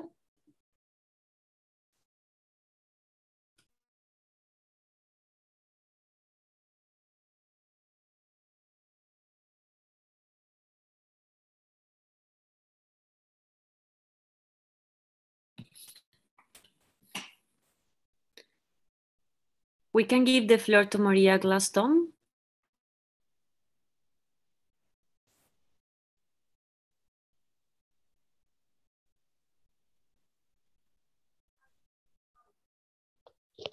Uh, colleagues, allow me to allow me to step in while we recover the connection for Mai Thin. As you know, Mai Thin is uh, speaking from Myanmar, so sometimes the, the connectivity is an issue. So um, I would like to, to call upon the, the next speaker, upon Maria. Uh, please, Maria, are you with us? Mariah Gladstone, kindly take the floor. Hi, Hello. Maria, welcome. Over to you. Hello. Thank you for being with us. Uh, hello, my name is uh, Mariah Gladstone. Um, I am Blackfeet and Cherokee. Um, I live in the northwest corner of Montana uh, in the United States, close to the Canadian border. And uh, I run an online teaching tool called IndigiKitchen, which is dedicated to telling the story of Indigenous foods through digital media and using it as a platform to expand Indigenous knowledge and the revitalization of our food systems. Um, the previous speaker spoke so eloquently about the traditional ecological knowledge and the ways in which Indigenous people use generations of place based, time tested knowledge and understanding of our spaces to develop our food systems.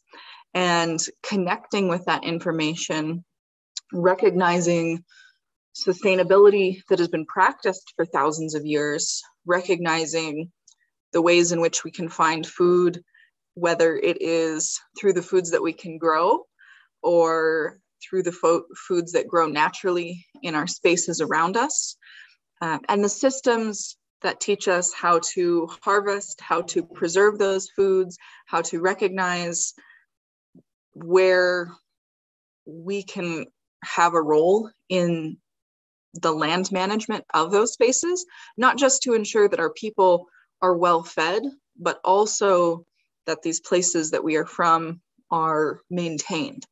So, for example, uh, the Blackfeet people are on the border between the mountains and the prairies. We're lucky to have access to both ecosystems very easily.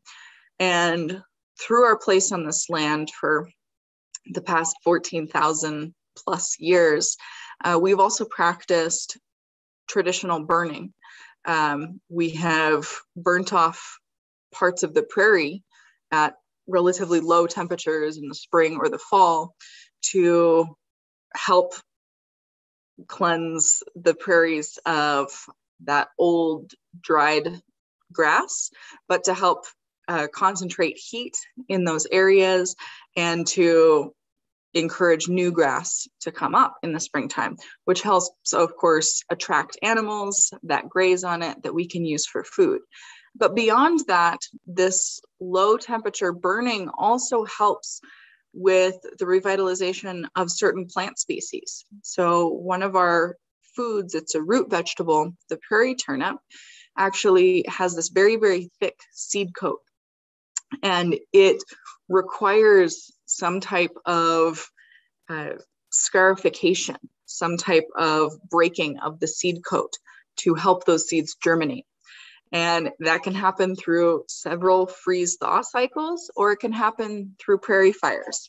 And so, our practices of burning not only help us with our grazing and our land management and the maintenance of our prairies uh, rather than them turning into shrubland, but they also help these root vegetables germinate and grow generation after generation. So we see in the absence of these fires, uh, the population of some of our food plants has declined as well.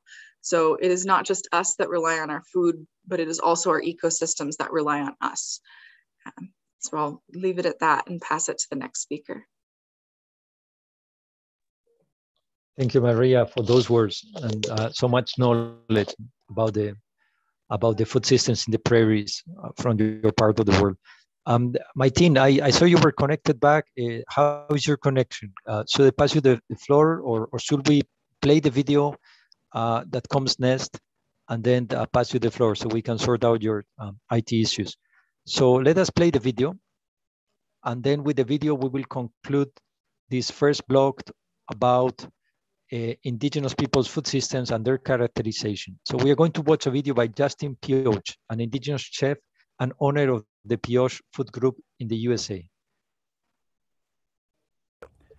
Yeah, it's uh, Justin Pioche in the Ashi hin ishle, bit any bashishing, kini ani dashiche, toriji dashinale. My name is Justin Pioche. I'm a Salt Clan Navajo born for the Folded Arms people. And I believe that our youth can contribute to a more sustainable and resilient food system by actually doing that, contributing your time. Don't just shout indigenous this and that. I'll try to be indigenous. Learn about your history.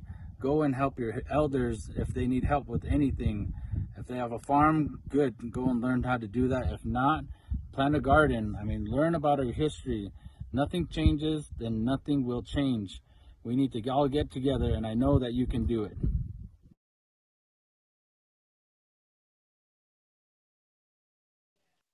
Thank you so much, uh, Chef Pioche, for those words and for so much enlightenment about the way forward and for the, the message of, the, of wisdom and of action, which is what we need today.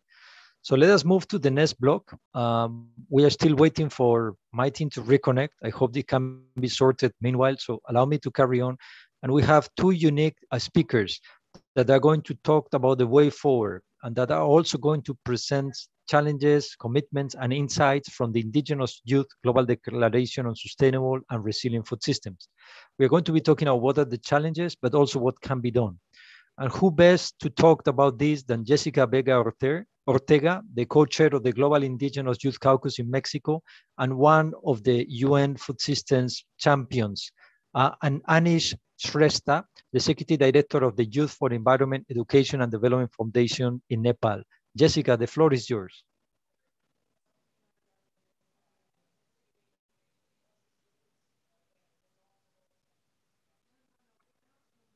Jessica, over to you, please.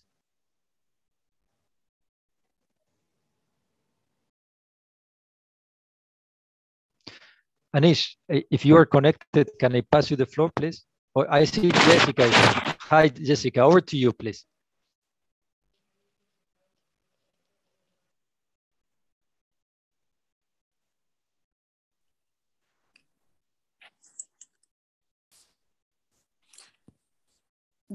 Cuindo está y esna y eh, buenos días, buenas tardes a todas y todos hermanos. Agradezco la palabra el día de hoy.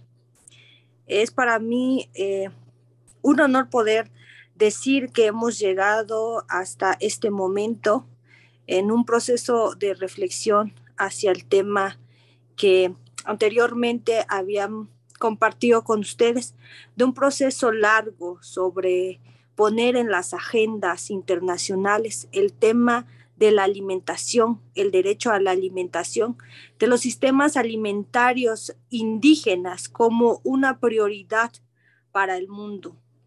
En este sentido, hablo de hablar del tema de la alimentación como un eje transversal sobre el tema de los derechos, temas como lo mencionaba hace rato eh, John Fernández, que ha apuntalado muy bien sobre cómo la innovación y la combinación de los conocimientos tradicionales pueden impactar de una manera positiva y tener bienes colaterales uno del otro. Sin embargo, para poder asegurar este futuro en donde las juventudes indígenas estén presentes en una participación plena y efectiva, también tiene que ver con hablar de políticas que garanticen los derechos básicos de las juventudes. Y hablo, por ejemplo, como el tema de la educación, en donde difícilmente los jóvenes indígenas alcanzan un grado de profesionalización o el grado más alto de la educación occidental. Y esto genera eh, muchas veces seguir viviendo en barreras umbrales eh, de desigualdad y de eh, desequidad. En este sentido, hablo de que es necesario también trabajar hacia otras políticas transversales que puedan impactar en el conocimiento de rescatar y valorizar las enseñanzas colectivas de nuestros pueblos. Combinar los pensamientos con la ciencia puede ser fundamental para el futuro y las futuras generaciones. Sin embargo, estas barreras, como he señalado, siguen siendo parte del vivir diario de los jóvenes indígenas. Los jóvenes indígenas aún tenemos barreras de acceso a las tecnologías y estamos en un mundo que nos está desafiando constantemente para tener este acceso y ser garante de las voces y ser garante de la participación plena. Como jóvenes hemos logrado acceder a estos espacios en donde las agendas nos permiten visibilizar nuestras preocupaciones.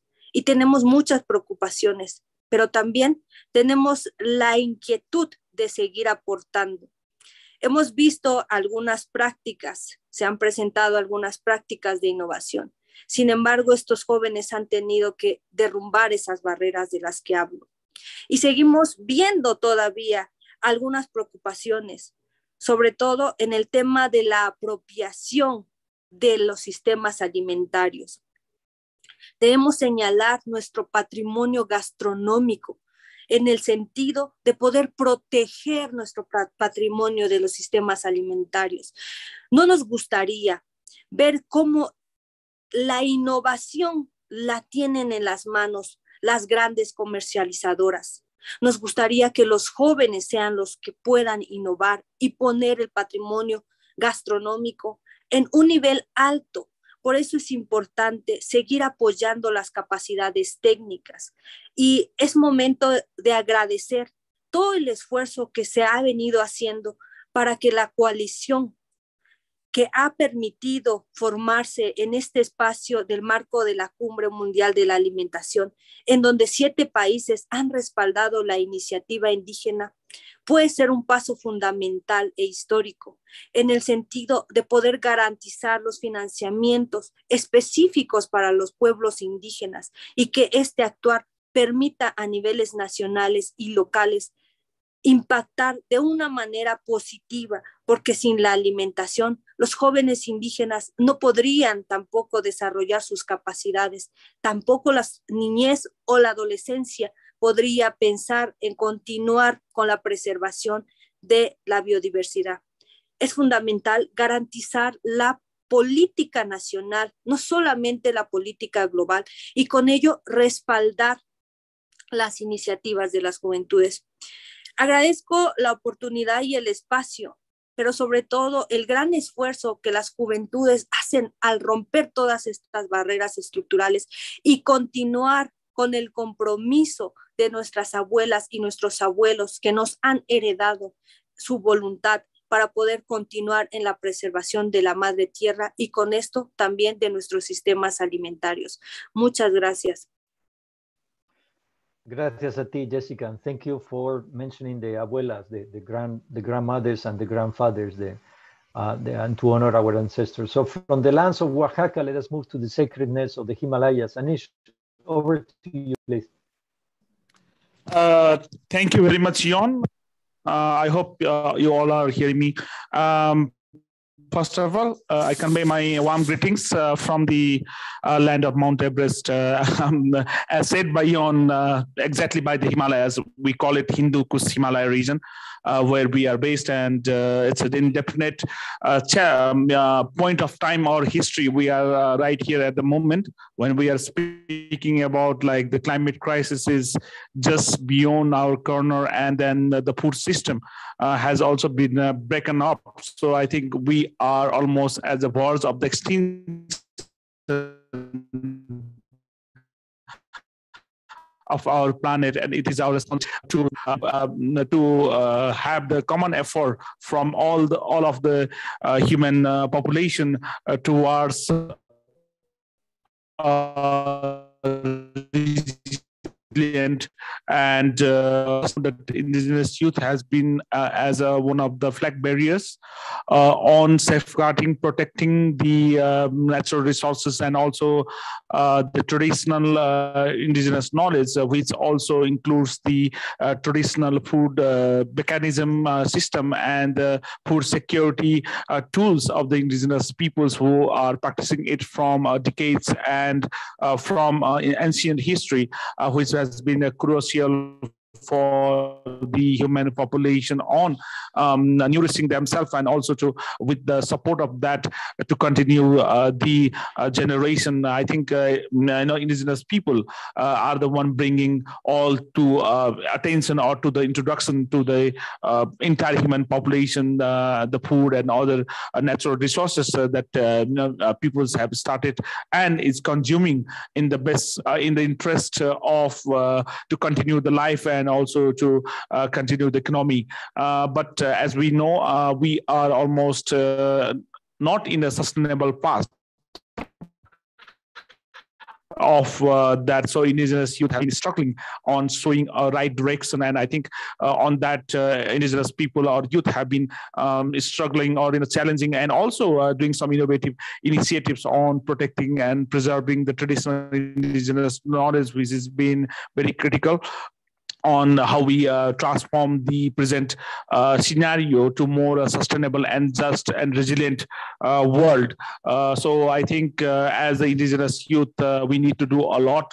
but as we know, um, you know, not only talking about the, the innovations or the best work uh, we are doing, uh, but we also have a lot of resource consistency and other uh, problems be, you know, behind us. Also, one of the key challenges I would mention would be the would be the uh, recognition of the indigenous youth or the indigenous people themselves as one of the key component of the, and also one of the uh, um, safeguard or the guards of the planet. Uh, so, and uh, this has been already a tough uh, situation uh, for us, you know, um, that we could not have this, and then the a lot of other problems are coming on way, as I mentioned, climate crisis and we are also in the track of uh, achieving the sustainable development goals by 2030. So it is important uh, for the indigenous peoples and also the indigenous youth themselves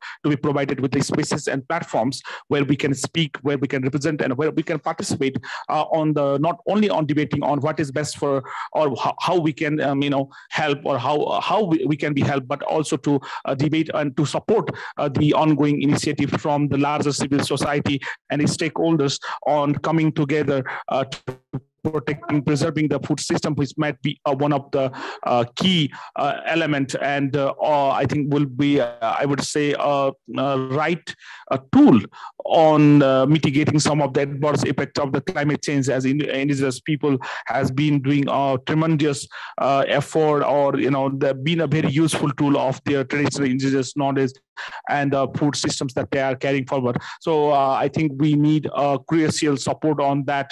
And for that, uh, I think some of the initiatives are really good. Just uh, was really appreciate to hear, or, or, I'm very happy to glad to hear about the indigenous kitchen and also some of the uh, key things that's uh, mentioned by Jessica is also one of the you know good thing or uh, you know also the challenges that my colleagues have um, already explained.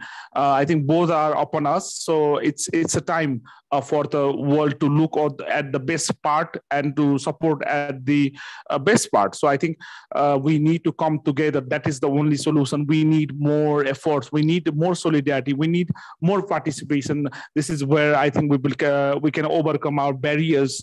And uh, as um, you know, the, Yon has put on my introduction, the Himalayas. That's also one of the I think uh, melting point for the humanity because you know uh, the mountains are melting so indigenous peoples uh, trying to uh, preserve or trying to uh, help out uh, with you know keeping the climate climate cool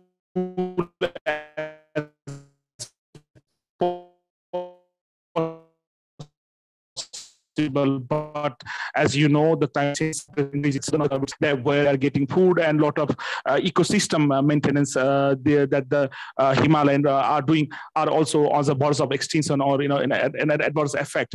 Uh, so immediate attention should be put on that, and the indigenous people living them are also living there, also losing their livelihood, and also um, indigenous youth.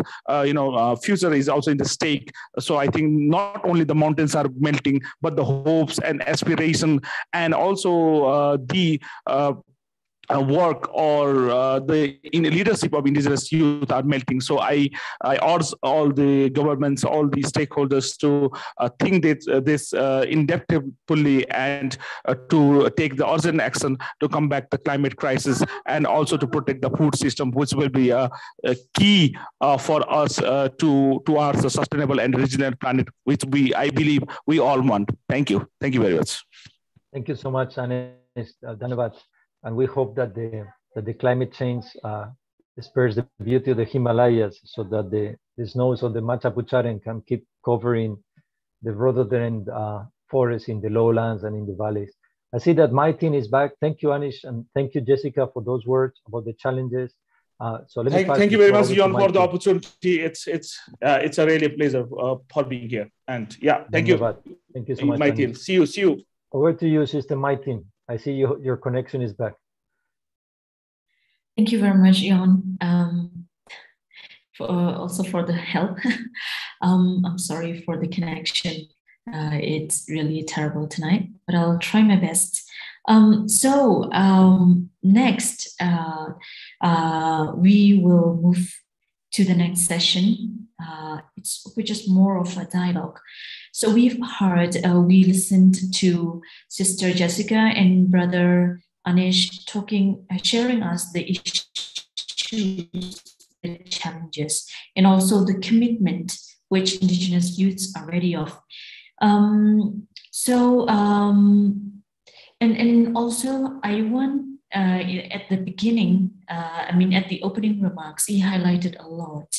And also, Ambassador Miguel highlighted a lot on the importance of unity and working for the food systems transformation.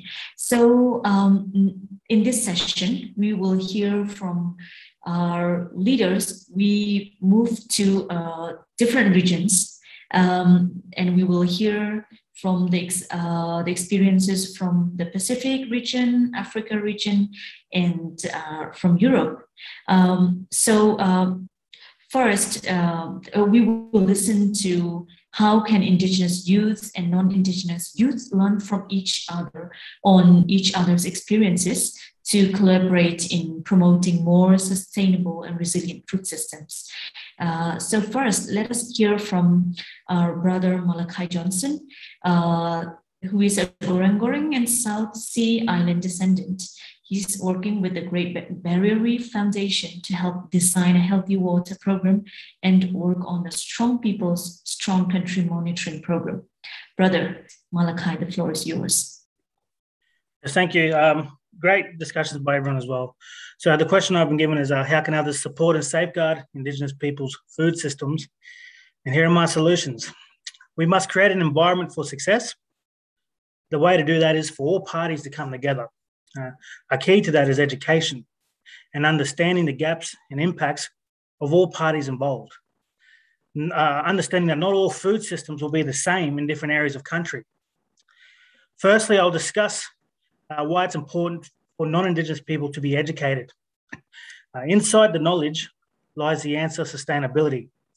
This could be environmental sustainability, cultural sustainability, and managing human use. Understanding your food knowledge systems gives answers to why things move, what's moving, and what's, what's the impacts. From that, you can create a management plan regulating use activity. Uh, and inside a management plan lies cultural protocols and inside protocols lies the laws and customs. And imbalance in knowledge can affect sustainability of the resource. There needs to be more investment in resources. Governments need to show leadership and political will. Value for Western science to be able to, is to be able to sit with Indigenous peoples and understanding them, and for Western science to sit with our equivalents uh, understanding and recognizing as Indigenous people, we too have our own chief scientists and legislators. To safeguard requires all levels, regional, state, and national governments to all be on board. The legislative needs to be able to sit with the Indigenous peoples too. And this is done through two-way exchange, legislative and grassroots. And the middle management needs to align themselves with the top and bottom. Moving on to why it's important to educate our own Indigenous people, uh, educating our own circles of Indigenous peoples about the impacts of uh, like uh, health, economics, uh, education, and employment problems. This is because there was a massive cut uh, in the umbilical cord from country and knowledge. Um, indigenous food systems represents mum, and the climate change that's happening represents dad and dad sets the mood or the or the temperature in in the house. And when he becomes angry things heat up.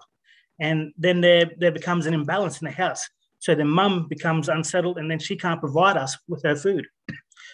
Um, so when indigenous people have the ability to access country it supports and safeguards their connection to country and food knowledge. Three keys to learn. We need all parties to understand acknowledge and recognize understand the significance of Indigenous food systems to the Indigenous peoples and their communities, understand the cultural values, cultural law, and customs that Indigenous peoples have with their food systems, and to recognize that Indigenous peoples are the true traditional custodians of the land, the sea, the air, the underground, all living and, and non living things.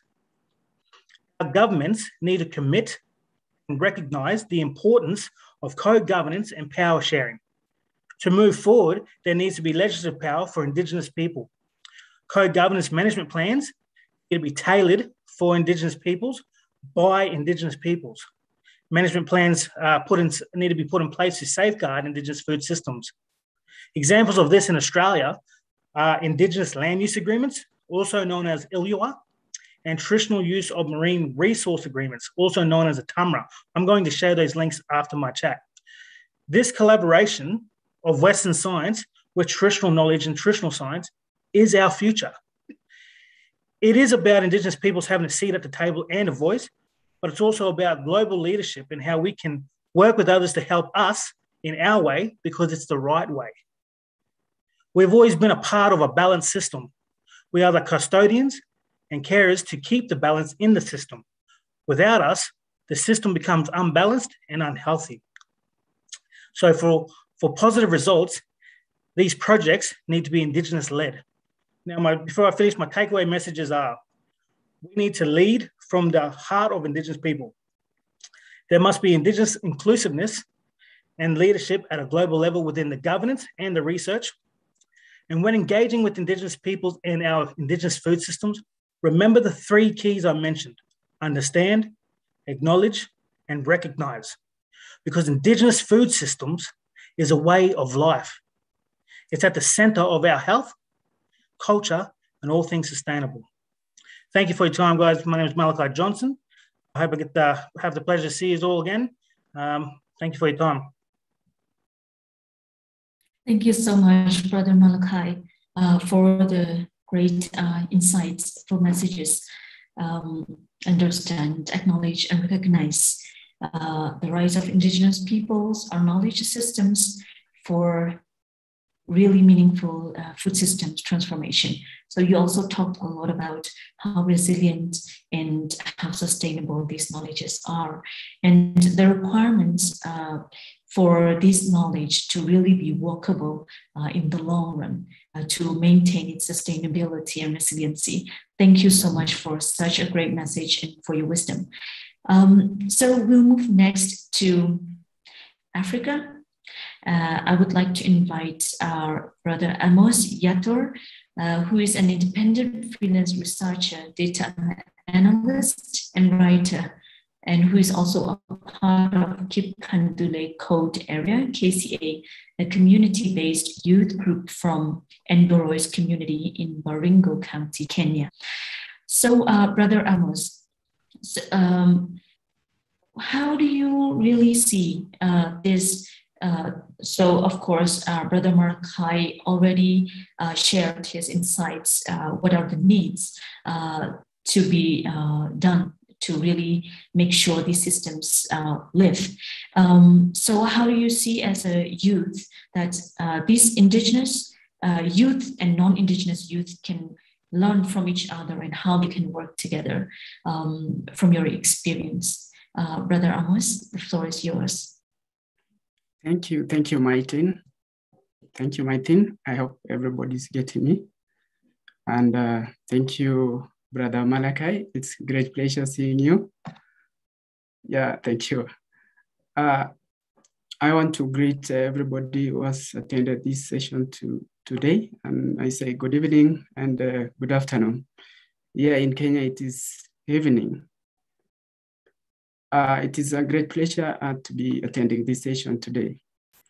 So uh, as my brother said, uh, indigenous uh, food systems is a way of living. It is not actually agriculture or whatever it, uh, uh, other people may call it, but it is a way of life because uh, the indigenous people uh, do not struggle uh, to, in, a, in, a, in an ideal environment, they do not struggle to, to maintain their food systems. But due to the changes that have occurred uh, because of the dynamic world and technology and westernization and all those things, uh, the indigenous people have become vulnerable over time because they don't get the opportunity uh, to practice uh, their food systems as it were before.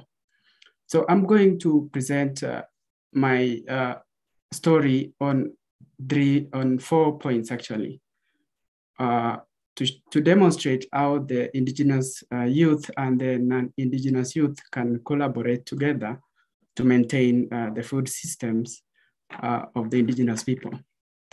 One is, uh, I don't know if it is common knowledge that uh, most of the indigenous food systems or food products are mostly considered as non-popular and uh, old-fashioned, some kind of in my communities, this, that's the case.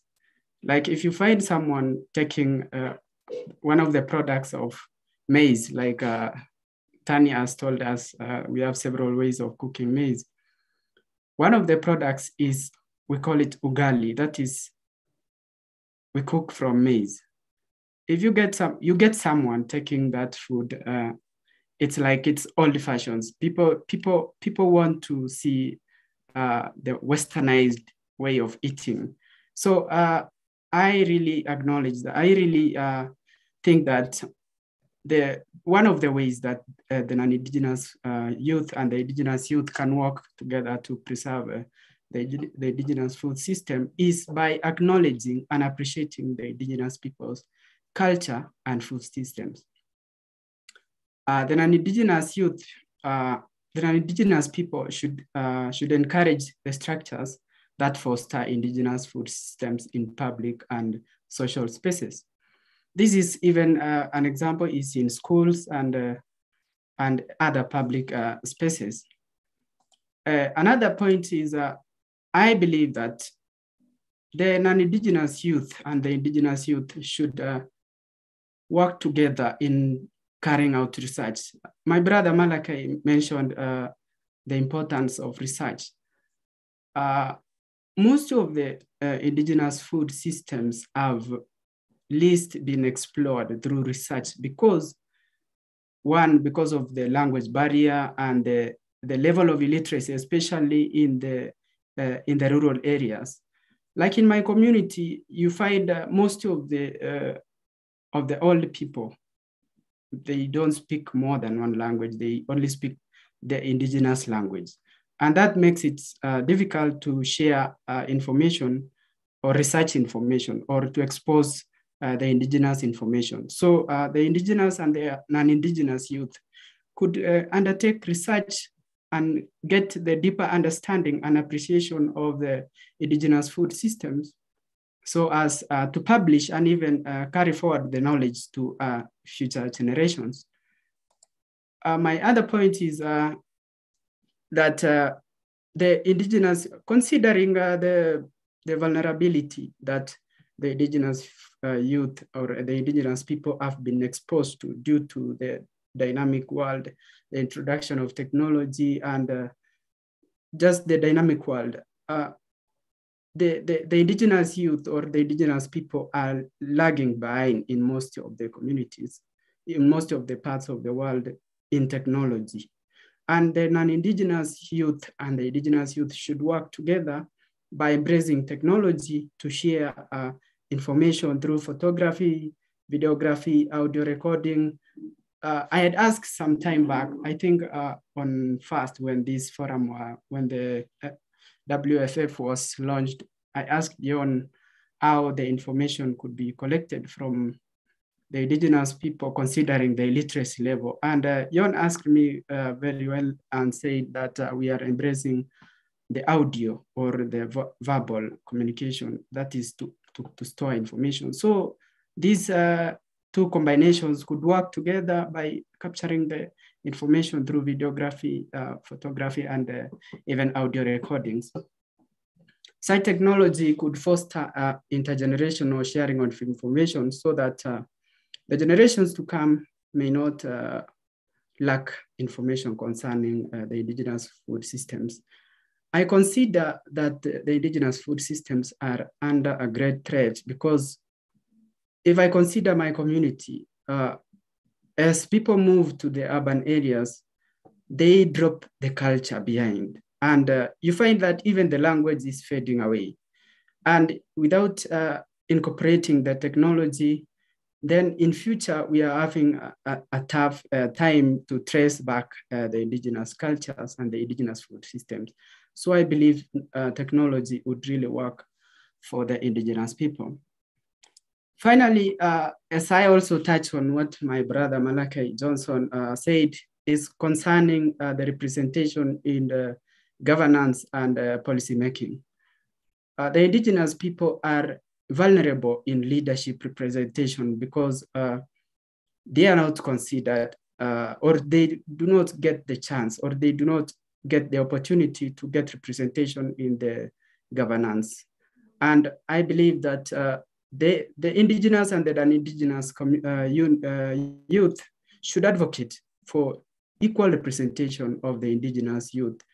That is if the issues or the uh, plight of the indigenous food system or indigenous people food, food systems are to be addressed at the national level by, the, by setting policies and regulations that would favor uh, the preservation of the same. Uh, this would foster uh, the preservation of the indigenous people food systems even in the coming generations. That is, if we have leadership that represents the youth system, the, uh, the, the indigenous people at the national level, that means uh, the, the, the, plate of the indigenous people will be even aired at the in, international level. I really believe that uh, there's still very less representation and there is still less awareness creation among the indigenous people and the cry, the outcry that should be actually at, at the, uh, at the, at the uh, global level. Finally, as I conclude, I I urge all of us as the indigenous people, as you, as we meet uh, to, to this evening, that we strive towards salvaging our feeding culture and our indigenous food systems knowledge to preserve our identity and save our world. Thank you so much for your time. Thank you very much, Brother Amos, for sharing such uh, your very rich experiences and ideas. Thank you very much. Um, next, I would like to invite Ida, uh, Sister Ida Stromso, uh, who is the former FAO Indigenous Youth focal point and now finalizing her master's degree on seed security and policy coherence. Um, yeah, Ida, the floor is yours. Thank you so much, Mai Thin, and thank you to the organizers as well uh, for the opportunity to speak. It's very good to be back with the old colleagues and all Indigenous friends uh, in this wonderful event. Um, I feel very, very honored to share the panel with uh, Brother Malachi and Brother uh, Amos, uh, who have all provided really important remarks. But to answer the question, I think I can use my position as the only non-Indigenous youth uh, in this uh, panel uh, to highlight some remarks based on my experiences working both with Indigenous youth in FAO, but also uh, as a former youth advocate for questions concerning uh, climate and sustainability.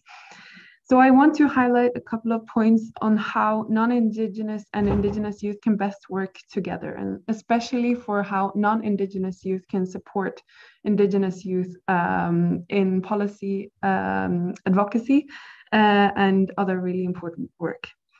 Uh, so my first point is understanding uh, and acknowledging and recognizing, as Malachi put it, uh, which is the key, uh, which is the key uh, element of um, increasing our ability to support Indigenous youth. I think it's of key importance for non-Indigenous peoples to um, get into the understanding that indigenous peoples have some of the most sustainable systems on the planet, as has been shown in the FAO publication uh, mentioned by several here today. And we are all also living on the same planet. So we have to understand how we can stand in solidarity with each other. And very importantly, for all non-Indigenous peoples is also to understand how the future of traditional Indigenous food systems, it large, largely depends on how we can uh, seize the systematic discrimination and marginalization of indigenous peoples. And here we non-indigenous peoples are often the people that are responsible for this marginalization and discrimination. Uh, so we have to uh, enhance our understanding of how we can uh, seize this. And also, as has been mentioned by several here today, uh, Indigenous youth have a unique opportunity, um, capability combining modern technology and traditional knowledge. And we also need to learn uh, from these uh, innovative practices that come out of uh, this combination. So how can we understand more of Indigenous youth? We have to put much more time and effort into learning from Indigenous youth, listening uh, to Indigenous youth, and understanding how we can contribute uh, to ending marginalization. Uh, and this can only be done if we invite Indigenous youth into the spaces where we are discussion, discussing uh, issues concerning them. From the point in time when I started working uh, with Indigenous peoples in FAO, it's been uh, a really huge journey for me as well, personally. And I have made a lot of mistakes along the way. But even though I have made these mistakes, we as non-Indigenous youth and non-Indigenous peoples have a responsibility to stay humble, open, and uh, curious and listen to Indigenous peoples uh, and stay open to ch changing our knowledge and perspectives as well. because this is the only way that we can truly uh, learn from each other. And we also have to understand that our way is not the only way. For example, globalization and the prevalence of cash uh, income economies is often weakening indigenous people's food systems. Um, and also, as has been mentioned by Tania, uh, Amos, and Malachi, uh, we must learn how to value traditional knowledge alongside uh, scientific modern knowledge. So I want to just, before I finish, I want to say that um, it's uh, very promising that uh, youth in general seems to have a higher awareness of uh, issues concerning climate and sustainability. We can see this um, when it comes to the World Food Forum, uh, which is a huge mobilization of youth from across the, across the globe. Youth were also really active in the UN Food System Summit, and all this is really good. Um, but youth is not a homogenous group. And we have to uh, remember to bring in Indigenous youth to ensure inclusion of a diverse set of voices, also in the youth constituency. And also, especially youth activists in the global north often have much more experience, resources, and privileges, allowing them to take part in this uh, kind of activism which means that uh, youth advocates, we have to pave the way for Indigenous youth voices and also ensure an exchange of training between well-connected youth networks uh, and Indigenous youth groups. Because there are a lot of resources out there for uh, youth to do uh, political advocacy work, and we must sure that um, must make sure that Indigenous youth can also access these resources. For example, in my own country, Norway, we have an organization uh, working with several indigenous communities in Latin America where they have an equal exchange where they uh, send uh, non-indigenous youth from Norway to uh, these countries in Latin America and send uh, people from uh, Brazil, Guatemala, and Colombia, indigenous youth, to Norway, where we learn from each other's a way of organizing politically, how they uh, farm, how they work with different elements of food systems. And such kinds of equal exchanges can be a good way uh, for non-Indigenous youth and Indigenous youth to continue to support each other, because that's the only way that we can actually uh, make more sustainable and resilient food systems. Thank you so much. Thank you so much, Ida, um, for your uh, very insightful messages and part of this focal person anymore, but uh, with your studies, you're still contributing a lot. And also, thank you for your participation today and sharing your experience with us. Um, so, um, it's uh, I would like to announce that uh, in a very regretful manner that uh, due to um, our how should I say delayed uh, time uh, as we're running out of time, we'll just jump to the closing and musical intervention uh, session. Um, but please feel free to uh, type your, send your questions and comments in the chat box, and which will be, uh, and which the speakers will be answered to you uh, directly through the message. Thank you so much for your understanding. As the closing session of the whole um, will, um, forum is starting soon. That's why we need to uh, jump more quickly. Um, so thank you so much, all the speakers again, uh, for your very uh, thoughtful sharings. Uh, I'm sure the participants, uh, me personally, I've also learned a lot from our speakers today. Um, so uh, for the closing, for the musical contribution, I would like to invite Kechiko a singer and songwriter originally from Chisot, Comalapa, Guatemala. Uh, among various recognitions obtained for her leadership, she was awarded as an Outstanding Woman of the Year 2021 by the Platform of Indigenous Women and the UN Women. Uh, Sister Kakiko, thank you. Um, the floor is yours.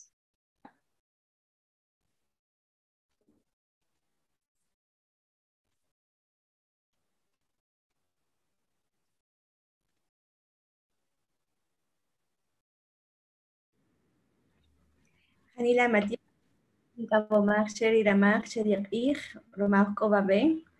Muy buenos días, muy buenas tardes, muy buenas noches.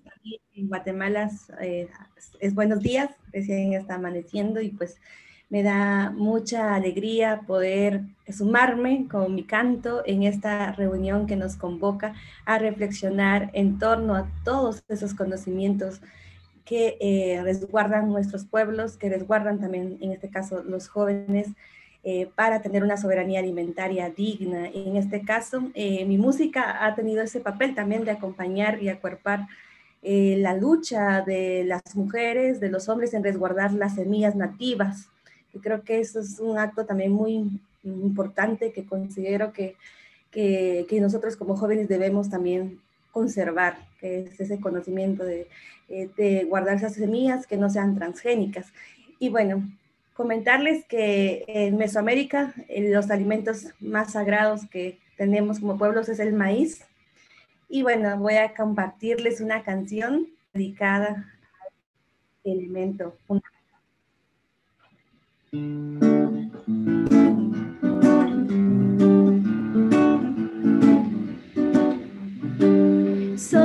Los ciclos del tiempo, somos energía en movimiento, somos fuego, somos tierra, somos agua y somos viento.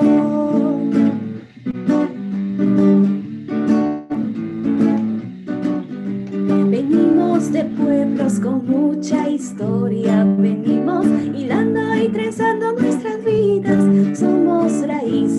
somos de maíz, somos raíz, somos de maíz, somos raíz, somos de maíz, somos raíz, somos de maíz.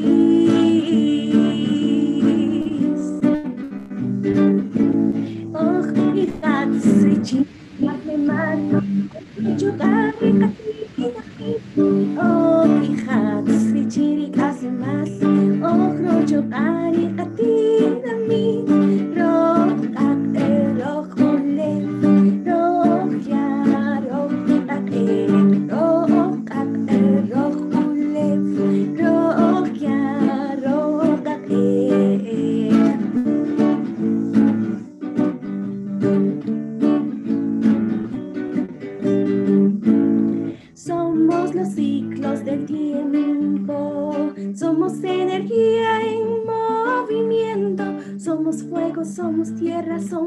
agua y somos viento.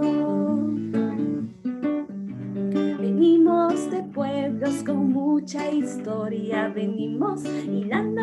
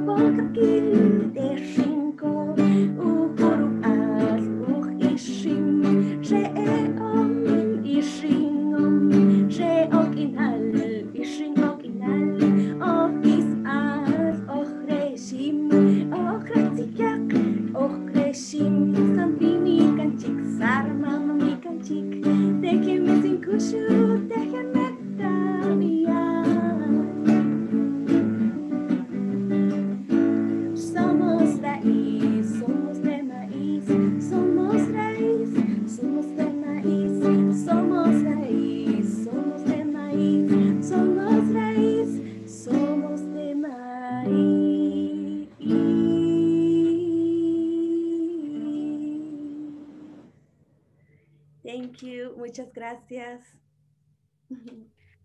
Uh, muchas gracias. Uh, thank you so much, uh, Sister,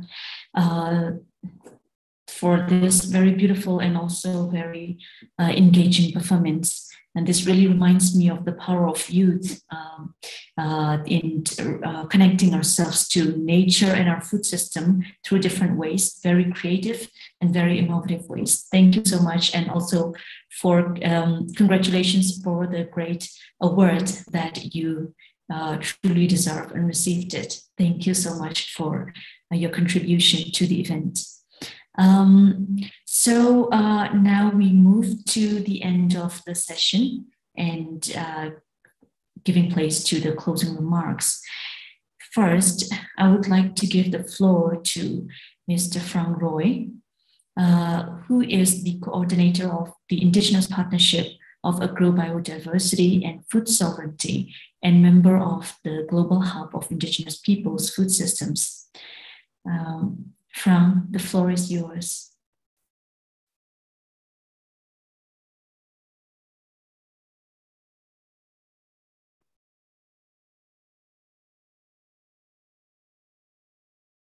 Phrang, you're muted.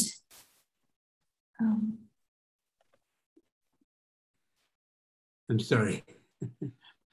uh, thank you, Mai Thin. I just returned last night from London, where our 11 year old grandson played the part of Michael Banks in the London musical Mary Poppins. I told him that I would be attending a virtual global meeting of elders and young people. And I asked him, what would he as a preteen like to hear?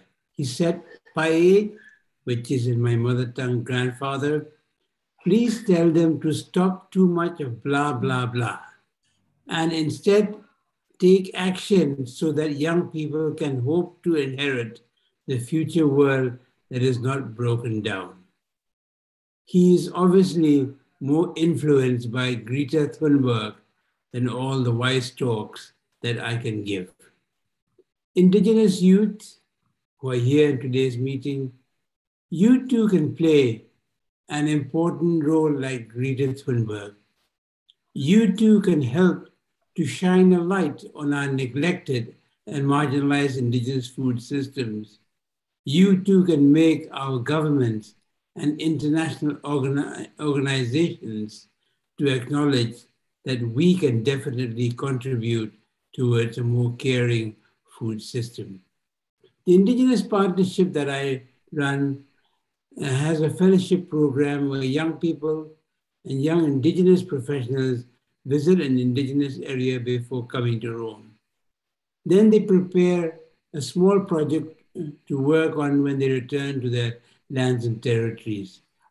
Mary Shah, one of our 2017 fellow in our review meeting said she would prepare a rural project with rural youth as prime movers. We told her that indigenous youth are voting with their boots to be in urban centers, and your idea seems a bit romantic. She agreed that many indigenous youth are leaving the rural areas, but she said there's still a small, dedicated group of young people who are eager and determined to stay in the rural years, uh, areas. Three years later, Marisha and her group, group of young people played a major role in forcing the government of Meghalaya to stop a hydro project that would have swallowed the rich biodiversity lands.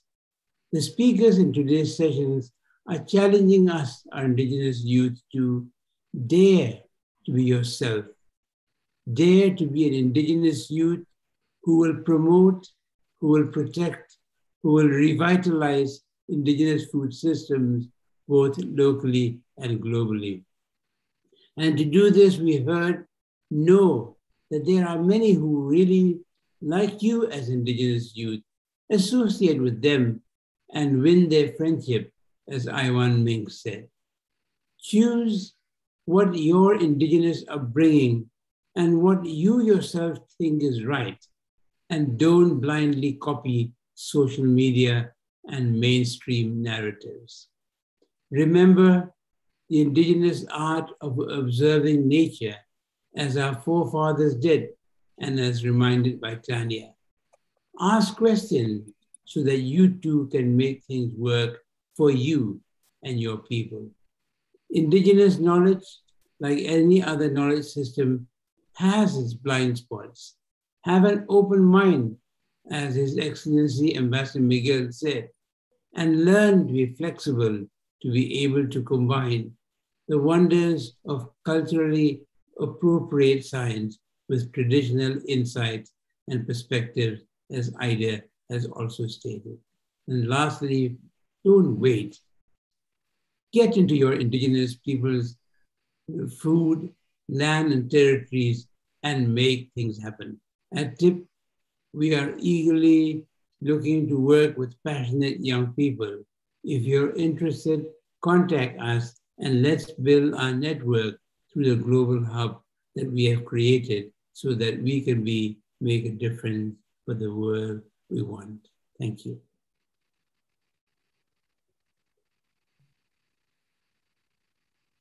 Thank you very much, Phrang, uh, for that very powerful message um, and also for uh, spotlighting the power of youths um, and also for your offer uh, to work together. And um, also thank you for your great uh, achievement in um, creating space and learning space for Indigenous youth so far. And we're very much looking forward to your mentorship to the emerging uh, young leaders of Indigenous peoples. Thank you so much.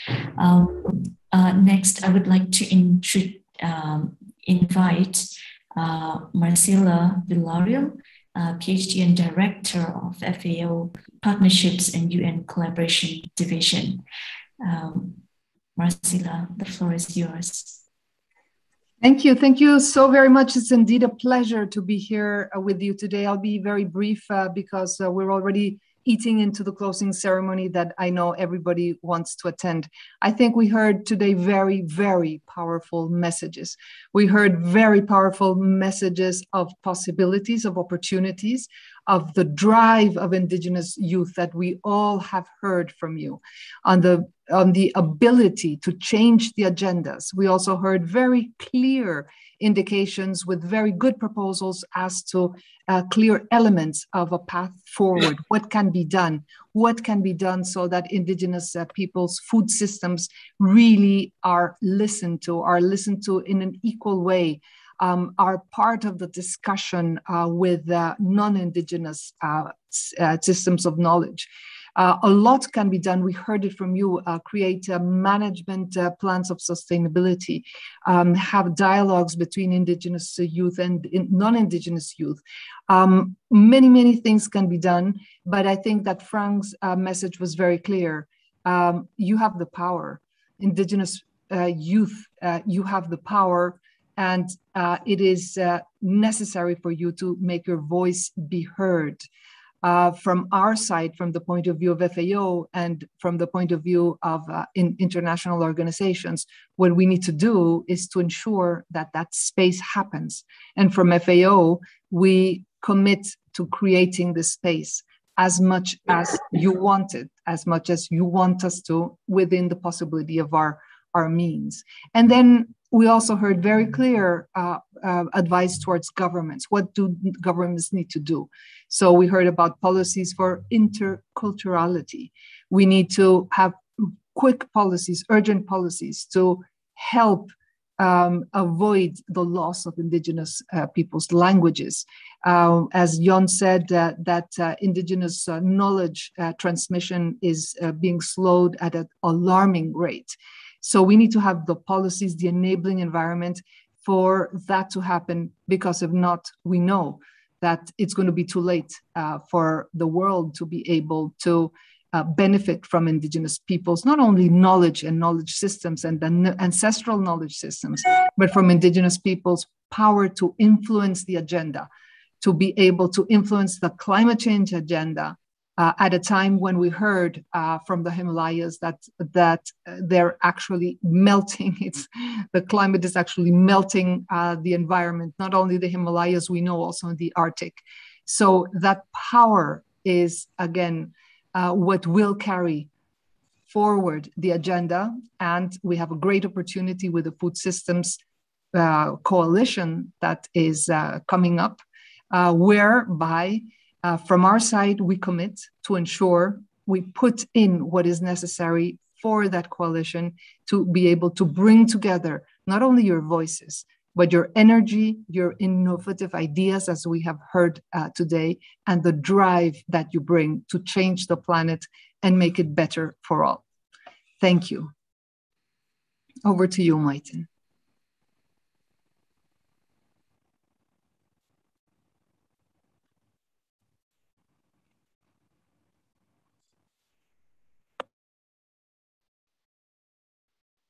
I think we lost Mai Thin again.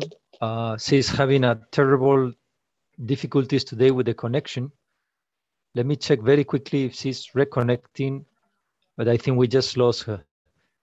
So please indulge me and uh, and let us move on with the closer remarks from the, His Excellency uh, Ambassador Anthony Simpson from the New Zealand. Ambassador, you have the floor and apologies for the technical difficulties. Over to you. No problem. Um, thank you, Yon. Uh, Excellencies, representatives of Indigenous peoples, panelists, and other participants. Um, let me say, as someone who is is not of Indigenous heritage and unfortunately can't make many claims to youth uh, anymore these days, um, what an honor it's been to join today's discussions, um, to listen to so many wonderful speakers and, and to learn from your wisdom and experience. All farmers are connected to the land, but as we've heard today, the bonds between Indigenous communities and their lands are, are truly profound. In New Zealand, the Indigenous Māori people call themselves tangata whenua, the people of the land. The, the fields and the rivers and the mountains of their ancestral territories are, are central to their personal identity. Indigenous communities have buried generations of their ancestors and their lands. They, they've relied on the health and the fertility of their soil and the preservation of their natural resources for survival over many centuries. So, given this profound connection, it's, it's obvious that Indigenous peoples have a central place in the discussions on global food systems.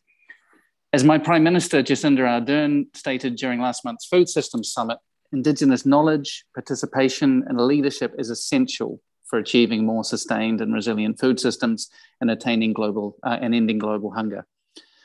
Today's discussions have highlighted why this is so important. The impacts of climate change, of the COVID 19 pandemic, and of biodiversity loss are exacerbating existing inequalities. And the Food Systems Summit highlighted the need to broaden our perspectives and look at these challenges in the context of the entire food system. But of course, this isn't a new idea at all. Indigenous peoples have, have always understood the interconnectedness between people and prosperity, between health, culture, and environment. So the understandings that we need already exist. The problem has been that those who possess these understandings have simply not had a seat at the table. As we've heard today, Indigenous youth have a particularly critical contribution to make. Um, in, in these discussions. Youth are the bridge over which our traditional values, knowledge, and understandings cross into the future. But as, as a number of speakers have mentioned, they're also a source of new energy and ideas that can strengthen and revitalize traditional food systems, building on the values and practices of those who went before them. Today's discussions have highlighted the tremendous value and leadership that Indigenous models can bring to meeting our shared global challenges and the particular importance of Indigenous youth perspectives and involvement. They've also highlighted the value of sharing experiences and working together to support Indigenous food systems. So, in this regard, New Zealand has been really honoured to participate in the newly formed Indigenous Peoples Food Systems Coalition.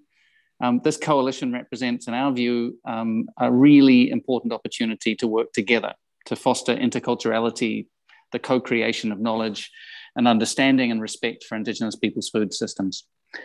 I'd like very briefly just to share a couple of projects New Zealand is contributing to, which are intended to, to help empower Indigenous partners and support Indigenous youth.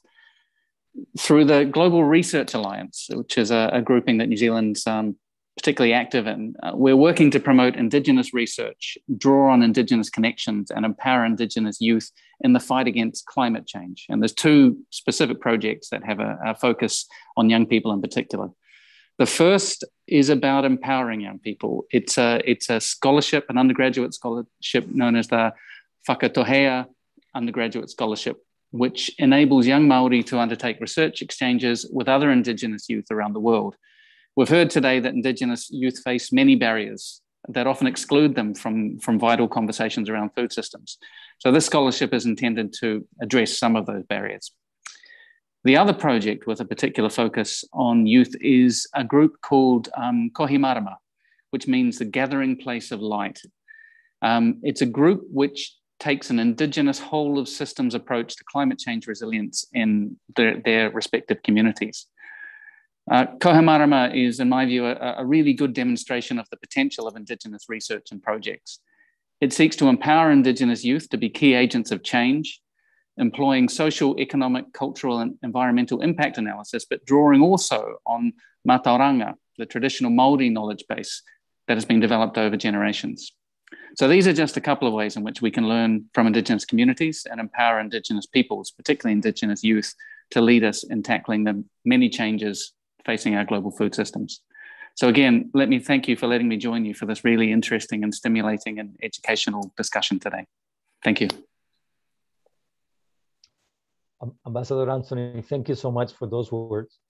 Uh, thank you for all the lead and the support that you have provided to the creation of the Coalition on Indigenous Peoples Food Systems.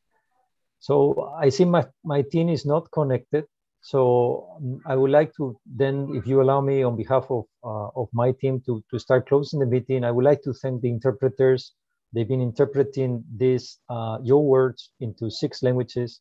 Um, and they have been working uh, longer than the expected time to support this work.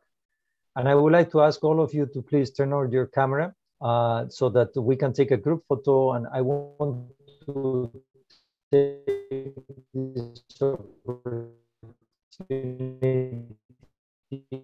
to thank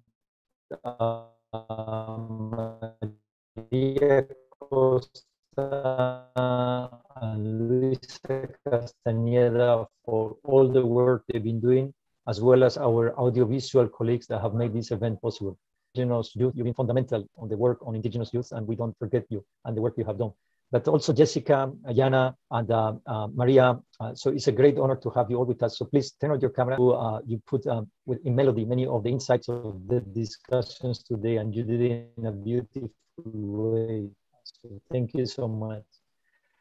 So let us take a group photo. Uh, Maria, uh, I don't know if you can, uh, if you're with us, if you could turn your camera. And, and I see also Ros Rosella. And let us move uh, to the closer ceremony. We hope to see you soon. And you know that uh, you can count on, on we started in 2017 uh, working together to find avenues of work and dialogue for indigenous youth. Blessings to you and to your communities, and thank you so much for finding time to be with us today. Thank you so much. And thank you to my team that unfortunately is not here with us uh, virtually, but she's spiritually with all of us. Thank you so much, colleagues. Gracias.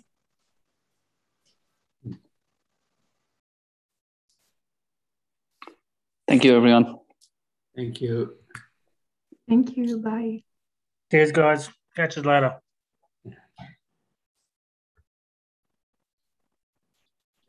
Catch Cachamos.